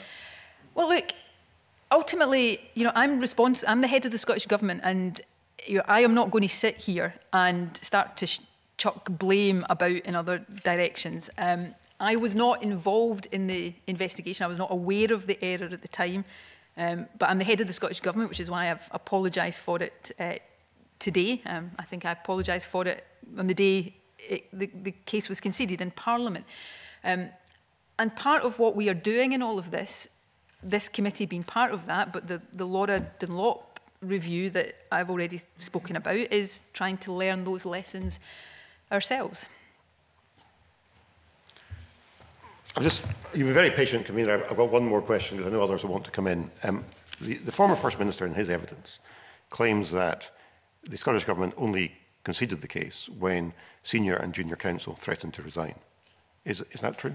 Uh, that's not my understanding of, of the position. So this note came, there was, I, I remember speaking, I think I was in London uh, on that day or the day after it might have been, but I think it was on the day that things were going very badly wrong. I, I was in London speaking to your former boss at the time, Mrs May, um, and speaking to the Lord Advocate on my way back up the road when it was clear how much trouble at that stage the, the case was in. And, and I think I saw him in person the following day uh, in this building. Um, and that, you know, there was then a process over the next period when we reviewed. I mean, a, a government even thinking we're in a catastrophe, you have to go through a proper process of review. The Permanent Secretary commissioned the, the note, uh, note is a bit of a flippant word for it, the, the piece of advice from Sarah Davidson, which the committee has seen um, before now.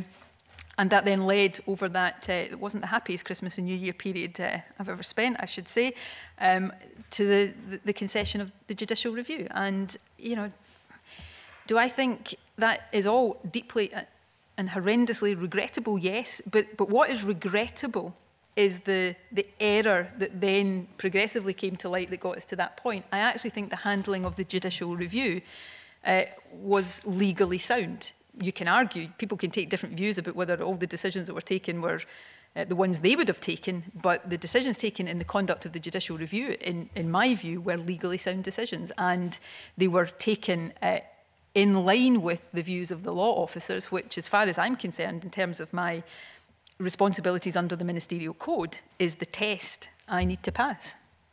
Uh, you have very skillfully avoided answering my question, which is, did the junior and senior counsel uh, threaten uh, no, to resign? I, sorry, I think I did. I, I'm not aware of them threatening to resign, but what, what I, I know is, and I know this partly as, uh, as a former lawyer that didn't have that kind of experience or anything like it, but a lawyer will not carry on with a stateable case. Uh, sorry, with an unstateable case. Uh, that was a potentially uh, catastrophic slip of the tongue. Um, a lawyer will not argue an unstateable case. So the, the position of counsel at that point would have been, if we had said we're going to carry on with an unstateable case, I'm absolutely sure they would have withdrawn from acting and they probably, uh, I'm pretty certain they would have made that clear. But, but the way that is put forward is suggest that we were going, no, no, no, no, we're going to carry on. And they had to force us into that position by saying that, that they were going to resign. The government, the government was not going to ignore what was in this 19th of December note. There was a process of consideration and review that had to be done there, and that culminated in, in what you know uh, off the back of the Sarah Davidson advice that came over the Christmas and New Year holiday. Okay. Thank you, Commissioner. Thank you. Now, I have a supplementary um, to what Mr Fraser was saying from Alex Cole Hamilton, please. Thank you very much, uh, Convener. Um, I'd just like to come in on the advice received from Senior Council at Halloween on the 31st of December. First Minister, you've um, compared uh, another judicial review which had uh, shaky grounds uh, in the form of the minimum unit pricing. And the difference between these two uh, judicial reviews is that one uh, is about public health an alcohol policy, and the other at its heart has two vulnerable human beings.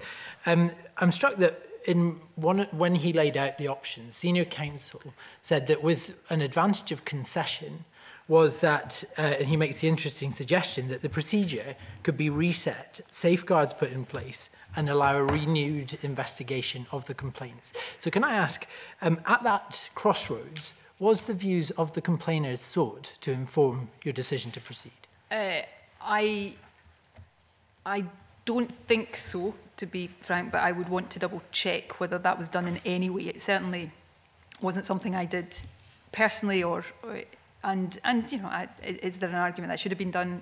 I guess that argument can be made.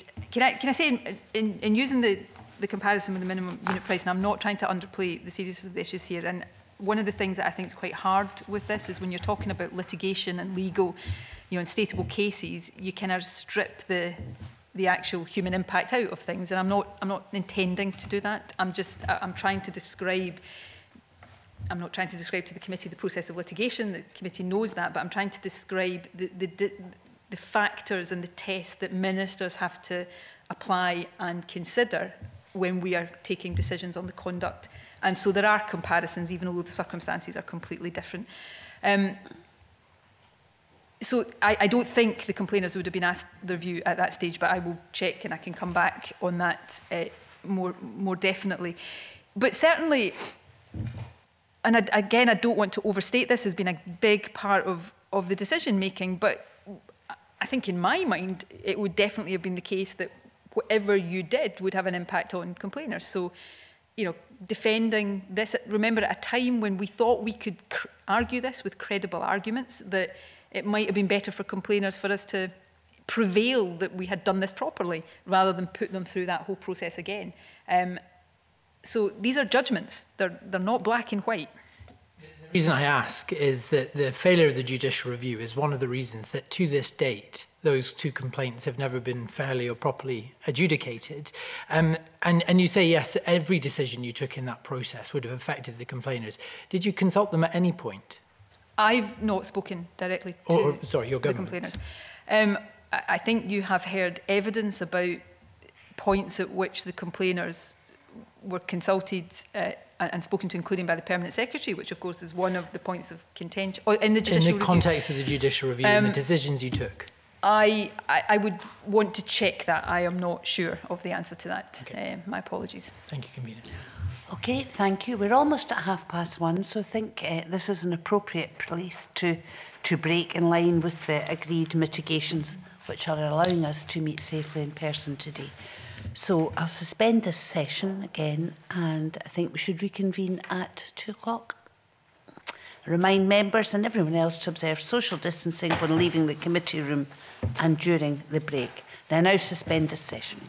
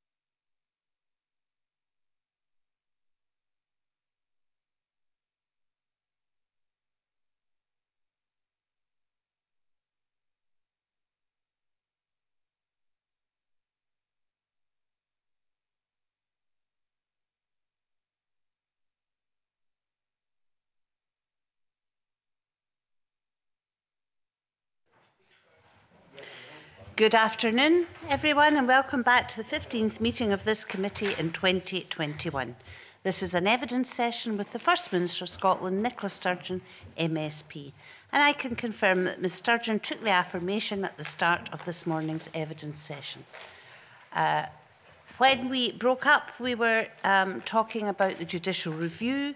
We'll carry on with that, and I'll now go to Dr Alasdair Allan. Thank you very much, uh, Convener. Um, we spent some time before the break talking about external legal advice. So can I ask you, First Minister, um, what role does external counsel play in determining the government's position, uh, legal position usually? And did this case in any way depart from that? Um, I think it's quite hard for me, maybe that's just a, a kind of deficiency in my own communication skills to kind of almost scientifically answer the first part of your question you know, external counsel in, you know, a, a series piece of litigation play a big role. They conduct the litigation, they you know, draft the pleadings, they give advice as you've, you've now seen. And their advice, I suppose I would say, is very, very important and it's, it carries a lot of weight. And then it is, I suppose, weighed uh, with other factors, the, the sort of, in some judicial reviews, the, the, the small p political public interest issues, and of course for ministers uh, on matters of this seriousness, the, the views of the law officers which take account of all of these things are what matters in terms of the, the ministerial code. Um, did this happen in the same way as other litigations? So um, in, in terms of the conduct of the litigation, put to one side the, the catastrophic error that material became evident at the end of December, which I like to think is not in any way normal. Um, I suppose you'd have to ask litigators and, and government lawyers whether the conduct of the litigation was anything out of the ordinary. In my experience, bar you know, the, the seriousness of the issues, seriousness of the issues that emerged that ultimately led to the, the loss of the judicial review, I, I wouldn't say it was particularly out of ordinary. For me, um, you know, this was a former First Minister taking the government to court.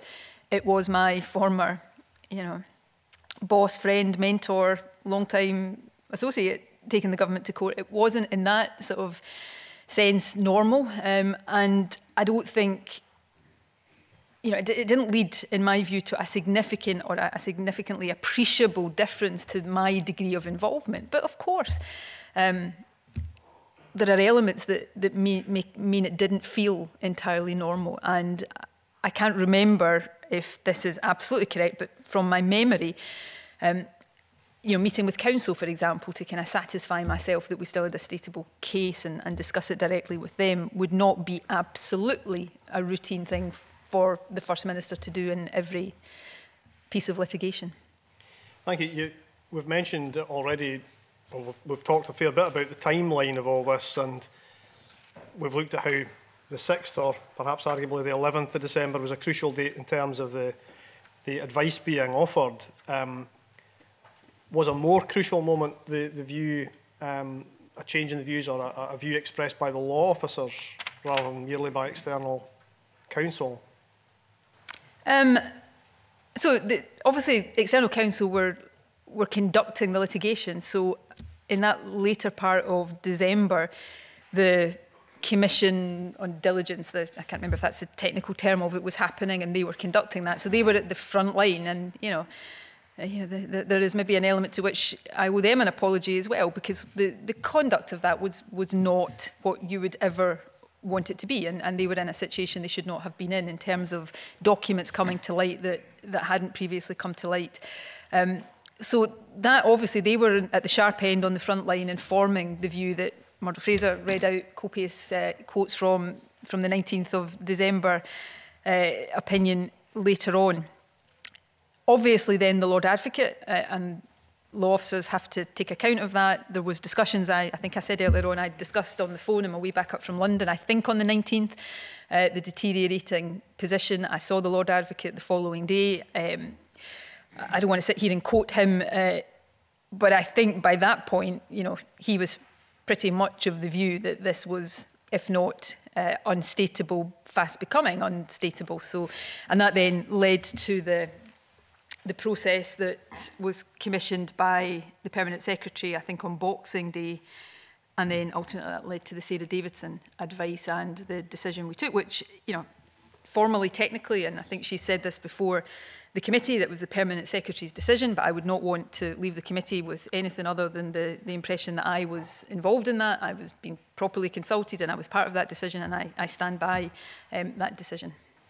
Finally, Convener, again on matters of timing, as you're aware, there has been an accusation put to this committee that the Scottish Government assisted the case uh, to allow the criminal trial to take over and the judicial review to be stopped before it reached a decision.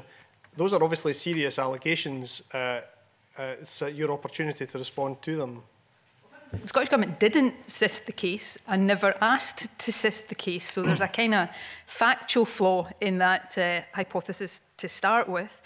Um, I, I think, correct me if I'm wrong, convener, uh, the Deputy First Minister said there may be more information on the cysting consideration yet to come to the committee, but cysting was considered at an early stage. And again, I suppose from my non-expert opinion, given the circumstances at an early stage of this, when there was a, a, a criminal investigation also underway or at the early stages, I think it would have been extraordinary, absolutely extraordinary, if the question of sisting hadn't even arisen in our considerations. Um, but certainly my memory of those early discussions, and by early I'm talking, you know, over September, early mid September, maybe a, bit longer than that. Um, the, the preference seemed to be, if I recall it correctly, in favour of reporting restrictions as opposed to sisting. And ultimately, and I think this was the end of September, I, I, the 27th of September uh, is the one that comes into my mind right now, the the, the lawyers for Alex Salmond made a motion to the court for reporting restrictions and the Scottish Government didn't oppose that. So that kind of, at that point, put the assisting thing, which from my memory, and obviously I wasn't part of every discussion with lawyers, was never a really serious thing that the Scottish Government was intending to do. And I don't have a recollection. Again, I can't sit here and say it was never discussed or I didn't ask any questions about it, but I don't recall at a later stage sisting was ever something that was being considered in any sense by the government. Um, and the fact is we never made an application to sist.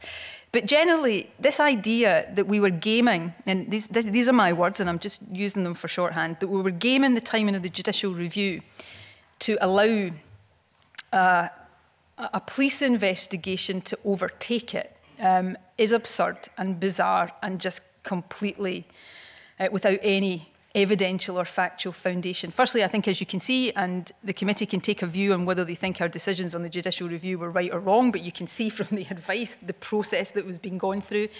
And the idea that we could have done that, it would have involved the police, us knowing what was going on in the police investigation, what the timing of that was, and the police being prepared. And it's just absurd.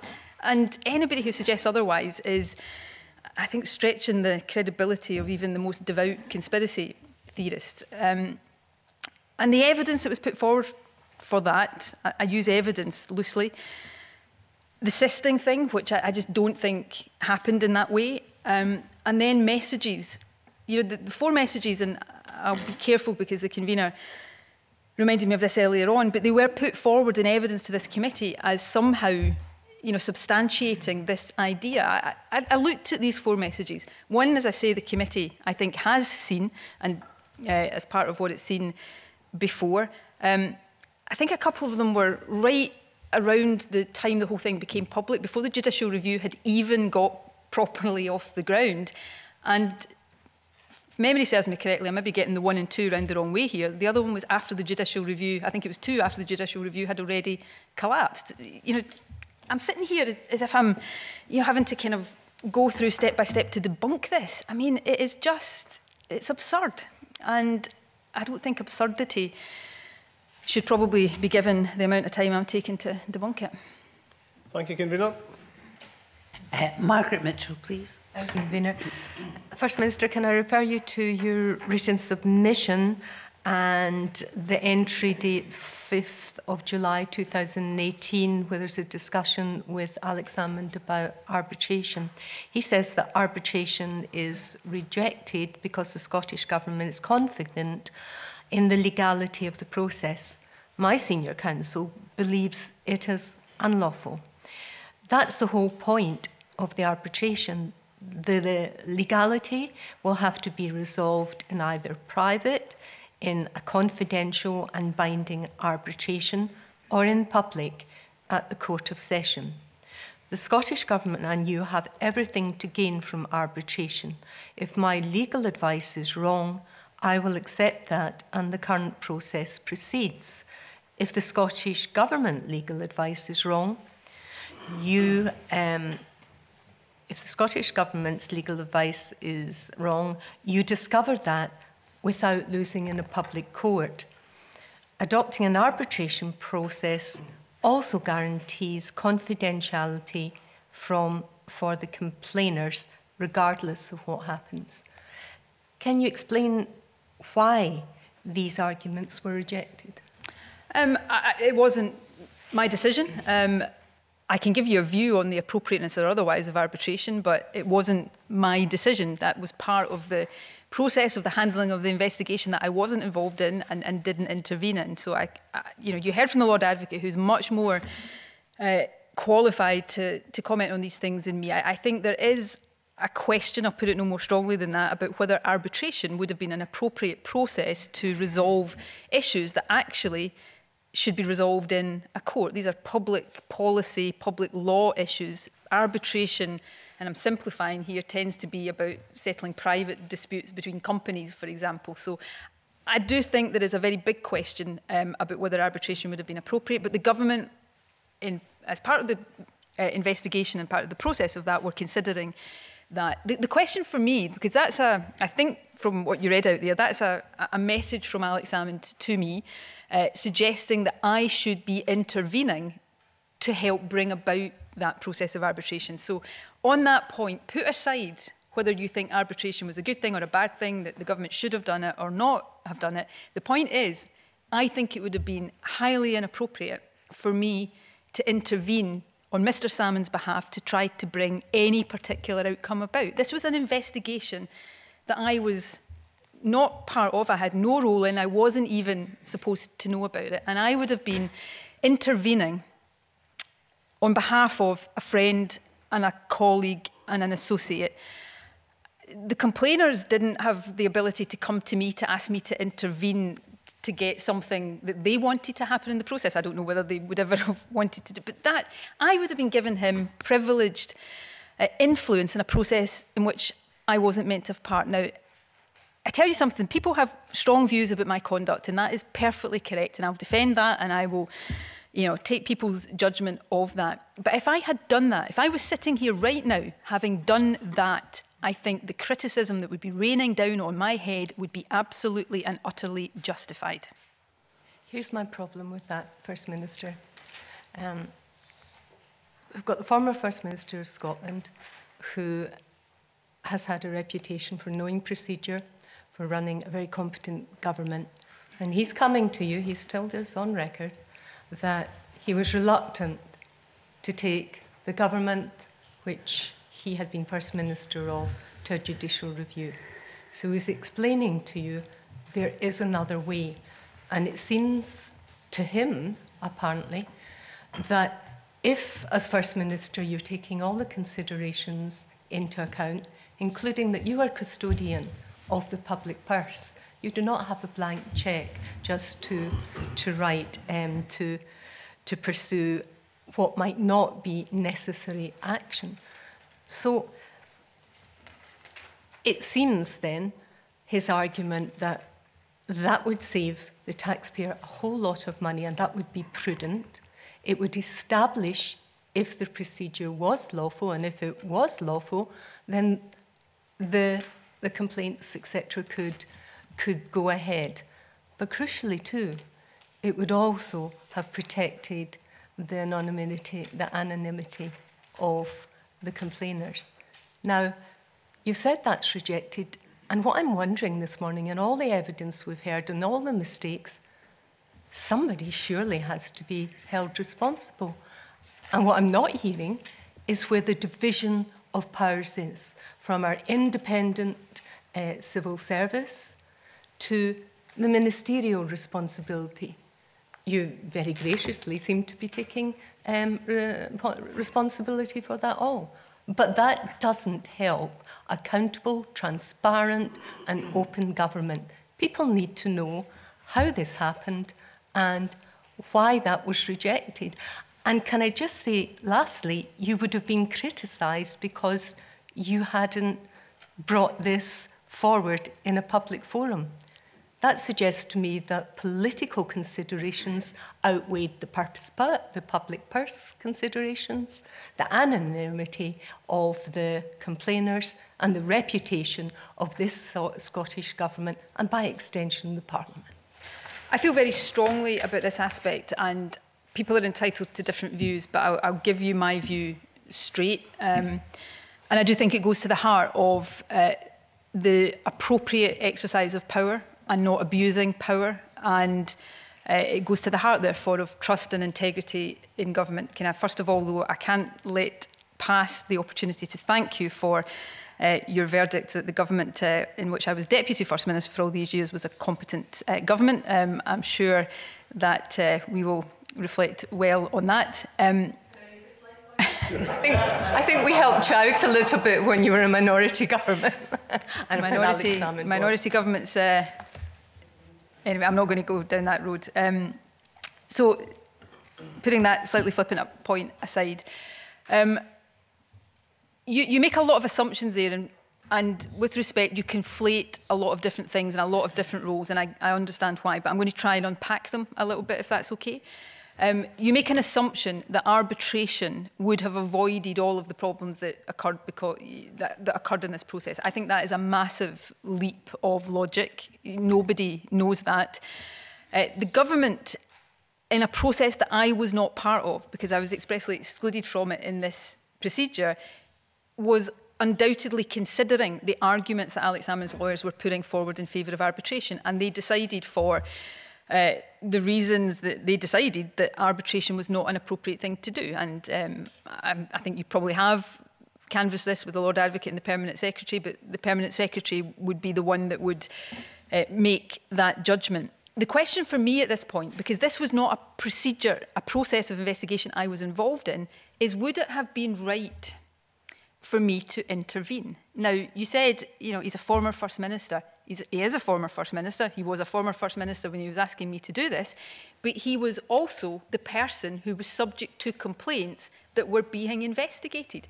And he was seeking to get me to intervene in that process of investigation on his behalf in a way that would have uh, departed from the terms of the procedure and would have been trying on his behalf to put the investigation down a track that he hoped would avoid the complaints, the, the decisions, uh, the, the complaints ever coming to a point of decision. Now, even if you think Alex Salmond's legal advice, and, and that's all he's putting forward, his legal advice is right, and even if you think that arbitration is something the Scottish Government should have done, um, I think both of those points can be uh, rebutted strongly.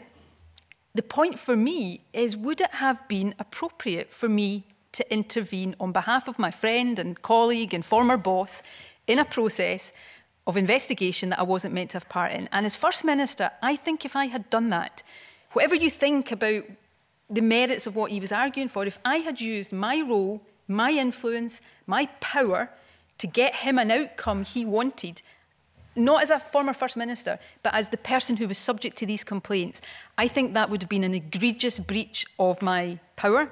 I think it would have been wrong and deeply inappropriate.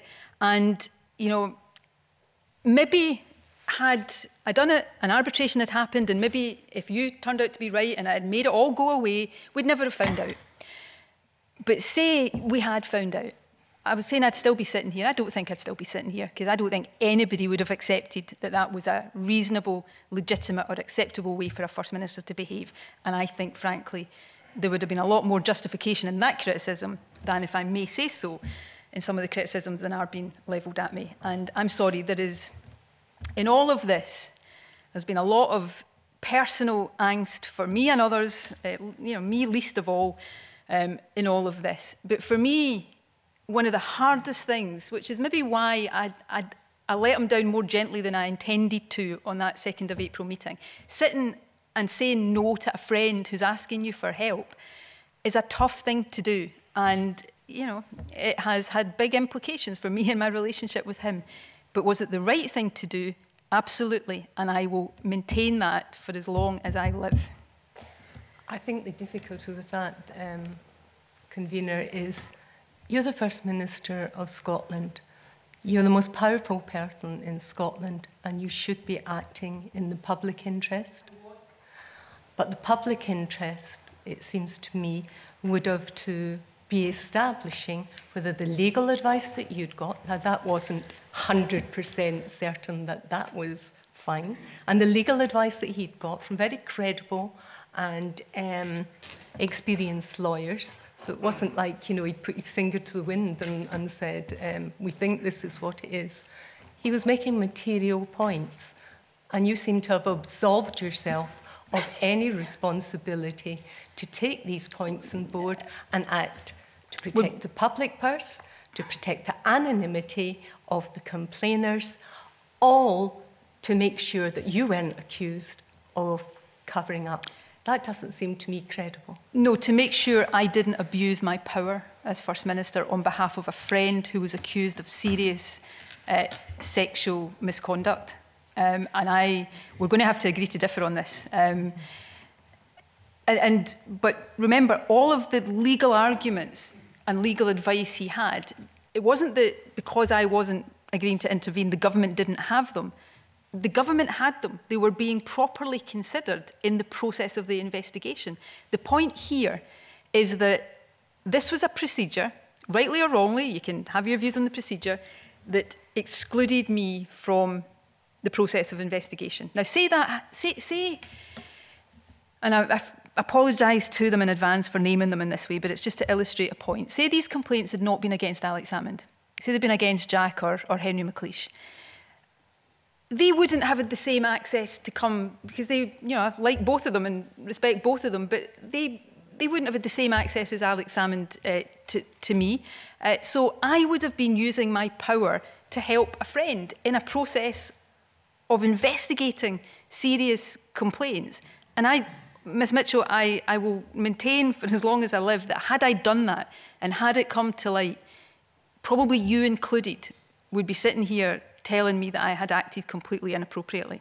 I think I would have weighed up the arguments, but the point is there was a route and arbitration was offered to the Permanent Secretary and she rejected yes. it. Now, that's the process that, regardless of political party, anyone could have followed, and it's what he did follow. And, and he made that others, argument. If you, you excuse me, First Ministers, is for others to, to, I think, look out the case I've set out and what you've said effectively which sounded, forgive me, and maybe I'm putting words in your mouth, I was going to make sure that it was exposed and he didn't get off with this. And that was my overwhelming uh, motivation, rather than acting in the public interest at this very early stage, where, yes, um, if he'd been found right, you would have had to have gone back to the drawing board didn't mean it was the end of the matter. It could have been looked at again. Um, a new procedure could have been put in place. It wasn't the end of it, but you choose to do something else. I don't think we're going to agree on this, but I think we've set up enough of the balancing arguments for others to make their own if, determination. If, if the committee's uh, conclusion is that I should have intervened, then the committee is entitled to do that. And, you know, well, I will, my view of propriety in these things will uh, be severely challenged um, at a fundamental level. But can I say, you, you, I think you were putting something to me there that I, I wanted to see him exposed at all costs, and, and no, I, I, I think there is a public interest. If somebody has serious complaints made against them and there is a procedure in place to allow those to be investigated, that, that procedure is allowed to, to happen without interference, political interference from somebody's powerful friend to try to, to, to divert the course that it would take. I, I think that is absolutely in the public interest. Um, and that's the judgment I made. People can decide whether it was right or wrong, but I decided that if I had done what he wanted me to do, I would have been acting uh, in a way that was improper because I was his friend. And I, I just don't think anybody right now would be patting me on the back if that is what I'd chosen to do. But the idea, I never wanted, I can't tell you, I can't find the words to express this strongly enough. I never, ever, ever, ever wanted to face a situation where Alex Salmond, a man I have revered, had revered since I was 20 years old, or probably younger than that actually, was facing serious allegations of, of sexual misconduct. I didn't want him exposed. I didn't want any of this to happen.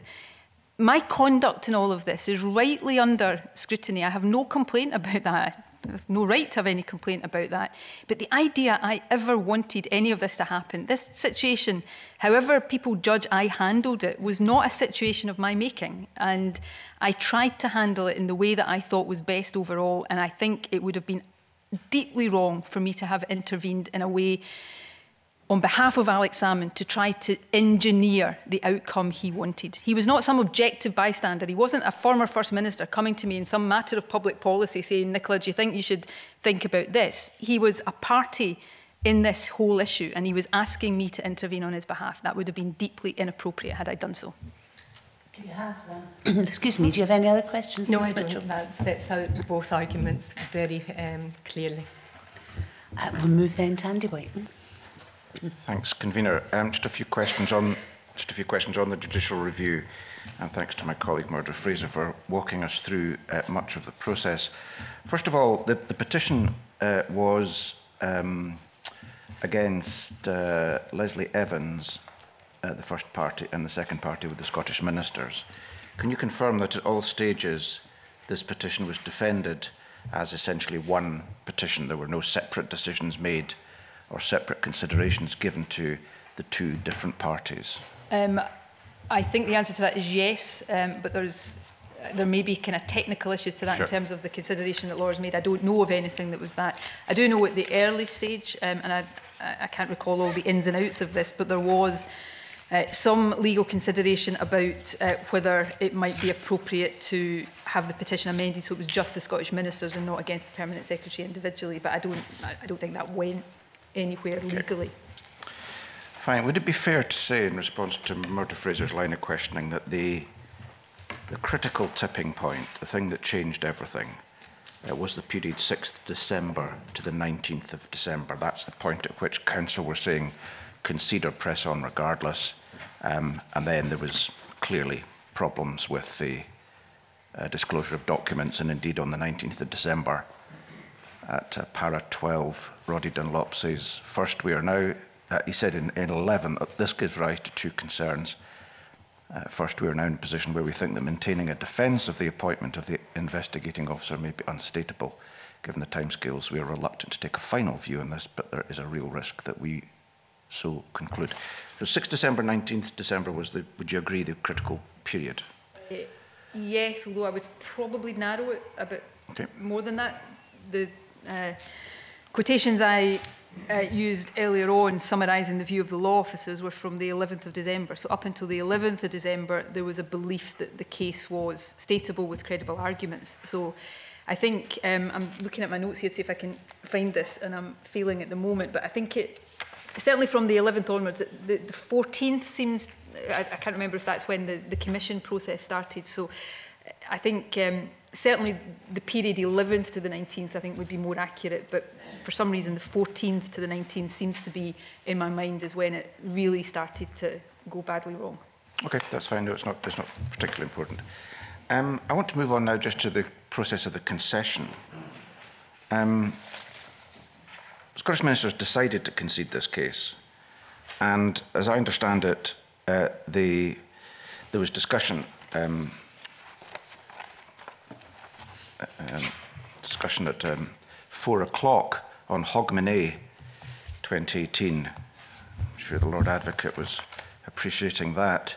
Um, discussing um, how it should be considered, the basis on which it could be considered.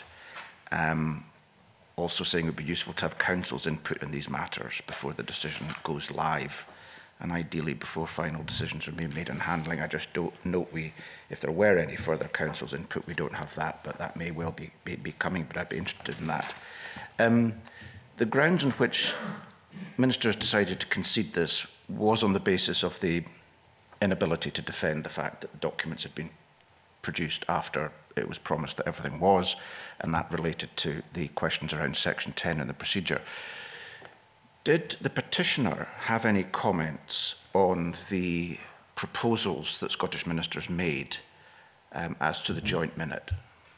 Um, I I would think the answer to that is yes. I, I wasn't involved, so and I would have to check the precise dates here. But the, once the government had taken the decision to concede, there was then a process of lawyer to lawyer discussions about.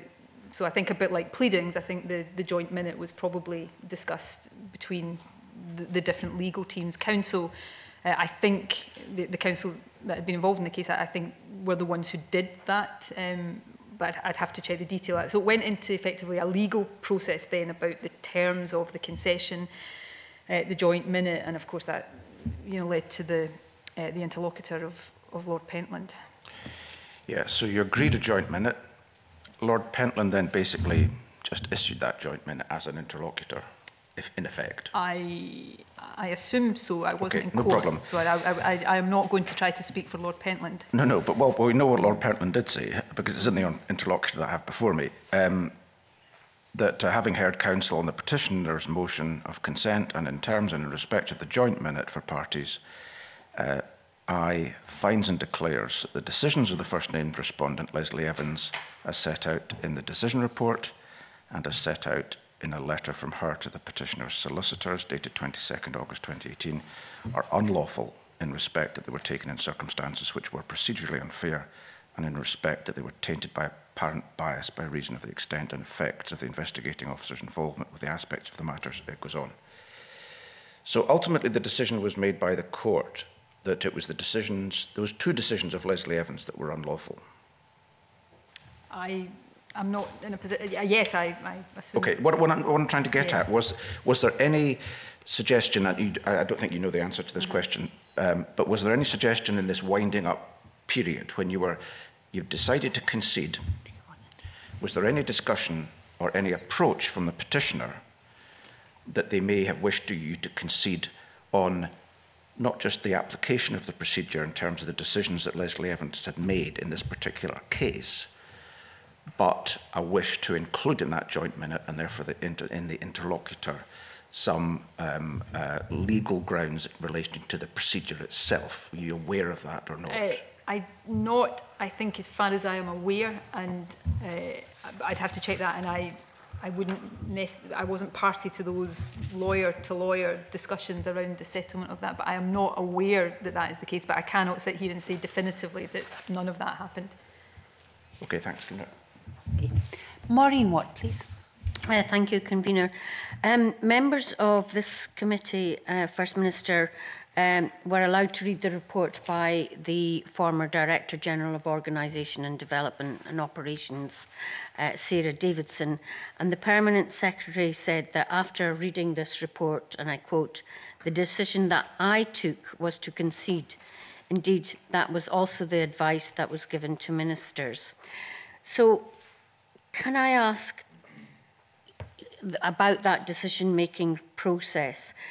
Did the permanent dis secretary discuss this matter with you prior to making a rec recommendation to concede? Uh, we, we discussed it uh, on an ongoing basis over that few, day, few days period, you know, in terms of her commissioning that note, when we got that advice, and then the, the decision that was, was taken. So we were, you know, I, I was in touch with her uh, that was over the Christmas and New Year period. Um, so yes, I mean, I, I can't sit here and tell you exactly on what day. A lot of that was by phone, obviously, given it was over the, the holiday period. But she was fully, you know, th this I think has been described and it is, and she has said it here. It was the permanent secretary's uh, decision. I, in no way, whatever the technicalities are, am seeking to dissociate myself from this decision. I was involved uh, in the deliberations. I uh, was in agreement with it and absolutely stand behind the decision the Permanent Secretary took. Okay. And in um, the Lord Advocate's evidence, he highlighted the importance of focusing on the complainers when it came to decisions to concede the judicial review. So I suppose my question is, um, was the protecting of the complainers and their complaints, did that play a role in it taking quite a while to decide whether to concede the judicial review? So I don't think you can separate that and forgive me, I'm about to speak to in answer to a question about complainers here in a way that will sound quite dispassionate, but this was a, a decision-making process in uh, a judicial review case. So, and I, I recall, I think, the evidence that the Lord Advocate gave on this point. As long, and Alex Cole-Hamilton asked me something similar here, as long as this case was stateable and we thought we had an arguable, credible case, even although our prospects had deteriorated, then the wider public interest came into play, and that was the, the desire, if possible, to get a judicial determination on all of the grounds of challenge. And also, in addition to that, if we thought we could, we had a chance of successfully defending this and prevailing both on the legality of the procedure and the process, then that would have been in the interest of the complainants because it wouldn't have meant that the whole process was, was set aside in the way it ultimately was. So that was part of that. But you can only, in these decisions, really take account of those wider things as long as you have a stateable case. So we, we carried on deciding that for as long as that was the case. Um, and when that ceased to be the case because of what happened uh, in terms of the uncovering of information that then suggested that the IO had had greater involvement with the complainers and that then changed the judgment we'd made about being able to to defend the interpretation of, of section 10 that's when the, the view to concede came so you know a view of uh, the complainers was an integral part of that. I think Alex Cole-Hamilton put the, the alternative view that it might have been better for the complainers to concede earlier and allow a new process. Now, people will take different views on that, but the, the interest of the complainers was part of the wider consideration as long as the case was stateable, we should continue to defend it. Okay, thank you. Jackie Baillie. Thank you very much, Convener. Um, it feels like a long time since we last spoke, First Minister. Um, so let, let me try and rattle through this. Um, Can I, can I, sorry, I missed that one. I said you misquoted me the last time we spoke. but so you corrected me. Perhaps, well. And you clearly have I, lots of resources to do that. I, I well, hope let, I don't have to do it me, again, Well, Ms. let Baillie. me try and make sure that you do. Could you two just right? get on with it, please? Absolutely. Um, We've been doing this for I've years. I've noted that throughout today, throughout today, you've talked about a litany of failures. You've described them as catastrophic. Sorry, I rest my case. Errors. Well, you have. Right? Talked about errors in the investigation You've talked about errors in the judicial review. You've talked about errors in the supply of information. Um, and I absolutely appreciate you apologising as the head of the Scottish Government and taking responsibility. But you're not directly responsible, are you? Uh, look, every single day, uh, Ms Baillie, things happen in the Scottish Government in my, not explicitly in my name, but things happen that ultimately I'm responsible for. So most of them go well. Some of them don't go well, and I can't pick and choose what I take responsibility for. But in sense of, I wasn't directly involved in the problems that led to the judicial review collapsing, then no, I wasn't directly involved in those. But there'll be lots of things that happen in the Scottish Government that I'm not directly involved in. It doesn't mean I can sit here and say uh, that I bear no responsibility. I don't think I've ever heard you really describe um, your stewardship of, of any particular problem as catastrophic. I mean, you've described these errors perhaps not as publicly. catastrophic. Okay, perhaps not publicly, but then you don't confide in me. But you have used that word. That's a strong word. Tell me why then nobody has resigned, nobody has actually taken responsibility for this. Because at the heart of this, two women have been really badly let down. They've had no closure in this at all. I'm going to give you a, a sort of personal answer to this and then give you the sort of government answer, and forgive me, I, it's what, four hours in, I'm possibly getting too tired to safely give personal answers. Um, so I think firstly, just technically, and Murdo Fraser will correct me if I'm getting this wrong and correct my uh, me for the official report, but I think I was responding to Murdo Fraser putting the word catastrophic. As I didn't disagree with that, I agreed with it, but it wasn't my choice of word. It was Murdo Fraser's choice of word. Yeah, sure. So I'm just, you know, we both like to be accurate on these things. Um, there's, I suppose there's two things. The personal, I feel very strongly and rightly or wrongly, um, this situation of complaints emerging against Alex was horrendous for everybody that had to deal with it. It's, I'm not saying it's, it's obviously not unprecedented, but it was, it was really, really difficult for everybody. Um, I didn't know uh, about it at the time people were in it originally dealing with it, but this was an invidious, difficult situation and people got things wrong. And, and maybe that's made me uh, too likely to be understanding of people who made complaint, uh, made mistakes.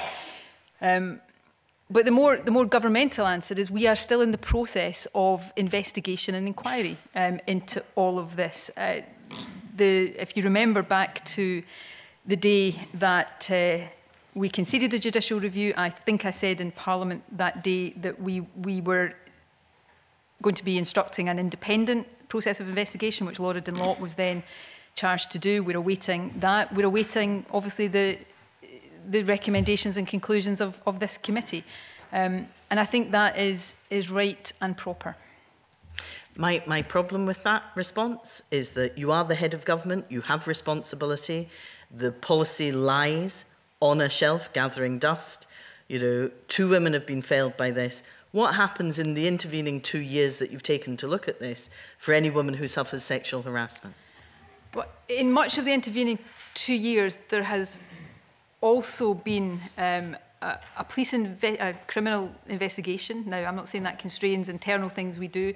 The policy, to use your description, lies on the shelf. The policy is still extant. It is, has not been declared uh, unlawful. Um, and fairness at work, although we've talked previously about the perceived or actual deficiencies in fairness at work that led to the new procedure is still there and available for uh, those within the Scottish Government who want to, to come forward.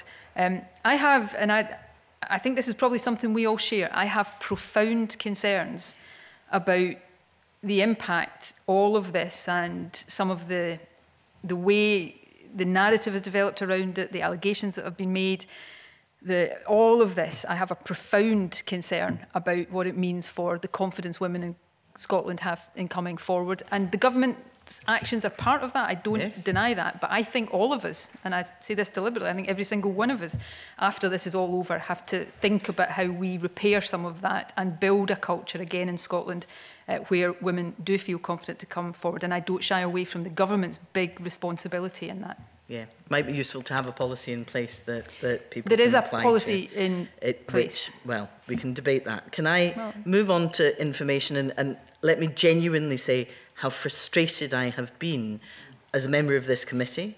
And I don't think I've ever felt quite so frustrated in my 22 years of being on parliamentary committees as with this one. And let, let me tell you why. We've waited for information from the Scottish Government. The stuff we've received has been partial. It's been late. The complaints handling phase was due in August. We received it in December. Um, the legal advice has taken two votes in Parliament and a motion of no confidence in John Swinney before we saw it last night at six o'clock. Last night at six o'clock. And let me say to you, there's information missing. Reference is made in the documents to communications with Christine O'Neill. None of them are there. The information is not provided to us. Reference has been made to an urgent consultation meeting on Friday the 2nd of November. Nothing's there. It's not been given to us. Your meeting on the 13th of November, which I think is critical, as the First Minister, with the Permanent Secretary and the Chief of Staff and external legal advisers, there's nothing. Where is the consultation note of that meeting? It's not been provided to us. Now, I have to say, we've waited to the 11th hour for the legal advice.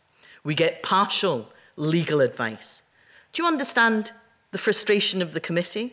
Do you understand that it looks as if the government doesn't want to give us critical information? And what will you do to rectify that today? eh, today, I, I'm not sure what Why you not? want me to do. I'm, look, I. I could sit here, as I have done on certain legal advice, for example, and it's not going to uh, remove your frustration, nor would I expect it to, but I've given you um, a, an explanation of the, the factors that lie under that, and we can agree or disagree on that. I would also uh, take issue with some of the characterisation of uh, delay and, I don't think this was your word, uh, prevarication and you know, trying to avoid giving information. There have been really complex issues behind the provision of some of this information. Sometimes it's quantity, uh, but often the, the legal constraints uh, and the the particular legal orders in place. I think the government has fully cooperated with the committee and I think it has provided information um, in a, a proper way. But I am not going, as First Minister, uh, that you know, absolutely respects committees of this Parliament, I'm not going to sit here and say, listening to what you've just said to me, that I'm not going to reflect seriously on that because, of course, I will. Um, I, I think I said this earlier on, for different reasons, I know, I share a lot of this frustration because some of the information that hasn't been available, some legal advice that's down to the government, but for the reasons I've set out, other you know, categories of information, it's not down to the government, you know, things handed over in criminal trials, it's not in the government's gift to give that. But every time, and I would actually argue this with the legal advice, that there has been information that a lot of mystique and intrigue has been built up around once it has been published, or in the case of some of what the committee got from the Crown Office wasn't published, but you were able to look at that yourself and see that what had been said about it wasn't actually the case. And I think with the legal advice, while people can take different views on the decisions we took, you look at the legal advice in, in the round and see some of the things that were being said about the government's position are just not borne out in fact. So I, I get some of the frustration. I share some of the frustration, even if I don't accept the characterisation on all respects of what lies behind that. But I will with any committee uh, that is uh, saying that it feels that way, I will reflect on that. If there are particular pieces of information that uh, I can today uh, see if if the committee still feels it needs and hasn't got, if that information is available, I will undertake uh, to do what we, we can to provide that to the committee. Can I say to the First Minister that the time for reflection has actually passed. We've been asking for this information for months. There have been two votes in Parliament that, as far as I eh, can recall, you were present for. Two votes in Parliament demanding the release of legal advice. Endless letters from this committee to John Swinney, your deputy, asking to see legal advice. We didn't want to see it all. We wanted to see counsel's opinion. We wanted to see the notes where counsel were involved in providing advice to ministers, to the Lord Advocate, to whoever. We haven't got that today. We simply do not have it. And what I would ask you there then is what is the legal basis for not giving us the consultation note from the 13th of November with Counsel? I- What is the legal basis of not giving us the note of the meeting of Friday, the 2nd of November? What is the legal basis for not giving us the communications with Christine O'Neill? Because I just don't understand that. I genuinely don't. Well, firstly, I know the Deputy First Minister has uh, said there will be further information coming to the committee. I, and I'm crossing this line today because I'm sitting in front of the committee, I have deliberately recused myself from the handling of that. So I don't know exactly what the different arguments are in relation to every single bit okay. of information, but that process okay. is still underway and I'm not going to get into the detail of that when I am not uh, and it may have been developing as I've been in here today, so I'm not equipped to do that.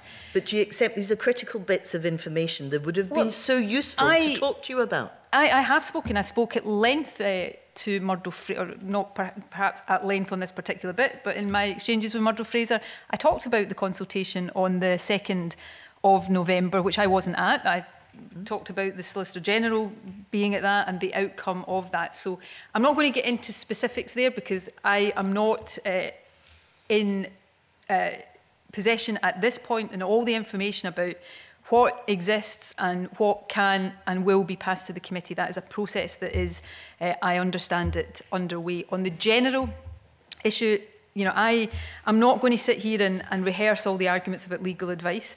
Uh, the The, the position on government legal advice is long established and there for good reason. And I, sitting here right now, I'm glad you've got the legal advice so that I could talk about it openly today. But I have a concern about getting into a situation where government legal advice is routinely asked for and published, because I think that will undermine the basis on which governments properly inform their decisions. Uh, But I'm not you know, going to rehearse that. After the, the parliamentary votes, the committee went through a process, I understand, with the Deputy First Minister that resulted in the committee at that point, not quite as unprecedented as what we released yesterday, but at that point was also quite unprecedented of showing the committee uh, substantial information summarising the government's legal advice. So it's not true to say that the government didn't respond to that, but we have genuinely held views and concerns about the, the, the basis on which governments need to be able to take confidential legal advice. And incidentally, when Alex Salmond was First Minister, he held those views um, as strongly as I do now. Yeah, I'm going to, uh, I'm going to, to intervene here just to say uh, the committee generally shares that frustration um, that Miss Baillie has expressed. And uh, we will be meeting later today And considering the legal advice we have received compared to the motion that we passed unanimously uh, some time ago to see whether the terms of that agreement of the committee has been met and we will then get straight back on to the government to discuss these issues. And it is noted that Mr Swinney, Deputy First Minister, has in fact said that more information may be available. So that is ongoing. Ms Bailey. Thank you very much for that um, helpful point of information, convener. Um, but, you know, if you take a decision to release legal advice, I am very clear that this doesn't meet the terms of the committee's request and it is partial. You've taken that decision to release it, not some of it, but actually the legal advice, and we have not yet received that, and I find that really disrespectful to the committee. Let me move on, um, and I will try and be very quick in terms of, of areas that Murdo Fraser has already covered. Um, the Counsel's opinion of the 27th of September, um, quite clearly at paragraph 6, 58 and 60, questions whether you would succeed on the basis of one particular ground um, that was suggested in the original petition, and that was ground four, procedural unfairness. And I think you would accept that paragraph 658 and 60 question whether you would succeed. Me, I, I missed at the start Sorry. which one you were talking about. 27th of September, the very Uh, first. And which paragraphs are you Counsel's opinion, 658 and 60. 658 and 60. Okay, on. Okay. Where they note that the vulnerability arises from the procedure itself and not from its implementation in this particular case. So their concern is not just a question of implementation, but the policy itself. And the reason I am so interested in that is because it calls into question the policy you've still got there. It, this is a piece of legal advice, and I, I- did try to address this with Murdo Fraser. I have never, I don't know if I can say that in an unqualified sense, I don't think I have ever seen a, a piece of legal advice about a government decision or a, a government, uh, a litigation the government was involved in that was absolutely unqualified and said 100% there are no weaknesses in your case. So that, I, if I had read this and it said there's no potential weaknesses, uh, that might have created more of a question in my mind than, than it did. the, the this, particularly this point of a litigation where it's prospects of success, it's an early, they, they point out the, the things they think are of greatest vulnerability. That was what they said was of greatest vulnerability in the case. It didn't mean they thought it was really, really vulnerable and we were definitely going to lose. I guess it's relative as well to the other grounds that they thought were much stronger. So that's kind of that's how legal advice tends to be presented. Here's the really strong bits and here's the bits that are less strong. It's relative and you take that overall. That does not mean, and I'm not going to sit here and speak for Roddy Dunlop and Christine O'Neill, but certainly I didn't read that as saying uh, you're definitely going to lose the judicial review on this ground. Just relatively speaking, this is your greatest risk and greatest vulnerability. Okay, let me just quote to you from paragraph 60. This aspect of the case does seem to us to be the most difficult, and we cannot say that there is anything other than a material possibility that the court will agree with the petitioner's complaints in this regard. Isn't it the case that if one, just one of the petitioner's grounds of challenge are found to be legitimate, then it could lead to the quashing of the decision made by the permanent secretary, it could lead to the quashing of the procedure too. It could have done, yes, I think that is uh, evident and factual. Um, I think also it could have been the case, and I put it no more strongly than that, that a judge may have taken an overall view and come to a decision that there may be weaknesses, but overall the procedure was fair. But the operative word in your questions to me there was could. And can I say genuinely, if the government was on, legal advice like this, of, you know, here's your grounds, here's where we think you're strong, here's where you might have a, a, a weakness. If the government was to decide not to defend legal action on the basis of opinions like this, the government would never defend any legal action ever because you never get a, an opinion uh, I don't think that says you have no vulnerabilities, there is no possibility of losing. So if that's the test you apply, no government anywhere would ever defend a legal action. And I'm not sure you are suggesting that's the position no, I'm not, be in. But, but it was an interesting explanation. And I agree that when you consider the 27th of September, they are suggesting that other grounds are quite weak. So I could see why you would proceed on that basis. But when I come to the opinion of the 31st of October, I find no such positive news anywhere in any of the paragraphs. You know, here was an opinion written by Roddy Dunlop QC on Halloween at 10 to 11 at night. It was urgent. It was genuinely urgent. I mean, you get the sense of that from both the submission and the emails surrounding it. In virtually every paragraph, in fact, in every paragraph, he concludes that the prospects of winning are incredibly slim. I, I don't see any positive balancing paragraph. Do you? Um, just as, and again, I'm probably straying into trying to speak for Roddy Dunlop, which I, I suspect is really uh, unwise to do. But and it was Halloween and it was late at night, and he was clearly seriously concerned. But he also says, you know, my apologies for the hour. I'm been unavailable. I'm engaged in a three-week proof. So just to give a bit of context there. But to go back to a question I was asked earlier on, I can't remember who by. Is it the case that counsel had to threaten to resign counsel will not, lawyers will not pursue an unstateable case. And so if Roddy Dunlop or Christine O'Neill had thought at that point the case was unstateable, they would not have agreed to continue.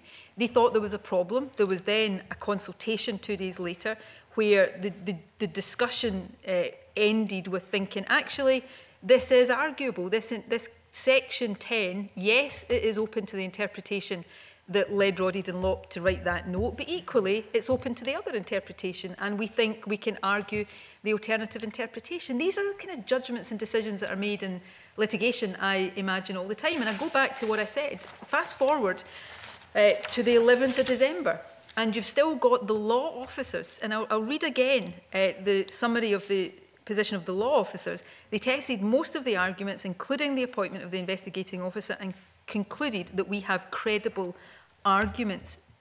You know, weeks after the 31st of October, the law officers still thought we had credible arguments. Now, there is always going to be a balance of judgment and differences of opinion about what the correct time, if you think you, if ultimately you lose a court case, what would have been the optimal time to concede that. But taking everything into account, the point at which the government should have conceded this case was not the 31st of October because that and you know if, if you're going to make that argument it's much more credible to make it it's still not right to make it in my view but it would be much more credible to make it on the basis of the 6th of December no than it would on the 31st of October no now that's just my view um, and that's the view appreciate the you too. guiding me on the questioning but let me return to the 31st of October. I wasn't guiding you on the question I was just giving you my answers to your questions Absolutely. Well, let me return to the 31st of October and quote to you from paragraph 14 um, uh, where Roddy Dunlop says, it makes little sense to continue to defend the indefensible. Now, previously you spoke about um, the interests of the two women in this, and I absolutely agree with you. And here is what he goes on to say. Um, the upside to such an eventuality, the procedure would simply be reset safeguards could be put in place to minimise the risk of a further challenge to the renewed investigation. Wouldn't it have been better for the two women if you'd followed that advice? Um, I am not. So ultimately, with everything we know now, uh, you can certainly make that case. But you know, on the 31st of October and around about that, and let me just quote the last paragraph of it. All of that is, however, presently hypothetical. A, vi a final decision will require to await the information discussed above. This note is simply provided to ensure that the main decision makers are fully sighted in advance of Friday's consultation. Friday's consultation looked at the whole thing and decided actually there was a credible argument that could be made. And at that point, so you, you, you're sitting here with, yes, a weakness in the case that hadn't previously been known, a significant weakness, serious problem, I think is the term Roddy Dunlop used. But the consensus view, supported by the law officers, is that there was a credible argument. And actually, this didn't happen, which is why you can apply the hindsight and get to the point you're reasonably making to me. But actually, at that point, I think it was a reasonable judgment to say that it was better for the complainers to try to defend the case and hopefully prevail on the case so that they didn't have to go through a different, uh, a, a revised and rerun procedure. We, we don't know what happened at the meeting on the 2nd of November because we don't have those papers in front of us. You've made Okay. Well, point, no, I'm making it again because there is the obvious difficulty. I have nothing to test your response against. Um, can I can I go to one of the obvious areas that they were wanting further information, and that's the role of the investigating officer. Why did it take so long to find out the investigating officer's prior involvement with the complainants when, according to her um, evidence to the committee, it was widely known? So at this point, um, it was believed that the degree of contact uh, between the investigating officer and the complainants uh, was not such that it meant we couldn't argue the interpretation and the fact that the degree and nature of the contact, contact was such that it didn't make the process unfair. Later information came to light and I cannot definitively answer the question as to why it took so long for that information to come to light, but you we're basing you can only base decisions on the information you have at the time, and, and that is uh, the, the broad summary of the position uh, that pertained on the 31st of October. Of course, this was something, and, and a, a large part of the 31st of October note is talking about the obligation of disclosure on the government. So this was disclosed by the government and then became one of the formal challenges in the judicial review. So at each stage, you can, you can and it's perfect, it's part of the committee's job is to, to look at the thing in the round, to look at it from the perspective of the outcome and work, its, work your way back and come to a view on what we got right and what we got wrong. But when you're in the decision-making process, you take the decisions on the basis of the information that is in front of you at the time. And that is, and I think at each stage, the decisions that the government reached are absolutely defensible on the grounds of being legally sound and sound in that wider context as well. Was she spoken to by the Scottish Government's legal department, and if so, when? Who, sorry? Um, the investigating officer. Was she interviewed by them? I don't know. Okay. Um, she was interviewed by junior counsel on the 17th of October. Oh, sorry, in the context, I, I understand that uh, statements and, and affidavits were taken from the investigation investigating officer, so I, I think I misunderstood. Okay, do you know when that was? Uh, I don't have the dates of that. Okay, no. that would be useful to know. Um, she did meet with junior counsel, we understand, on the 17th of October. Again, we don't have a note of that meeting. Would it be appropriate to supply us with that too? I don't know. Um, and uh, I say I am not involved, not least because I'm sitting here right now in the process of considering what further information the committee uh, will be sent. So I'm not going to answer those questions yes or no because there will be considerations that are uh, no doubt being and will be undertaken. Okay. Can I move on um, to the duty of candour? Um, because that, of course, requires full disclosure of information by the Scottish Government.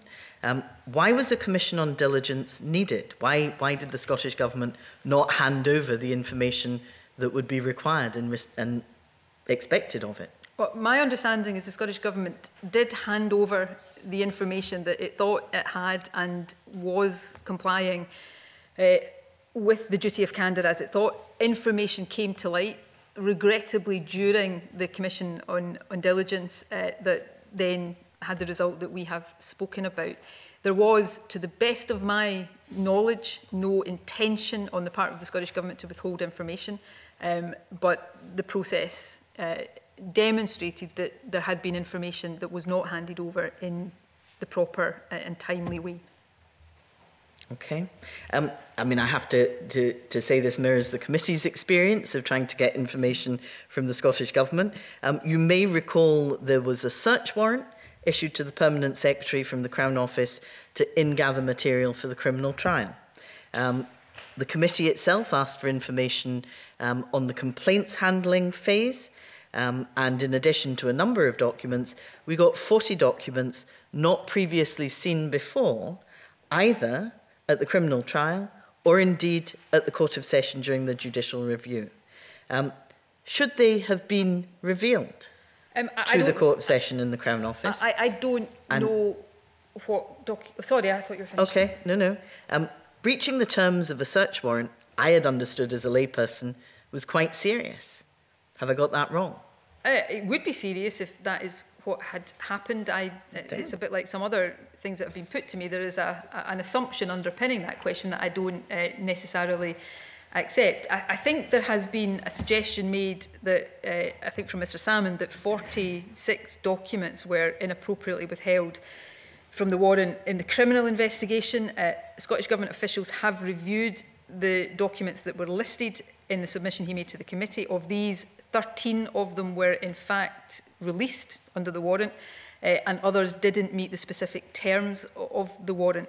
Uh, the government, certainly ministers and the permanent secretary had no role in determining which documents were in scope of the terms of the warrant. There was a, a rigorous process undertaken, but crucially, the warrant process is uh, included oversight by an independent commissioner that was appointed by the court.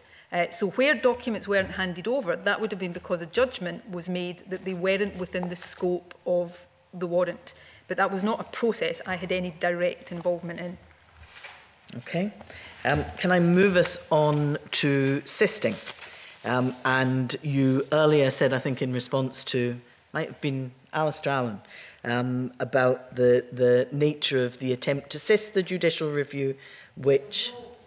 To the best of my knowledge, there was no attempt to sist the judicial review. Okay, but, but there was discussion about it. I would be, I would have been astounded, given the circumstances, if there wasn't even a...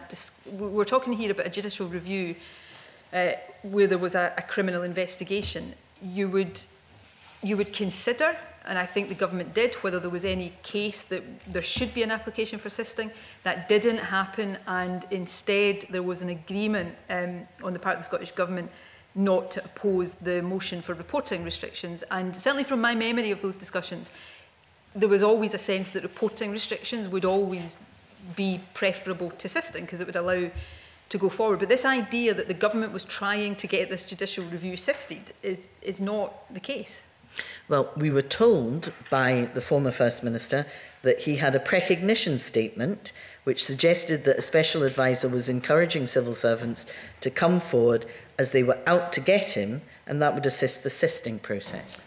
So I'm going to go on to what I understand from that because I, you know, like oh, I hear these things.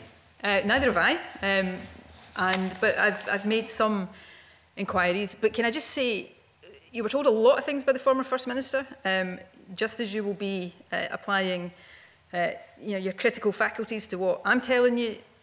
I'm sure you're doing the same to to his as well. So the government did not try to sist, and, and that you know, and to the best of my knowledge, there was no after the early stages in September that led to reporting restrictions being imposed. There was no, as I said earlier on, I, I can't sit here and say nobody in the government ever raised the word sisting again. I can't even be sure I didn't raise the word sisting again, but there was no serious attempt at any point on the part of the government to get this case sisted. So this kind of theory seems to fall apart on that really inconvenient fact. On the, the precognition statement, and I, you know, I have to piece these things together. I, th I think, forgive me, I think there has been um, an implication, or not an that's putting it too strongly. I, I think some people perhaps have wanted it to be assumed that the special advisor in this particular um, fragment of the conspiracy theory, if I can call it that, was my chief of staff. My understanding is that's not uh, the case. The special advisor uh, that allegedly said this, I think, was asked about it by the police and is adamant that that was not something that was said. But this is also a special advisor that would have had no real knowledge or insight into what was happening in the judicial review. Now, I can't say any more than what I've said there because it's just me trying to piece fragments of information together. But probably the most important thing for me to say is, you know, if, if somebody wants to genuinely argue that the government was trying to game the timing of the judicial review in order to allow it to be overtaken by a criminal investigation, there's a lot of things that really have to be established, a lot of very unlikely and implausible things that really have to be established there that nobody, as far as I can see, has come within a million miles of doing. Probably because it simply did not happen in that Can, way. I, I, I absolutely hope the First Minister's right, but you'll not be surprised to hear that we don't have the paperwork that relates to that. We've been promised it, still to appear. But if the government had made a, an attempt to sist the case, presumably that would be, I'm maybe getting this wrong, but presumably that would be known through the court proceedings that there had been an attempt to sist the case. We've, we've nothing from the government, despite requesting it, and they've promised to deliver it, so maybe you could hurry them up. Thank you, Convener. Thank you, Ms Baillie. Now, I think there's um, a small question or so from Mr McMillan on the judicial review, and then I will ask him to move straight into the ministerial code, for which he also has a couple of questions. Mr McMillan. Thank you, Convener. I just want to uh, follow on from uh, a couple of uh, Jackie Baillie's questions, and it was touched upon a moment ago that the Scottish Government uh, didn't uh, send anyone to the, uh, the to the, uh, the, the the lodging of the the, the, complainers um, process. Um, can you explain why the Scottish Government didn't send anyone to that place? Uh, forgive me, Mr McMillan, I'm not 100% sure. Is this about the... yeah, that was the motion. The, for the reporting motion, restrictions? Yeah, yeah. As I understand it, and I'll stand to be corrected if I'm getting this wrong, it's because we weren't opposing it, so mm. there was no need for the government to turn up to say we're not opposing it. Um, as far as I understand, that is not that's not unusual in court proceedings. If a motion is unopposed, then there's no need for everybody to be there in court to do that. So I, my understanding is that is what that that's the explanation of that. Okay, thank you.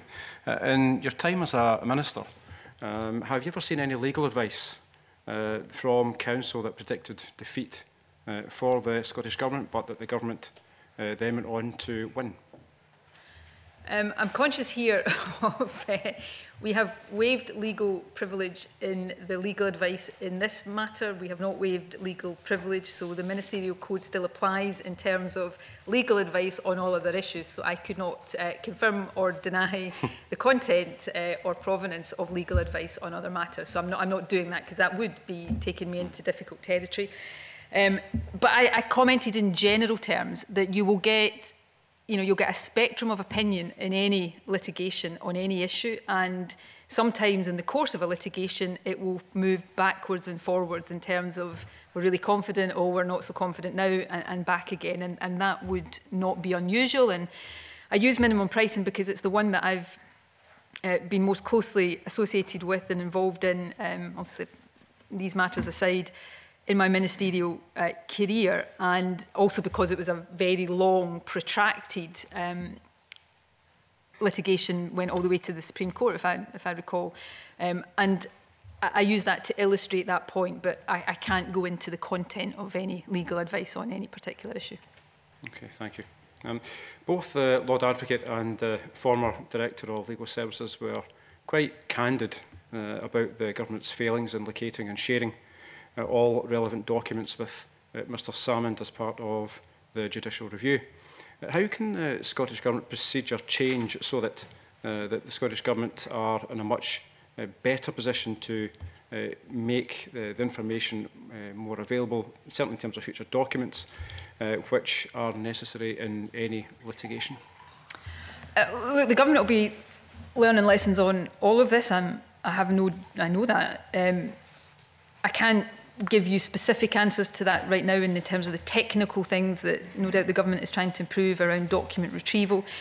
Um, these are never simple things. The, the sheer volume of documents that go through government systems on a daily, weekly, monthly basis is, is you know, massive. Um, and part, you know, I'm not making excuses here, but that will have been part of the issue here. I, I don't know, I'm not an expert on how, you know, these kind of searches are done, but you use keywords and phrases and such like. So given the volume of information that the government has, it's, it's a, a complex process. It didn't work at all times here the way it should have worked, and that's had the consequences that we've been talking about. So, uh, you know, these will be things that we will be seeking to improve and, and learn from in the future. Thank you. And just one final question in this area. Um, it goes back to the, the document that was published yesterday, uh, the legal advice the, from the 27th of September, which uh, Ms Bailey uh, touched upon. Um, do you have any comments or thoughts about the, uh, the Council's advice in that document um, regarding the, the retrospective element of the, uh, of the case what, and procedure? I'm not sure which document you're referring to? Uh, sorry, it's the, the legal advice that was published yesterday, the one, uh, the 27th of September. The, the note of prospects. Yeah. I, I would, I would say nothing. In addition to what I've said already, well, I'm about to say repeat what I said already. You will. The, that note of prospects was covering all the grounds of challenge and looking at what uh, the the view was uh, around all of them. Um, I'm not can't immediately recall exactly what it said on the retrospectivity ground, but all of that would have been taken into account as we, we considered our prospects. I, I don't know whether you want to point me to uh, the paragraph. It's the paragraphs 39, 40, 47 and 48. Uh, the reason why I asked the question is because of uh, certainly the uh, Mr Salmond discussed uh, at length uh, when he was in front of us on Friday um, and viewed uh, the aspect of uh, the retrospectivity as a, a strength for his case. However, the Scottish Government's Council uh, stated that, and I quote, uh, there had been an increased public focus on historical allegations of harassment and on the failure uh, of those who had experienced harassment to make complaints uh, at the time of the, the alleged harassment uh, changes, i.e. changes in, pr in procedure are often retrospective and legitimately so. Well, thanks for helping me out there. I couldn't find the... I mean, that goes to the heart of it. Mr Salmond has a view uh, that he says was backed up by his legal advice, which it may well have been, that retrospectivity was inappropriate and, and would have been a legal flaw in the procedure. Uh, my view and the, the government's view is different, both on the, the legal basis, but also on the appropriateness of allowing complaints of a historic nature to be investigated. Okay, thank you. Uh, I'll move on to the Minister report. Okay. Um, so in your opening statement, uh, First Minister, um, and also with your written evidence, you provided an account of uh, why you met or had contact with uh, Mr Salmond. Can you briefly take us through these reasons? Um, basically, because I was being, in, in summary, I can go into as much uh, detail as you want. In, in summary, because I was being told that he was facing an issue, he was distressed, uh, he as I was told, uh, and I don't know what the basis of this was, he may be considering uh, stepping aside, resigning from SNP membership. So as a friend of Alex, as a party leader, that was the basis in which I, I chose to meet him. Um, and, you know, I've set out in my opening statement, I've set out in my written evidence that that, that was the basis. Um, the, the decisions I then took from that around not immediately notifying that under the ministerial code, and I, I suspect I'm slightly responsible for this myself because I, I talked a lot about the party basis of that. That decision wasn't really based on the classification of, of the meeting. That was down to a consideration of how best I protected the independence and the confidentiality of the process. And I go into that in my written evidence and I touched on it in my opening statement today. Um, what, in your view, was Mr Salmond's motivation for attending? Um, I think when he uh, got there and, and we had the discussion on the 2nd of April, it is as he has set out. He wanted me to intervene uh, initially to try to bring about a process of mediation. Um, I believed that I was seeing him, I, I didn't believe I knew I was seeing him in, in the party personal space, um, but he clearly had a different uh, objective uh, coming into that. Uh, and, you know, when we had that discussion on the 2nd of April, it very quickly became clear to me that what I had thought he might be about to do was was not the case. Um, and I thought it was not appropriate for me to intervene in the way uh, that that he was asking me to do. You know, th th this whole issue of, I mean, I, I heard him rebut it, and, and perhaps, you know, he he never had any intention of resigning, uh, but it was put to me that he was potentially considering that, given that he was handling a, a difficult situation. Um, I don't know whether Geoff Aberdein, who told me that, was telling me because Alec had told him that, or whether it was just Geoff's uh, surmising. But that was something that I thought uh, was a, a prospect or a, a possibility. Um, you know, knowing Alec as I, I did, and knowing Alec as many of you do, the one thing you always have in your mind about Alec is that he doesn't do the, the expected thing. So initially, facing a difficult situation, did I think it credible that he would decide to handle it by saying, I'm going to stand down from the party to clear my name. I thought it was credible. To be perfectly honest, that was something that, that stayed in my mind uh, for longer. That although after speaking to him on the 2nd of April, it was clear that he wanted to deal with it in a particular way so that it didn't become you know, public or anything, there was always a, a thing in my mind that if Alec had got to the point where you know, he thought that was just not going to be possible. It was always a prospect. He would just decide to take control of the narrative and, and handle it in a different way. And, and that was, you know, just a factor that, that was in my mind throughout, you know, that period from him, uh, from that meeting on the 2nd of April through that summer.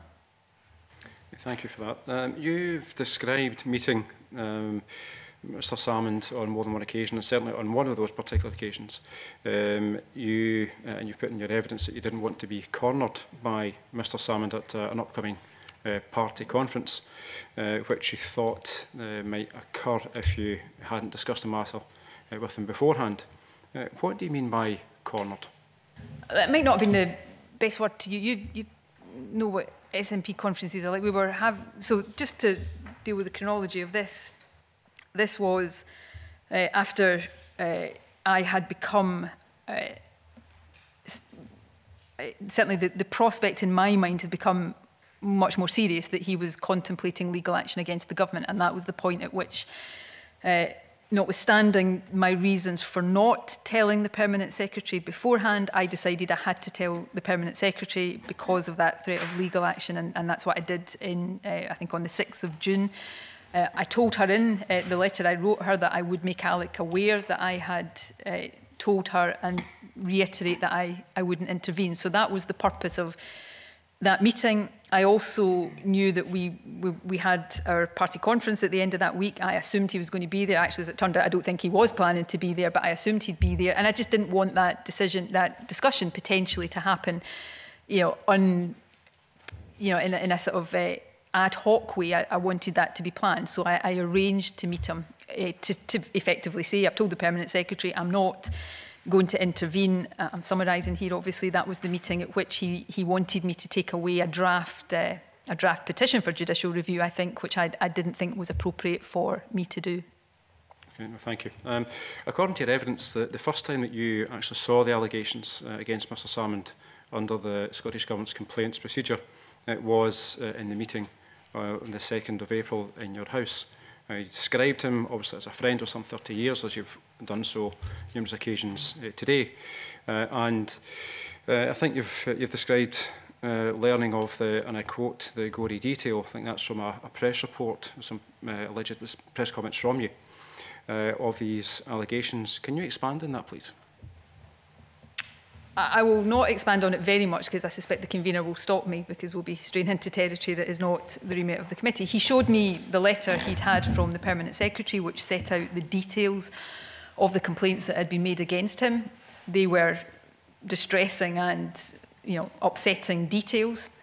Uh, but he then, and it goes back to what I said earlier on, this was one of the incidents was an incident he was aware of that he had apologised to somebody for uh, at the time. So he gave me his account of that incident. I, I should be very clear, he denied the specifics of, of the allegation in the sense that there was anything that wasn't consensual in it, but he gave me his account. And my view is that his account constituted behaviour that was not appropriate for, uh, for the First Minister. Um, but I probably shouldn't go into any more detail than that. Thank you. Um, Mr Sam's account of what happened when you met and uh, he brought up the complaints against him uh, was that uh, you said, and I quote, I want to assist, uh, which you took that to mean that, uh, that you would intervene uh, to advocate for mediation in the first instance. Uh, what's your response to Mr Salmond's comments? I think I answered this in response to Andy Wightman. I, I just want to paint, or not paint a picture, but give people the context here. I'm sitting in my house. Uh, it was Easter, we talk about the 2nd of April, it was Easter Monday. Um, the man that I had worked with, been friends with, you know, in my earlier years had looked up to so much, had just told me something pretty shocking. I, my head was spinning. I was dealing with kind of complicated emotions. Um, you're sitting with a friend who's saying, ah, you know, I'm facing this terrible situation. Things like, you know, I'd love to help if I could, kind of thing. It's entirely possible. You say these kind of things. This is a human situation. We're, we're talking about it now as a, a political scrutiny situation, which is absolutely proper. But in the moment, this was a human situation between two people that knew each other really well. And I was, I think I described this to Andy Wightman, I was, I, from the minute I saw the, the letter, I knew that it would not be appropriate for me to intervene. I probably was trying to, you know, soften that for him, maybe from his accounts. I softened that too much. I was also thinking about, you know, in, in real time, um, you know, is there anything I have to do? Do I, do I have to report this to anybody? So all of that was going through my head um, as we were, were having this discussion. And, but I did not intervene because for the reasons I set out very vehemently to, to Margaret Mitchell, I don't think that would have been appropriate for, for me to do. Um, the other thing I would just say is what I've just described to you there is also kind of demonstrates this was not the detail of this was not something that I had three days to to kind of think about because I was thinking about it really in in real time. So from the, the human perspective, is that the, the reason why that you met Mr Salmond uh, on a few occasions after? Uh, well, I met him uh, twice after that. The 7th of June, uh, ahead of the SNP conference, I think we've already talked about the, the third and final time I met him, in fact, I think it is the final time I met him, uh, full stop, is uh, the 13th of July, round about that, yeah. that, that July date. Um, and if I'm being very uh, reflective, you know, that's probably the meeting I think, why, why did I, I meet him again here? It was still, it was very much in the personal party space. I go back to what I said earlier on, and he, if he was sitting here right now, he'd say, don't be daft, I'd never do that. But there was always this thing in my head. If he gets to a point where he doesn't think he can stop this in the ways he's trying to, he just does the kind of, you know, Alex Salmond press conference. And so I, I guess I just wanted to, to know that I wasn't suddenly facing that at some stage. And, you know, this is maybe the most ironic bit of all. Probably at that stage, I was still a bit concerned about him. So I'm sitting here facing all of this uh, and being accused of being part of a grand conspiracy against him. Actually, some of what probably has led me into trouble is I was concerned about him. So that's why I'm, I kind of met him in July. Um, you know, he has taught, he at that point was putting to me a belief, um, and I don't know whether it was a genuine belief he had or it was an, a device to try to draw me in, that I was blocking arbitration, um, which was not the case because I wasn't part of, of the discussion. Thank you. Uh, and my final question, convener.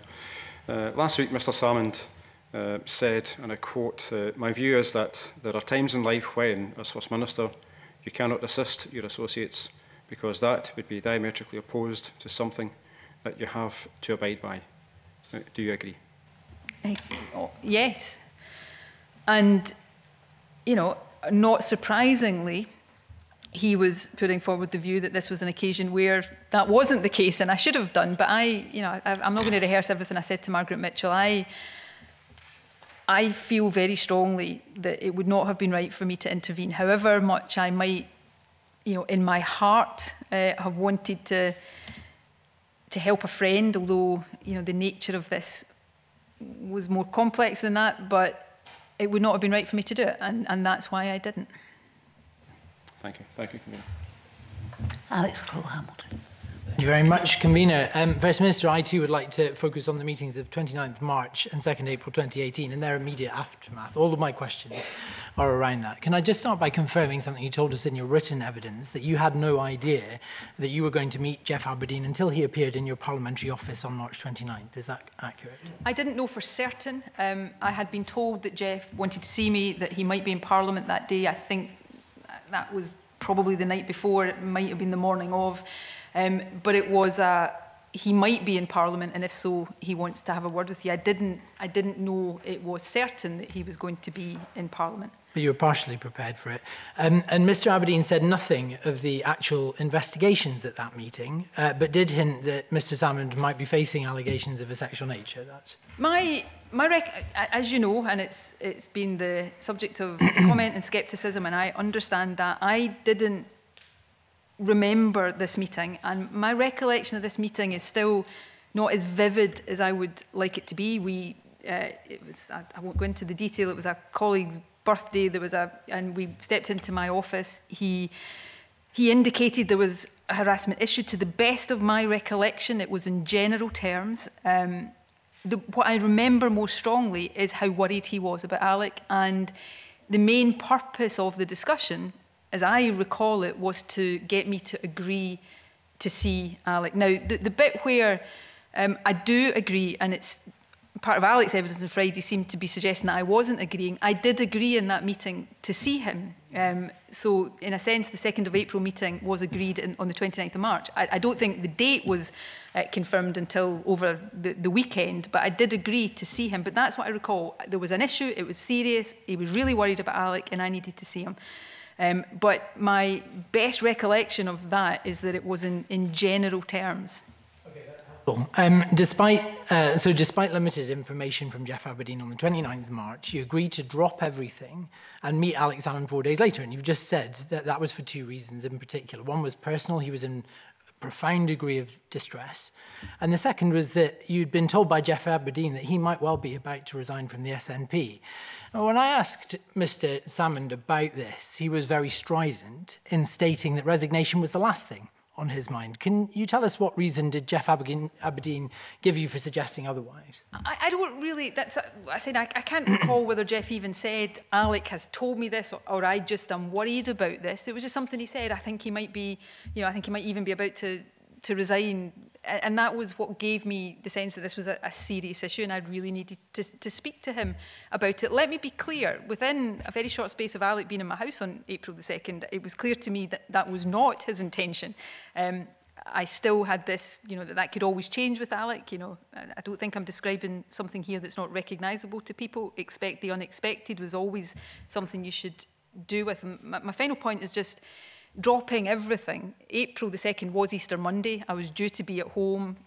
My friend of 30 years wants to see me. I agreed uh, that that would be the case. I was due to be working at home.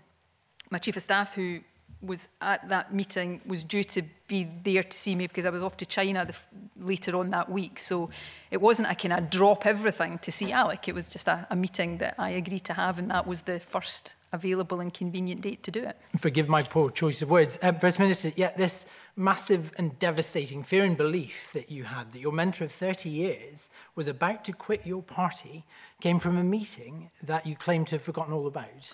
I'm sorry, First Minister, but do you realise how unlikely that sounds? So, yeah, I do actually, and, and that's part of, of my difficulty here. I, I do get the kind of views of that, but it is, just happens to be the case that that wasn't the big significant meeting. And I'll, I'll try to explain that with reference to two things. Firstly, my recollection is that that discussion in terms of the, the detail uh, was general, it wasn't a detailed discussion in terms of the substance. And it was very much, you need to see Alec, will you agree to meet Alec? He's really distressed, he might be uh, about to, to resign. And, and actually, given the nature of my relationship with Alec, um, you know, by that point we weren't seeing each other as often as we had once, but my relationship with Alec was such that I thought there was a big serious issue he was facing. I'd want to hear it from him. I, I wouldn't want to hear it third hand. But the other point that, that I think helps explain, certainly helps to explain to me, because I've asked myself, how could I have, you know, forgotten that, is that general concerns it was not the first time I was hearing a general concern. The Sky Edinburgh Airport thing had, had created that lingering suspicion. The other thing is, you know, what happened in my house on the 2nd of April, in my dining room, with a man, you know, that's been all these things to me for 30 years, was so significant that that is the thing that will live with me forever. And did that maybe slightly obliterate in my mind what came before that? Possibly. But that's the fact of the matter, sitting there, being told not just the complaints, but what he told me in terms of his version of that incident is ingrained in my mind. So you said repeatedly. Um, First Minister, I want to ask you about Peter Murrell. Um, he told us that as a rule, you don't discuss government, government business with him, but it's a different story when it comes to party business. Indeed, you told the Daily Record yourself in 2012 that of your relationship with him that you just end up talking about it all the time. You never leave it outside. You've been very clear that you met Mr. Salmond because you've been told by Geoff Aberdein that he was about, or possibly about, to resign from the SNP, and you would have to prepare the party for that. Those are your words. But you said nothing to Peter Murrell of your concerns, and he just thought that Mr. Salmond was popping in for a chat. Is that correct? Um, I think it probably merits slightly more explanation. And if, if the, did you say it was 2012, the Daily Record article? Well, maybe we'd learned by then that we shouldn't spend all our time talking politics, that it wasn't good for um, a relationship or, or health or anything else. Um, I just say that flippantly. Um, the fact of the matter is, I, and you've, you've posited this, I heard you posit to Peter and, and to others, that surely, you know, if, if I thought that he was coming to resign and everything, we'd have to have a handling plan in place and everything. I didn't. I worried that something like that was the case, but I wanted to speak to him before I said, here's running with anybody else. I, I wanted to speak to him confidentially. If he had come into my house on the 2nd of April and said, Nicola, I'm about to resign from the SNP, then of course I would have told people in the party so we could have prepared for that. As it turns out, he didn't tell me that, and I decided I wanted to hear from him what it was he wanted to tell me. First Minister, there's lots of things that the people watching um, probably don't understand entirely, whether that's court orders, redacted evidence, and so on, but they do understand marriage. Um, I uh, if you genuinely thought that you were meeting him in a party, I do, so uh, in, in a party personal space, um, and thought the, the party was facing potentially one of its biggest threats in its history, the resignation of the man who'd effectively built it, can you see how hard it is for those people to believe that you would say nothing to your husband, the SNP chief executive, who you have said previously you talk about party business a lot with. Can you see how hard, hard that might be to believe? Look, I can see how hard all this is for people to understand. All I would say is there's lots of different emotions and factors and considerations. Um, I had been given the impression by Geoff resignation was a possibility. I didn't know, I certainly can't recall exactly what the basis of that was. I didn't think it was a certainty. It was one of the things that meant I wanted to meet him and hear what the situation was. I wasn't going on the basis, having not actually heard whether that was a reality, uh, set my party into sort of crisis mode, preparing to deal with this. Had he sat in my dining room on the 2nd of April and said, I'm going to resign, that would have been very different. But I wanted to hear from him um, before I started to tell anybody else whether there was a problem we had to be dealing with. And I, I'm not sure that's impossible for people to understand again, so you've said before, um, is it not a more plausible explanation, though, First Minister, to those watching, that you actually knew this was government business? That's why you didn't discuss it with your husband, the chief executive of the M SNP?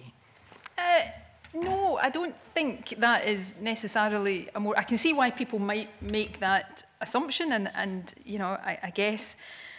Um, yeah, I do understand that. I'm, I'm only able to tell you, you know, from my perspective, it was something that I had been told was a problem. I had, I, think in answer to you earlier on, I talked about the, the lingering general concerns, which were clearly strengthened and, and underlined with the conversation with Geoff. But I wanted to speak to him.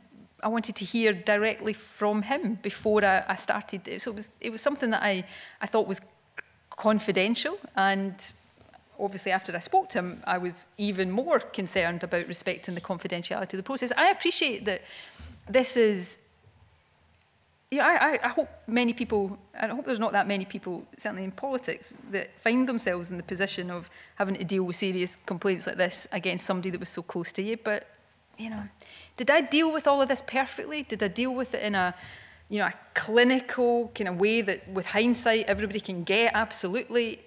Maybe not, but I dealt with it the best I could. Um, and, you know, people will draw their own conclusions and make their own judgments about that. But talking to someone you share a house with is not a clinical way of dealing with. I, I'll move on, First Minister. I think you made that, that very clear. I want to just turn briefly to the question of why Mr Salmond left your house with the impression that you were going to help him. Um, now, you answered very clearly to Andy Wightman um, in his uh, discussion around the conflicting evidence we've now received from yourself and from Duncan Hamilton QC around whether you had made the offer to assist. And you said to, I wrote it down, you said to Mr. Wightman that you perhaps let him down more gently than you intended to. Those were your words. Um, but your evidence to us could not have been clearer. It said, I made clear to him that I had no role in the process and would not seek to intervene in it. That doesn't sound like letting him down gently at all, does um, it? I did make clear to him that I had no role in the process. He could see that himself because uh, I think he had a copy of the, the process. And I think I made it clear that I wouldn't intervene. Now, I am, given what he said, given what Duncan has said, you know, yeah, I did I make that clear enough? Did I, in discussing with him and hearing what he thought should happen, did I make that clear enough? And I'm not. So in, in sense, disputed evidence, I'm not saying if Duncan says I said something like that. But when I look at the things that I am, I am being uh, accused of saying, they don't strike me as being, yeah, yeah, I'm going to intervene. It's things like, well, yeah, I'll, I'll help if it's appropriate, or if it comes to, I don't know, if it comes to what. Uh, the permanent secretary's got to tell me. The permanent secretary under this procedure wouldn't tell me till the end. It sounds as if I was uh, not actually thinking of intervening. Um, but, you know, if he left there with the impression that I was, then, you know, that clearly was not the impression I, I wanted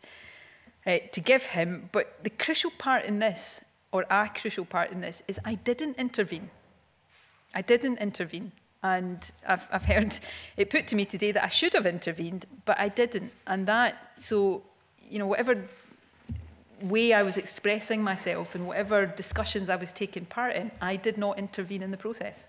With respect, that's not what we're looking at here, First Minister. We're looking at what you've told this inquiry in your written evidence, juxtaposed with what Duncan Hamilton, who is a QC, who has also suggested he'd be willing to repeat these assertions under oath and knows full well what that would do to his reputation in the faculty of advocates and everything else, where he said explicitly that, and I quote, my re clear recollection is that her words were, if it comes to it, I will intervene. That is not um, any suggestion of letting Mr Salmond down gently, I, I and nor is it uh, along the lines of what you've written to us.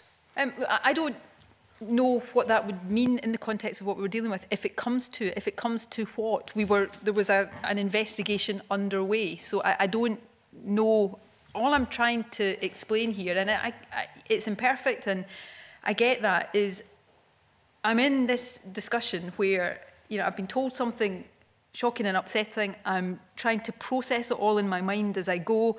Um, and you know maybe I express myself in ways that I shouldn't have done um, I'm I'm not sitting here saying I didn't, but I, I believed that I had been clear that I could not and would not intervene in this process. But with respect again, First Minister, you're focusing on the wrong set of words. You know, if it comes to it, it's not that important as as important as in I will intervene. It doesn't matter I, I don't the context. So th those particular we'll, we'll words, move on. I, I don't. I appreciate we're not going to agree on this. I'm just coming to an end, convener. If I appreciate your patience with me. Um, the problem is, First Minister, that actually Duncan Hamilton's statement here is actually borne out by some of the facts, not least Mr. Salmond's messages to you bear out Mr. Hamilton's uh, version. He certainly left with the impression that you were going to help. My recollection, uh, he said on the 3rd of June, my recollection of our Monday, 2nd April was rather different. You wanted to assist. Now, I understand that you have told us that perhaps you left him with the wrong impression. And, and I don't think anyone's suggesting that you did make good on that promise, but this is the impression he left with. But the other thing that really sticks with me is the delay in you telling the permanent secretary. It was, uh, you finally told Leslie Evans about the April meeting on 6th of June. That's more than two months later. That's over 60 days of you seeing the permanent secretary in government on, on almost daily basis. We know how often you meet with her. Um, and yet, while you spoke and texted to, uh, with Mr. Salmon from time to time, the, you said nothing to her. Now, wouldn't you suggest that the transparent thing to have done would have been to say to the permanent secretary from the outset that you'd had this unsolicited approach from Mr. Salmond, but isn't it right though that you didn't do that because in, initially you were minded to help him? No, that's that's not the case. Um, if I didn't express myself clearly enough, then that's something I'll have to, you know, hold my hands up to. But that is not the case. I was, in my own mind, absolutely clear from the outset that I could not and would not intervene in the, the process. In terms of the decision around not notifying this to people in government, I've set that out in my written evidence. I've said it out again today. And again, people can can decide whether they think I made the right judgment or the wrong judgment. I, I looked at the ministerial code. The ministerial code imposes different a range of obligations on ministers. Sometimes in situations they can feel conflicting and you have to make a judgment. The, the relevant sections of the code in terms of notification, the 422, 423, are about a situation where you know I'm at a party conference and a company lobbies me about a decision that I'm actually involved in. It's about guarding against undisclosed influence on decisions you're taking. This felt to me the opposite. This was a decision I was not party to, I wasn't meant to know, and actually the, the risk that, that those sections are meant to guard against would more likely arise if I, uh, if I told people within government. You know, any conversation that started with me saying, Alex Salmond has told me about this, even, even unintentionally and inadvertently, does that make the people doing the investigation think that you know there's a particular thing I'm trying to to bring about. That was the first reason. The second reason, if you read the code in that respect, notifying meetings in that way uh, involves publication, and you know you you might all uh, tell me I'm wrong here, but if a meeting had suddenly appeared in my published diary, Nicholas Sturgeon and Alex Salmond, people would have wanted to know what that was about. So there would also have been a risk to the confidentiality. That's the judgment I arrived at that's and that's what I mean. This committee is looking at it, but that is one of the issues. James Hamilton has to make it. Did I get that judgment right, or did I not? But the ministerial code also, at other sections, says I have an obligation to respect the impartiality of civil servants and respect the confidentiality of government business. So I, I weighed up all of that and I came to a judgment. You know, it's for other people to judge if, if I was right or wrong.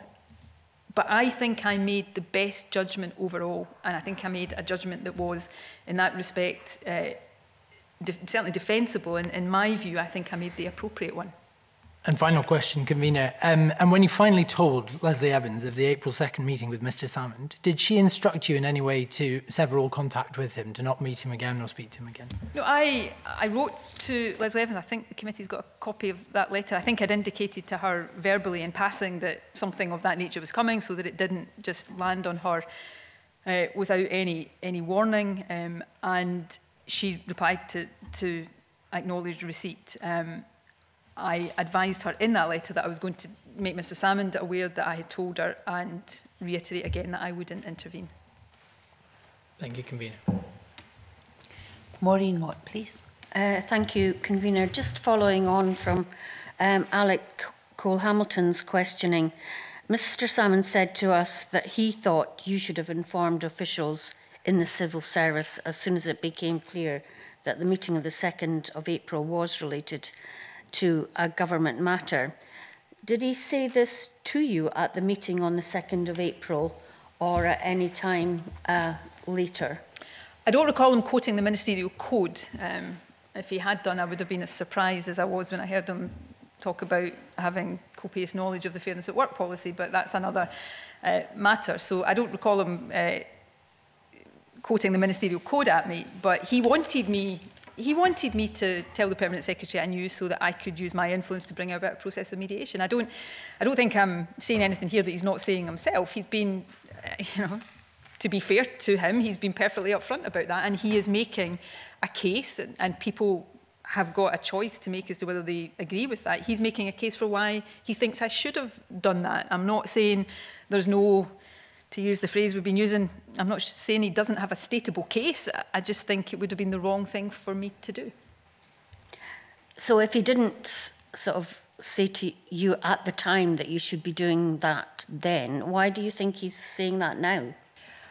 I'm not sure he is saying, forgive me, I, I, I didn't watch all of the six hours on Friday, but the bits I, I, I saw and I've, I've read through, I, I'm not sure he's saying he expressly quoted the ministerial code to me. I think he was saying he thought I should tell the, the permanent secretary and, and saying that he thought that was part of my obligations under the, the ministerial code. But on the 2nd of April, to the best of my recollection, he wasn't couching it in the ministerial code. He was couching it in the sense of, you know, this is an outrageous thing I'm being subjected to, this procedure is wrong, uh, there should be mediation and you should uh, help me bring that about. His, and I think some of the, the text messages are, to be uh, accurate about it, they're WhatsApp messages.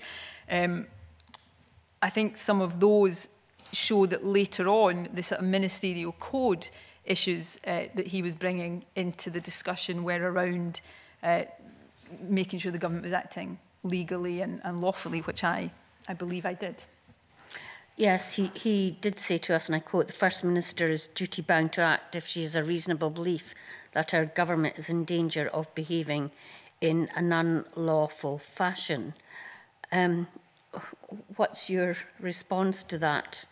And again, did he communicate this view to you at the time? So I I knew, because he told me, that his lawyers were corresponding with the government. So therefore, I had a, an assumption that the government would be engaging in the legal points that his lawyers were putting across. So I didn't, uh, you know, just ignore that. But I, I weighed up the different obligations that I thought I was under.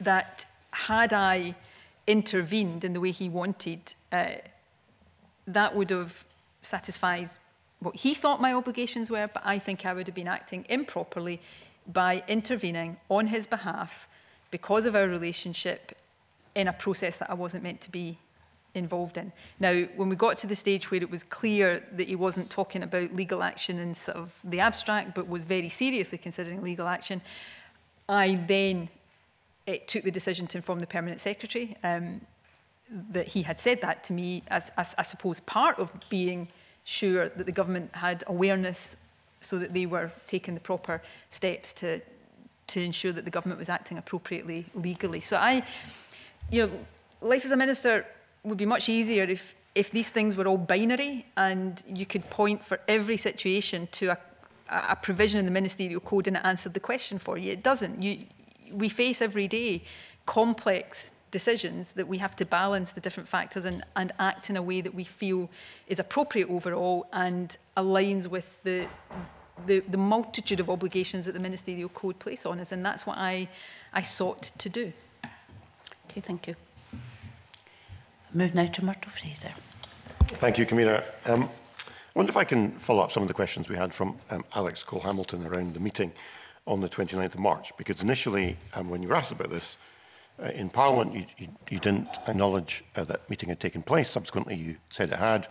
And in your uh, written um, evidence to this committee, you say initially you essentially had forgotten about it until you're reminded of it. And you say, I think it did cover the suggestion that the matter might relate to allegations of a sexual nature. I think I, I, you know, I'd have to share Mr. Cole-Hamilton's scepticism about your forgetfulness in this respect. If I can try and put this in parallel terms, Um, at the time you were deputy to Alex Salmond, I was deputy to Annabel Goldie. If somebody had said to me in a meeting that Annabel Goldie had been accused of uh, accusations of sexual harassment, I think that would have stuck in my memory. I don't think I would have just have forgotten about that. I, I, I would have been so shocked and appalled by news like that that I probably wouldn't have slept a wink that night. It wouldn't have just gone out of my mind. So yeah, I think you'll understand why we're struggling to uh, believe that the, the story that you just forgot about this meeting. Story, it's, it's an account of what happened. And I do understand that, um, that, which is why I'm trying to explain the, the relative import and significance of, of the two meetings. Uh, the other factor around the 29th, as well as to the best of my recollection, it was a, a general discussion focused really on getting me to meet Alex Salmond so that we could talk uh, directly on the issue.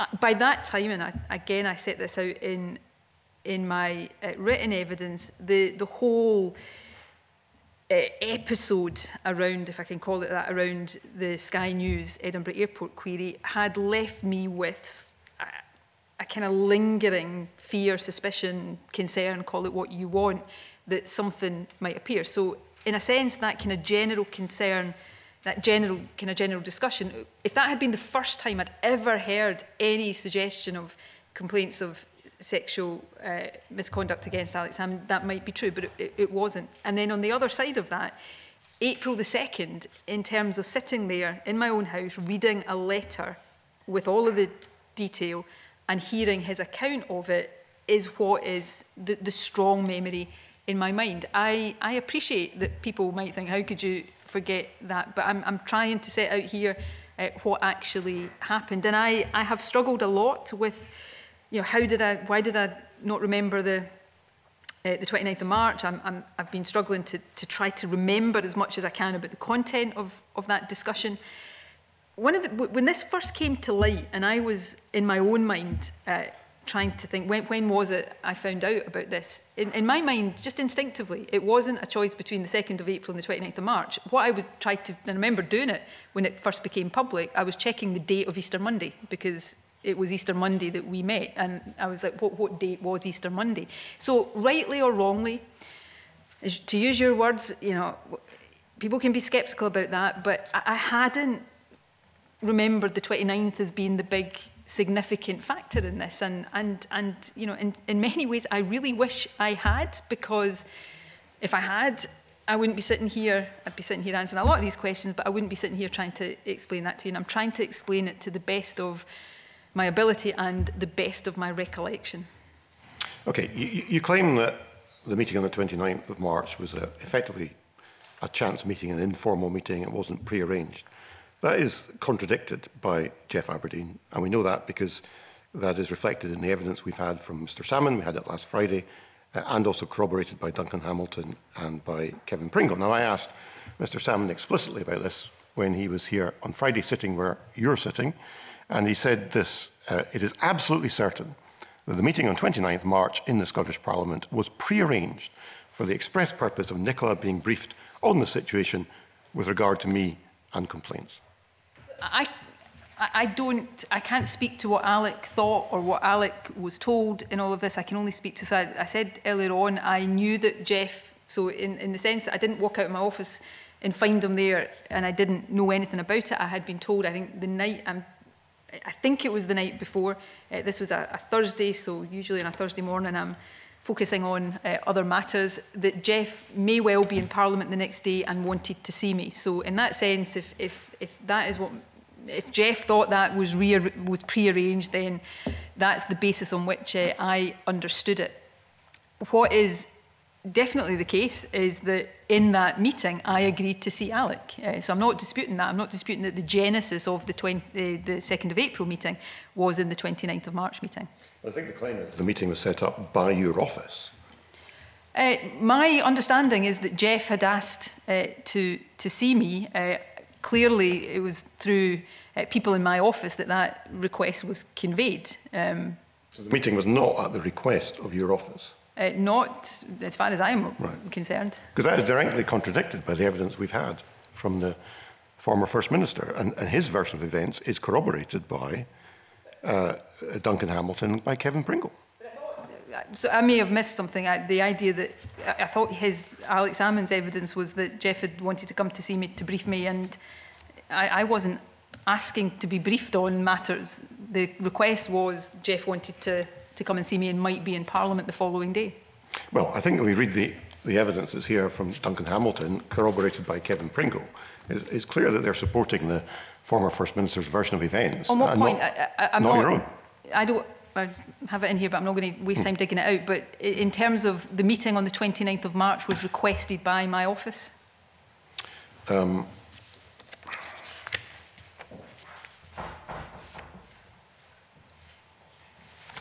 I'd have to just double check what Mr Salmond said in the official report about that.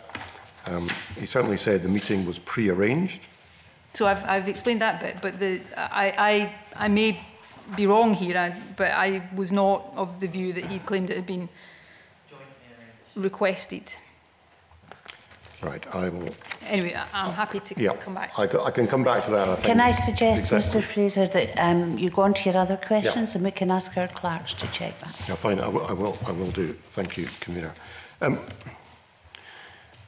you see, but this all comes back to the question of corroboration. I put this to you earlier because we, we had a conversation this morning about the claims that the name of a complainant had been passed on to uh, the former First Minister, to Geoff Aberdein and then to the former First Minister. Uh, and you said, well, you basically denied that, and I pointed out to you that these claims were corroborated by the evidence we've had. You've, I mean, why would, why would people like Duncan Hamilton and Kevin Pringle band together to make these claims if they weren't true? I'm not suggesting anybody's doing that. All I'm saying is Duncan and Kevin weren't in either of the conversations that so what they were told about them I can't speak to. There was a third person in the room on the 29th of March. Uh, you know, again, it would be somebody the committee was able to take private evidence from. Uh, so in a sense, how do I corroborate that? There was a third person in the, the room. Um, on the 29th of March, so I'll come back to something I said in my opening statement.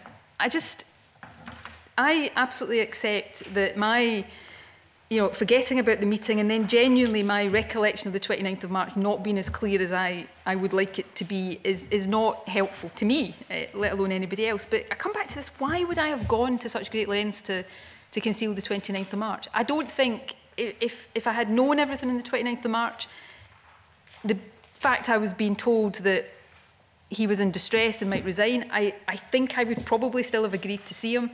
And my decisions around notifying, as I said, were not actually based on the classification of the meeting. They were based on my considerations of the independence and confidentiality of the process. So I don't, I don't think, had the 29th of March been something more than I am remembering, that it would have changed the course of things. So I come back to this. Why would I have gone to such great lengths and the jeopardy of that to, to sort of conceal that it happened? It, it, doesn't, it doesn't make sense in, in my mind that I would have done that. I've now found the quote I was searching for and couldn't lay my finger on a moment ago. It's in paragraph 75 of the former First Minister's evidence.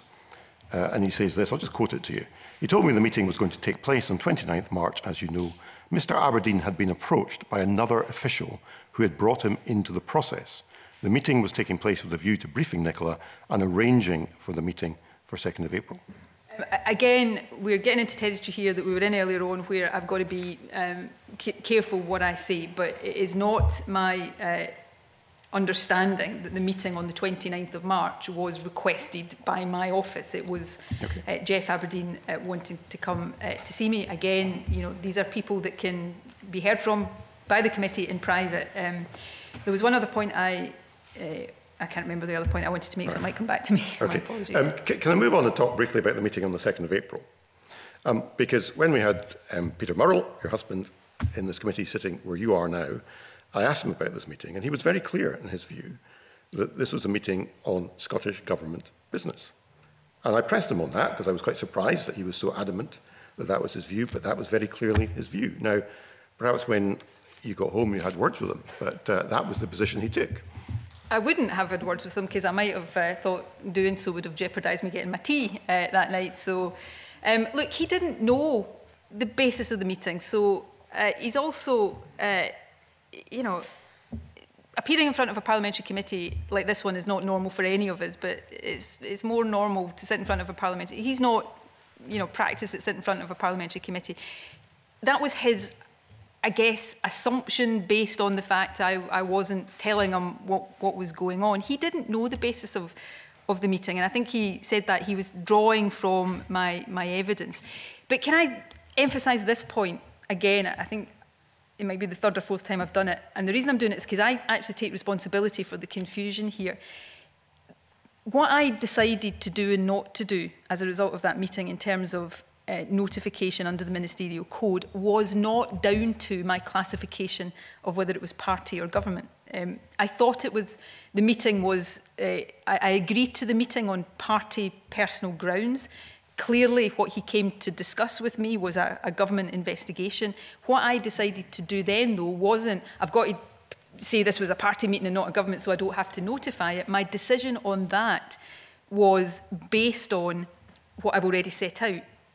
My view that by telling people in the government that I knew would potentially compromise the independence and the confidentiality. So that is a bit that I think I have managed to convey properly, which is why I'm, I'm trying to, to explain that uh, today. So in a sense, this, oh, but if it was government, not party, so you must have breached the code, that was not the basis for the decisions I took around notification under the ministerial code. Well, you say that Mr Murrell wasn't clear what the meeting was about, but he was very clear when he answered our questions that he thought it was a government He meeting. was also, I've read, I've read all of the evidence, I've read his evidence. Uh, He was also, I think, uh, in fact, I know he was making the point that he was basing his answers on his interpretation of my written evidence. Um, but the point of the matter is, he, he wasn't in a position uh, to judge the basis of the meeting. So he was making assumptions uh, on the basis of, of evidence that he had, had read. Do you think people giving evidence to a parliamentary committee under oath should make assumptions when they answer questions? Um, I think, like I am doing today, people should try to, to be helpful, and and I believe, uh, having read his evidence, that he did he did uh, what uh, he appeared before this committee on two occasions, and I believe he answered the questions Okay. uh, appropriately and uh, and truthfully. Okay. Um, after the former First Minister gave evidence here on Friday, a spokesman for the Scottish Government said there was no evidence to back up the claims he made. The committee has now found evidence. The committee has had corroboration of various statements he made from Duncan Hamilton and from Kevin Pringle, as we've pointed out to you.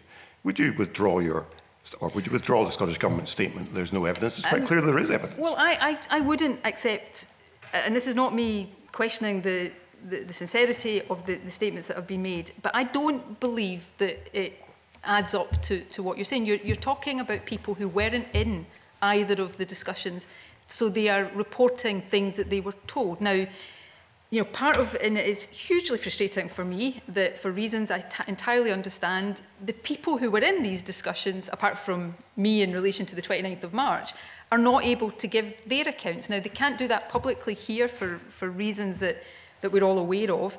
Um, they can do it to James Hamilton and you know he will reach whatever conclusions he reaches and I, as I say it would be open to the committee to speak to them privately to get to get uh, their account. So I, I don't accept uh, the, the assumptions and characterisations you were making.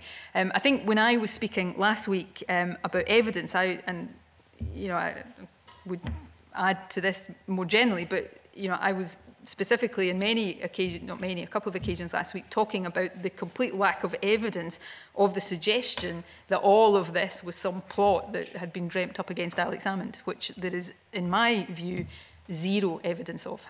Okay, um, I, don't want to get into plots. Well, I'm not, not interested in, in, in pursuing that. Um, but you, you being a lawyer will be well aware that contemporaneous statements count towards corroboration. And therefore, the evidence we have from Duncan Hamilton and Kevin Pringle points to contemporaneous statements. But can I just make the point, I, I'm not really making it as a lawyer, just as a, a, a person, you know, having contemporaneous statements from people who were told things when you haven't heard from the people who actually supposedly said them would seem to me to be a bit of a, a missing bit. Well, but, but you're still alleging, First Minister, that the source of all this, that Geoff Aberdein, is giving a false I'm, set of events. I'm not. I, I don't. I haven't heard Geoff's evidence directly. Geoff, you know, one of the the, the distressing personal things for this is the the relationships that have been collateral damage. Geoff is somebody that uh, I you know, think very highly of. I am fond of him. We've not uh, been able to speak because of, of this. So I'm, I'm not here to cast aspersions, but there are different accounts, and I think, you know, I was present on the 29th of March. I wasn't present in the other one, but you know, the, the views of the people who were there to explain whether these are just clashing accounts or whether there is actually an explanation for a misunderstanding. I think hearing from the actual people is really an essential part of a process. If you're then, you know, you, you don't have the, the account that you're seeking to corroborate um, before you, you get to the corroborating evidence. Okay, you, you've accused Alex Salmond on a number of occasions of spreading dangerous conspiracy mm -hmm. theories. Aren't you effectively doing the same yourself by painting this group of individuals close to Alex Salmond as being part of a conspiracy? No, I haven't. I, point me to where I have said that. Well, you're suggesting, you've just done it. You've just suggested that the, the evidence we've been presented with I, I, may not be correct.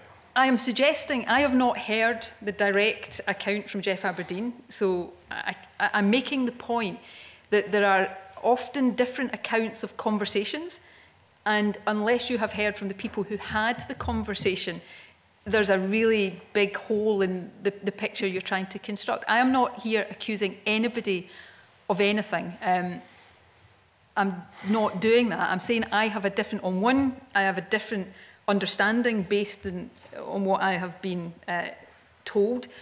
And on the conversation that I was a party to, I've tried, to the best of my recollection, to, to give you an account of that. The uh, two other people in the room, Geoff Aberdein and another individual, I, I, I don't know what the committee's seen from Geoff, but uh, on the other one, uh, hasn't heard from. So I'm not accusing anybody of a plot or a conspiracy or anything. I think there's probably been enough of that in this whole okay. episode. Okay. Fi finally, uh, Convener, um, you, you've said some very harsh things about the former First Minister. Now, as a, as a political opponent, I've said some harsh things about him myself, and others around the table have, but that might be expected from us. But you know, you're an ally, you've been a close political friend of his for 30 years. You were his deputy when he was First Minister and succeeded him as, as leader of the SNP and First Minister. And all through that period, you told the Scottish people we should trust Alex Salmond. He was a man of integrity and honour, not least when he was leading uh, your party to try and win the independence referendum. You're now telling us that we shouldn't believe a word he says. So when did you decide that Alex Salmond was no longer the Charles Stewart Parnell of Scotland, but was in fact a liar and a fantasist? I haven't used those words. And so I did all of, you know, this is where you get into deeply personal um, territory. Um, I've learned things about Alex Salmond over the past couple of years that have made me rethink uh, certain things I thought about him. Um, no doubt he would say the same about me because he's heard said harsh things about me as well and I've had to go through a process of, of reassessing all sorts of things around that. Um, and as I was watching him on Friday lashing out, that's my words, against us. I don't know whether he ever reflects on the fact that many of us, including me, feel very let down uh, by him. And, you know, that's, that's a matter of deep personal pain and regret for me. I, um, I think I probably should stop there. Um, well, fi finally then, I mean, do you not think, given that you asked us all to trust him for so long, you owe an apology to the people of Scotland for asking us to do that. I trusted him, and I am not going to apologise for the behaviour of somebody else. If I have things in my behaviour to apologise for, I will apologise. But I do not think it is reasonable to ask me to apologise for the behaviour, some of which he will deny, of course, of Alex Salmond. I think the only person who should apologise for any behaviour on his part, which he was asked to do on Friday and failed to do uh, is Alex Salmond. Thank you. Okay, thank you. I think this is an appropriate uh, time to be saying time has run on and I still have three members, First Minister, who wish to, to question you. Um, but I'm also at the point uh, where, in line with the agreed mitigations to allow us to meet safely in person today, I have to suspend this, the session. Uh, so I think we should reconvene at half past four and aim to be finished for five o'clock. Can I remind members and everyone else to observe social distancing when leaving the committee room and during the break? And I suspend this session.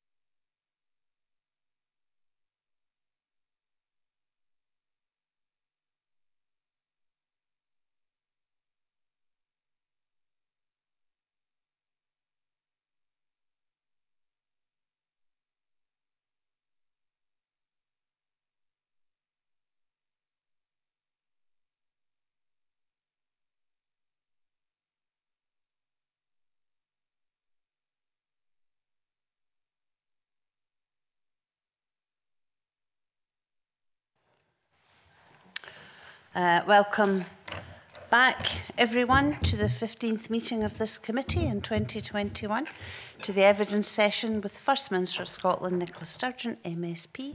I can confirm that Ms Sturgeon took the affirmation at the start of this morning's evidence session. Uh, we have three question, questioners left um, to talk about the ministerial code. Um, I intend to finish this meeting at five o'clock, so I would ask the three questioners all to bear that in mind in their timings and to be fair to each other. I first of all have Andy Wightman. Thanks very much, Convener. Uh, just um, two, maybe three brief points.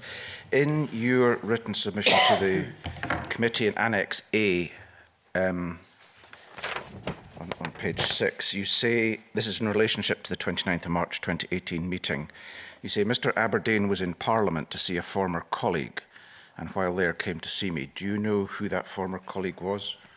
Um, I, I do. I'm not going to name uh, somebody, a, a colleague who had been a colleague of his, a civil servant, I should say, um, a colleague of, of mine who had a significant birthday. Um, and it, that is what I had been told that meant he, as well as wanting to see me, might also be a reason for him being in the, the building.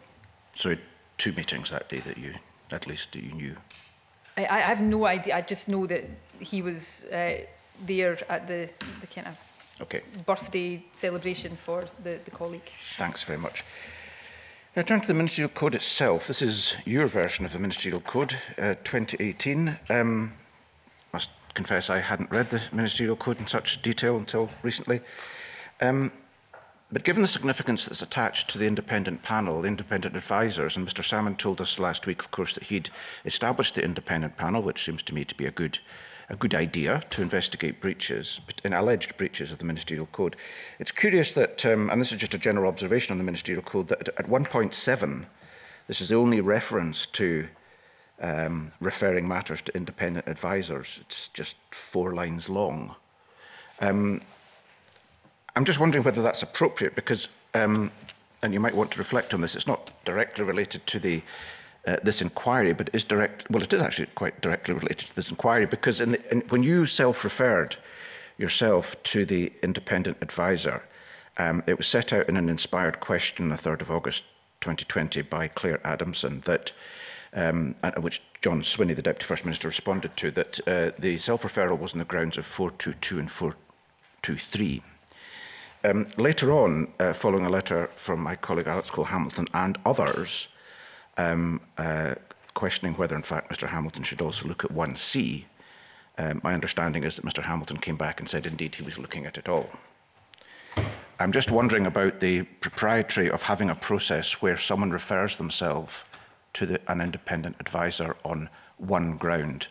Uh, should it not just be the case that, uh, as a matter of course, as a matter of routine, as a matter of policy. In fact, in the ministerial code, it should be a reference to an alleged breach of the code, and it's up to the independent advisor to decide which, if any, grounds have been breached. Um, yeah, I think that's reasonable. Um, I, what I don't recall is whether, uh, I'm certainly not aware of any uh, deliberate change to the provision in this version of the code uh, versus previous ones, there may be, but I, I'm not aware of them.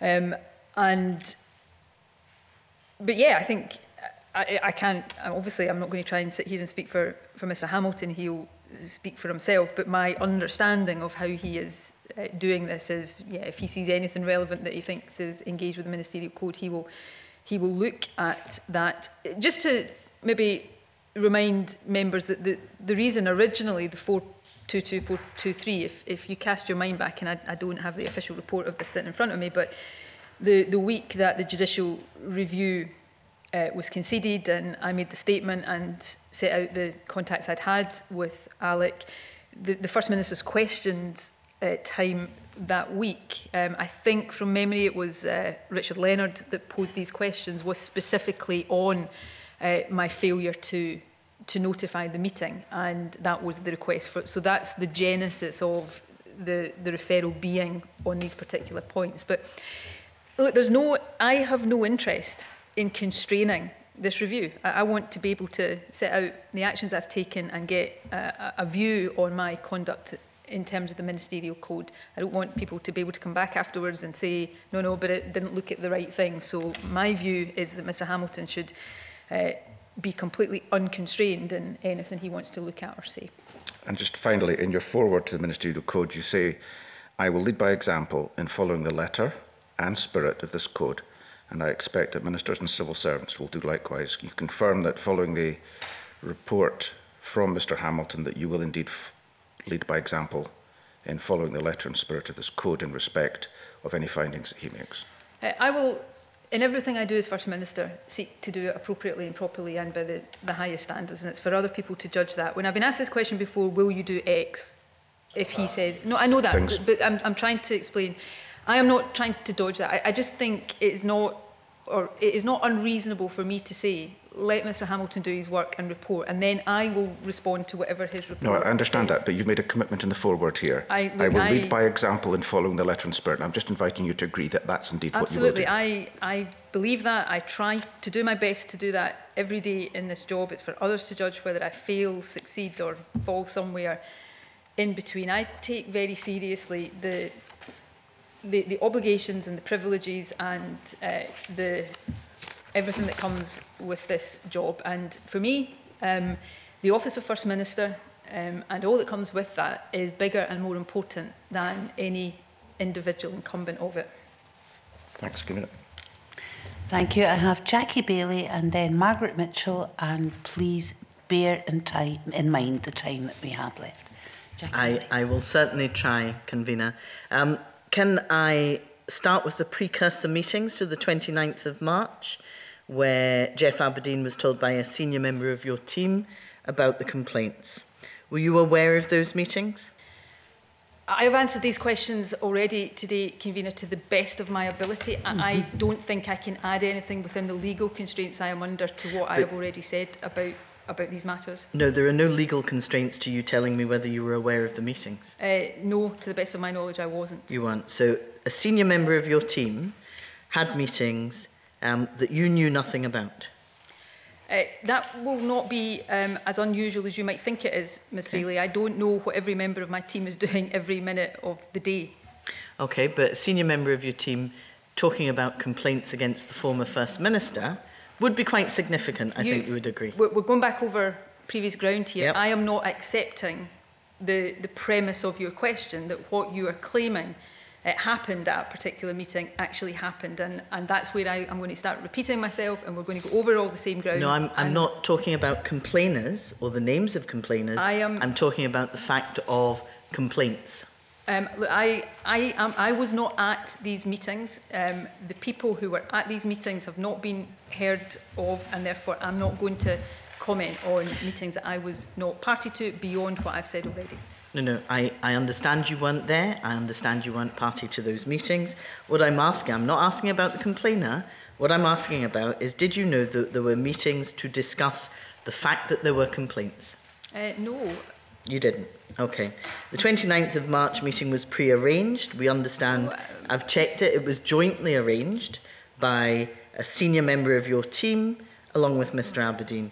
It was, according to the evidence we've received, to discuss complaints. Were you aware of that in advance?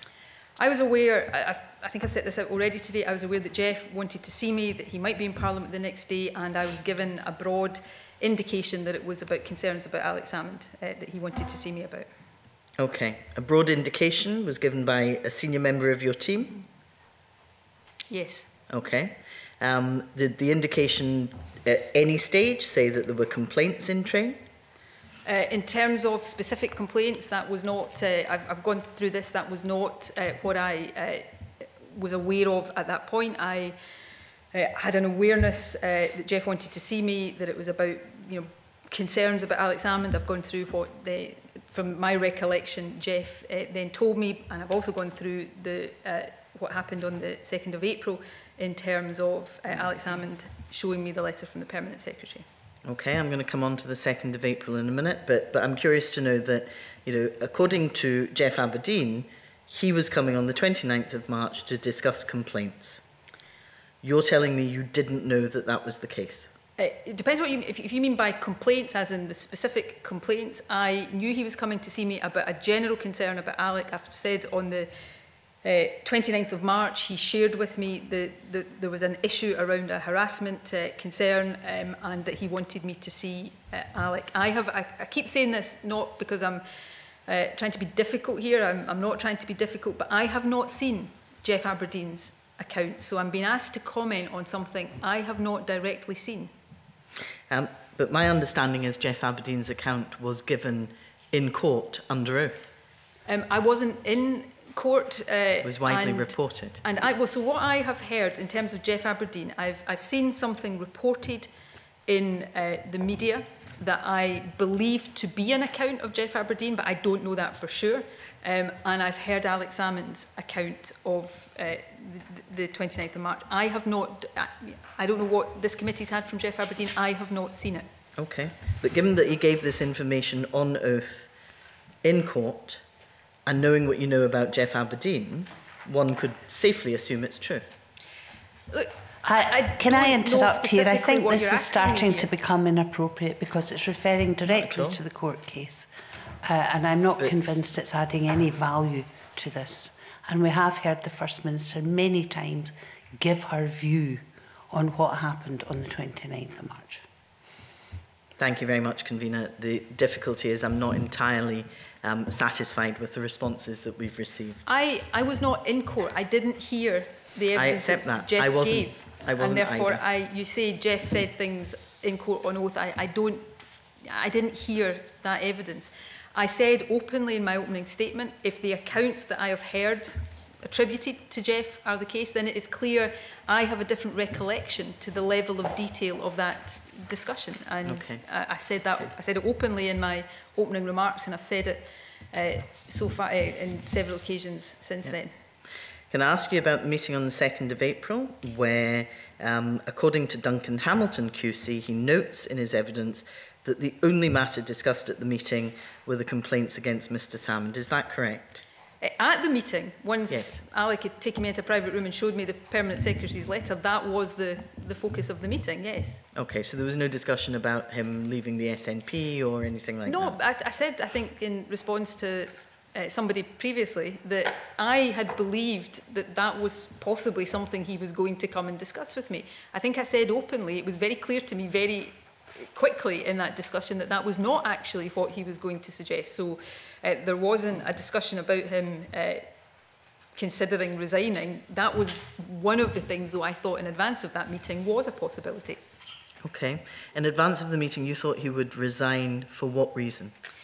Uh, the way it was put to me uh, from recollection is that this would be part of, he was being accused of something serious to, uh, my, what I took from it, I can't remember clearly how much of this was expressed, was that he may be thinking of resigning from the SNP to, as he handled this. What I took from that would be to try to protect the party from the, the implications of it, is what my assumption was. To be clear, though, that was not, uh, as it turned out, what he wanted to talk to me about. But you had to have made that assumption in advance. If you thought that he was going to stand down from the party to clear his name, Yes. you knew prior to the 2nd of April what the problem was.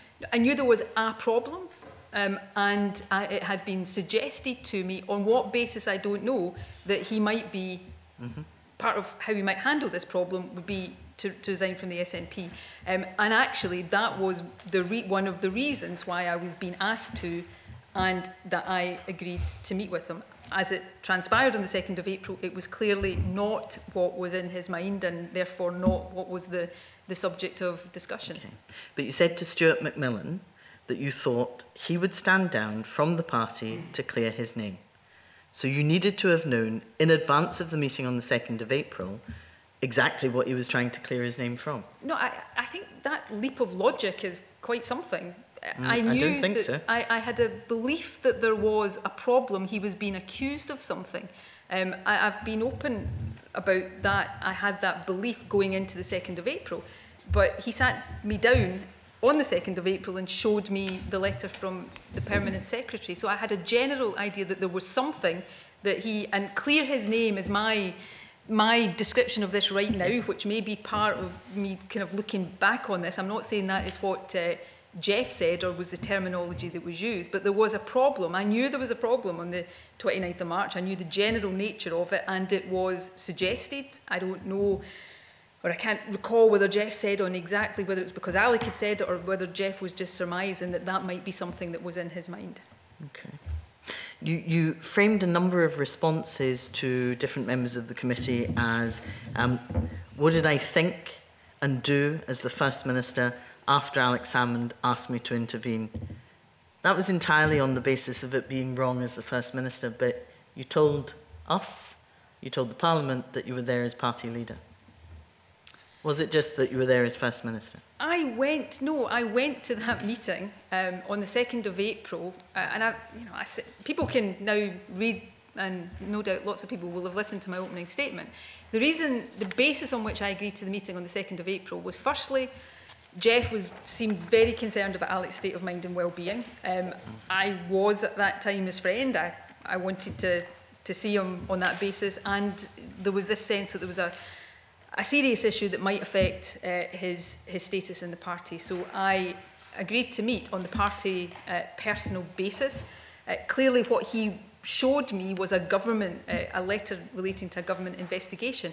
If I had been intervening I would have been doing so as First Minister. I would have had no locus to intervene at that stage in that procedure as party leader. I'd have been doing that as First Minister. So clearly my decision on whether or not to intervene in the way he was asking me to would have been as First Minister.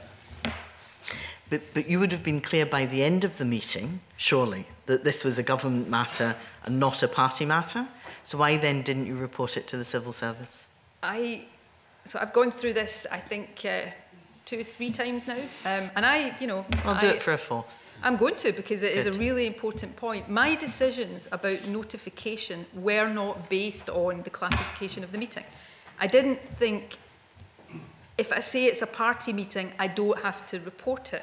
And I, I, I can maybe take responsibility for giving the impression that, that that was the case. The reason I didn't report it was because I think if I had reported it, I would have compromised the independence and the, the privacy, the confidentiality of the process. So that was the basis on which I, I took that decision. And, you know, people can look at the, the relevant sections of the ministerial code. I, I doubt very much that anybody involved in writing the ministerial code had these particular circumstances in mind when they, they wrote it. That perhaps is an issue that should be dealt with in the ministerial code, a situation of this nature. These provisions in the ministerial code are to guard against undisclosed influence on decisions a minister is taking. I judged this was the opposite of that and that I would risk the independence and the confidentiality of the process more if I intervene, if I made my knowledge known uh, than I would if I didn't now. That, that is a matter, that is absolutely a matter that James Hamilton has been asked to uh, consider and to give his view on. But Duncan Hamilton reported, and he was in the room, that if it comes to it, I will intervene, were the words he used. Now, sitting silent could be entirely misconstrued. I mean, I think you would accept that, because you sat silent And my understanding of the ministerial code is that there are no exemptions. It doesn't say if you're likely to breach privacy or confidentiality, then don't report. It requires you to report. And actually, the breach of confidentiality was achieved at that meeting on the 2nd of April. With the benefit of hindsight, would you report something like this again immediately? Um, no, I'm not sure I, I mm. would. In the, and you, you've all spent months on this committee, so you've thought about uh, years. Um, is that true? Years, yeah. of course it's true. Um, and you'll have thought about all of these things. I'm prepared to, um, I'm prepared to go out on a limb here and say that you probably haven't thought about these things as often and as much as, as I have over the period. I've agonised over every decision and every step I took in this process. I have searched my soul on this on a personal level, a political level, a government level. But on that particular decision, I did not intervene. I didn't try to influence this process. If I had picked up the phone or told the civil service I knew. My worry was that that act in itself might have been influencing the process because suddenly you've got civil servants even just subliminally thinking, oh, what does she think we should be doing about this? And the, the publication requirements of that potentially, you know, when people, as they would have done, would have said, what were you meeting Alex Salmond for? Potentially the confidentiality is, is breached. So that, that was the, the decision I took. James Hamilton will come to view on whether he thinks that was, was right or wrong.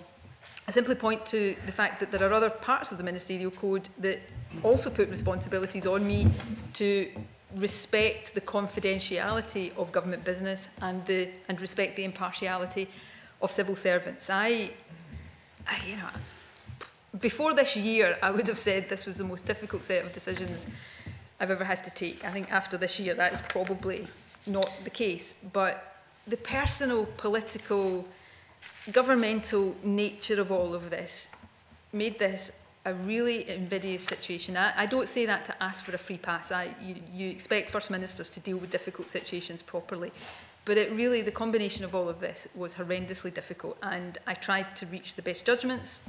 Maybe people decide I didn't. But that, you know, I have to be able to satisfy myself that I, I did the things that I thought were right at the time as well as I could. And that's what I've tried, uh, I've thought a lot about. And I believe I'm sitting here saying I think I've reached the best judgments I could. Ms Baillie, please leave space for the deputy. Yeah, I, I am trying, but I hope we can just run over. I think we should exhaust well, the questions. Well, no, I have to say, I think an eight-hour meeting this goes, is um, pretty this, fair. This goes um, to an issue of judgment. Um, please. You met Geoff Aberdein on the 29th of March. You met Alex Salmond on the 2nd of April in your home. You had telephone contact with him on the 23rd of April. Messages were exchanged on the 1st of June, the 3rd of June, 7th of June you met in Aberdeen, meetings in July including one on the 14th of July in your home. Given what you are saying about his behaviour, why did you keep meeting him? Yeah, I think these are reasonable questions and you're absolutely right. This does go to issues of judgment. I think I made the right appropriate judgments overall. Other people in the same situation as me might have done different things. That's the complexity of, of these situations we face. Thank you for uh, reminding me of something I came in here after the last break meaning to do, which was correct. I think I referred to a meeting earlier on as being on the 13th of July, when in actual fact it was the 14th uh, of July, um, which is set out previously. Look, I, I was dealing with a situation that involved somebody who was, you know, the former First Minister facing a government investigation, uh, the former leader of my party, where this potentially had huge, has had huge implications for my party, and somebody that was a really close friend of mine um, that I, you know, I cared about. And all of these things led me to, to make these decisions and try to balance them overall in a way that I thought was appropriate. Um, I've, I've, we've talked a lot about 29th of March and 2nd of April. I've set out the reasons why I decided to meet on the 7th of June. I think the 14th of July, you could actually say, why did I do that? And I've, that's the one I've said, why did I do that? And, you know, I think I know why I did it. I, I, was, I still had this worry that this might be about to erupt. And I, I, I was still concerned about him. And I felt and I'm, I'm just going to say this, I felt, I still felt, despite everything, a, a loyalty to him. Um, and, and that's why I made these decisions. And, you know, people will have to decide whether they think I was right or wrong. But I tried to, and the, the, the thing I was absolutely adamant about is that I would not on his behalf, despite all I've just said about loyalty and friendship, I would not try to influence this process in the way he wanted to me to, because I think that would have been inappropriate. And, and that is the touchstone on this, uh, that I believe I, I was right to do. I know I've heard this afternoon different views on that, but I believe that was the right decision to make. Finally, convener, um, you said to Andrew Marr in 2018 um, that, that you had not heard any complaints about Alex Salmond. It was an unequivocal denial. Yet you've told us today about an alleged incident that you had knowledge of at Edinburgh Airport in 2017. Did you just get it wrong? Um, so I, I think I've set this out already today. I, in that interview, I, I think two things have been conflated now. I think from how I remember that interview, I was answering that question. I can't speak for Andrew Marr about the basis on which he was asking the question. I was asking, I was answering the question about the, the government complaints. The Sky thing, yes, I've set out the, the suspicion and the lingering concern that left me with, but that had never, you know, at that time materialised. I was also at that point, um, and this applies to to the period, uh, quite a long period after that, I was aware there were other proceedings potentially underway. I was trying on this issue not to say any more than I, I had to. So, you know, look, these are all things that I, I accept. I accepted at nine o'clock or after nine when I made my initial statement. I, I'm not, I've never been, um, maybe this is one of the differences between me and Alex Salmond. I've never tried to pretend I'm infallible. I've never tried to pretend I don't get things wrong. So there will be things on this that I look back, I think, and you know, maybe I, I wish I'd done that better and, and done it differently. And if that's the case, I, you know, I'm sorry about that. I tried to do these things as best as best I could. Thank you, Convener. Okay, uh, Ms Mitchell, we only have a few minutes left, so if you could be brief, If please. you don't mind, this is important, Convener. Miss and Mitchell, I have just asked you to be Convener. brief. Would you please do so? I was quite clear when I felt the meeting should close. I can allow a couple of minutes leeway, but I'm not going to Well, allow another be that 15, I, 20 I won't minutes. be able to put the same questions I would want to, to the First Well, Minister. could we'll you see please progress carry make. on instead of wasting Minister, time? Transparency, openness and accountability is what we established at the very beginning is essential for any government to establish trust with the electorate. And responding to the fact that no one so far has taken any responsibility at all for the catastrophe, ca catastrophic fallout um, from the government's complaint handling that cost almost a million pounds to the taxpayer. Your uh, response is perhaps you've been too understanding to those who made mistakes. Now, that includes very highly qualified individuals with gilt-edged um, pensions earning what the normal Scot would, earn, would um, deem as eye-watering salaries, who under oath have had or developed collective amnesia, uh, have managed to forget about texts and other correspondence, have had to come back to the committee repeatedly and correct their evidence. The independence of our civil service matters, but what appears to be here, either we've got the most incompetent civil servants under the sun, some of them at the head, and that's doing such an injustice to our excellent civil service here, and that's, that's regrettable. Or after 13 years, the independence and the lines have been blurred. Is that a possibility? Does it concern you? If you don't mind, I'll leave your questions to the end, given the constraints, the, uh, your answers to the end the convener has put on me. We've also heard evidence, and this is definitely abuse of the ministerial code, from the former First Minister that there has been an abuse of power in leadership. And to substantiate um, the abuse of power allegations, your response has been well, where is the evidence? Can you turn you to the official report and um, just exactly the problem with providing that evidence, which our committee has also experienced. And this is what Alex Salmond says. I be here before you under the explicit threat of prosecution if I reveal evidence for which the committee has asked. Not to fulfil my oath and tell the truth, the whole truth, and nothing but the truth would be contempt. But the Crown Office says it might lead to prosecution. I put it to you, First Minister, anyone looking in isolation at this process would assume that this was an inquiry process put in place by some tin pot dictatorship.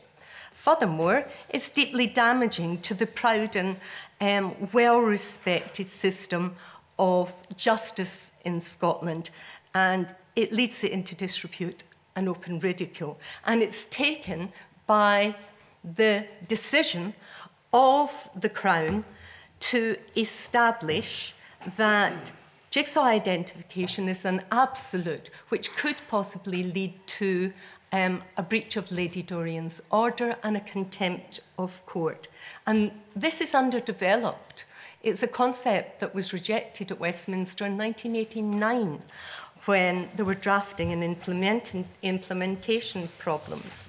So one thing to you now, um, First Minister, is you're saying what matters to you. Well, Alex Salmond laid out quite clearly what matters to him, and it should matter to everyone here, because what people are asking is if the former First Minister can find himself on the, the dock and in the kind of situation where he's almost um, facing imprisonment because what he um, alleges is a, bruce, breach, a, breach, um, an abuse of power, then he says, and I agree, the independent civil service matters, the independence of the Crown and officers acting in the public interest matters, acting in accordance with legal advice matters, concealing evidence from courts matters, the duty of candour of public authority matters, litigation at any cost, but to assist the court in reaching the correct um, result and thereby improve standards in public administration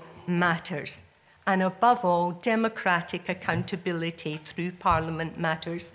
And what we found is the Parliament cannot and does not have the power to hold the Scottish Government to, um, to account. So collectively, these events and this inquiry has shone a line on what I think is a, a worrying deficit and a centralisation of power. And it matters when we've got a pandemic and police have got exceptional powers and you, First Minister, have got exceptional powers. And we're shortly to have an election. And if the Um, SNP could you come to were close, to please, be, Mitchell? were to be elected again, there would be no checks and balances on these powers. Miss Mitchell, I'm going to stop matters. you there. Could you respond, Mitchell, please, No, First Minister? Miss Mitchell, I'm going to stop you there because I, finished. Miss Mitchell, I think some of your remarks have been inappropriate. And I think there's an awful lot in there that was your own rhetoric rather than questions. It was in the official report. Yes, I know, was you read it voting for. out.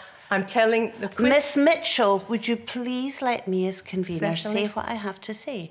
Thank you. I think some of the language you used was inappropriate, whether it was in the official report or not. I think your tone was somewhat inappropriate at times. I think it was difficult to see what questions were actually being asked. So I will ask the First Minister to respond to anything she picked up that she feels she is able to respond to. First Okay, um, firstly, who wins the Scottish election is a matter for the Scottish people, nobody else. Um, secondly, I sit here in front of this committee today, as is my duty. You know, we've sat here for many hours. I've tried to answer all of the questions as fully as I can. Um, but, you know, in advance of my uh, evidence today, yesterday, um, I read comments uh, from uh, others in the Parliament that literally said it didn't matter what I said today because they had decided I was guilty. So forgive me if I think there are comments around due process and, and proper process that I could perhaps make in, in return. But I, I just say that and I will, I will stop there. Um, let me just take a few points. Um, the civil service. The civil service made very serious mistakes here and you know we will see what comes out of this committee's recommendations and the internal process that is underway and if there are decisions that need to be taken as a result of that they will be taken.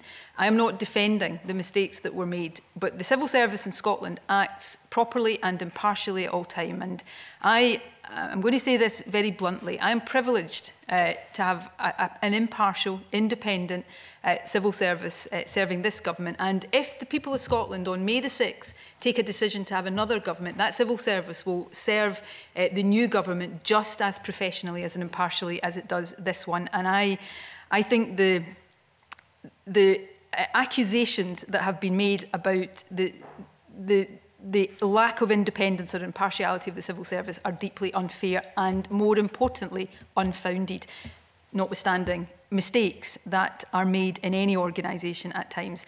Similarly with the Crown. The Crown acts independently of government. Uh, the Crown has, in respect of evidence, uh, shared in a criminal trial that was not uh, disclosed, not handed over, has been operating within the law. The law passed by this Parliament that said that information shared in a criminal trial could not be. That was an absolute. There weren't exemptions.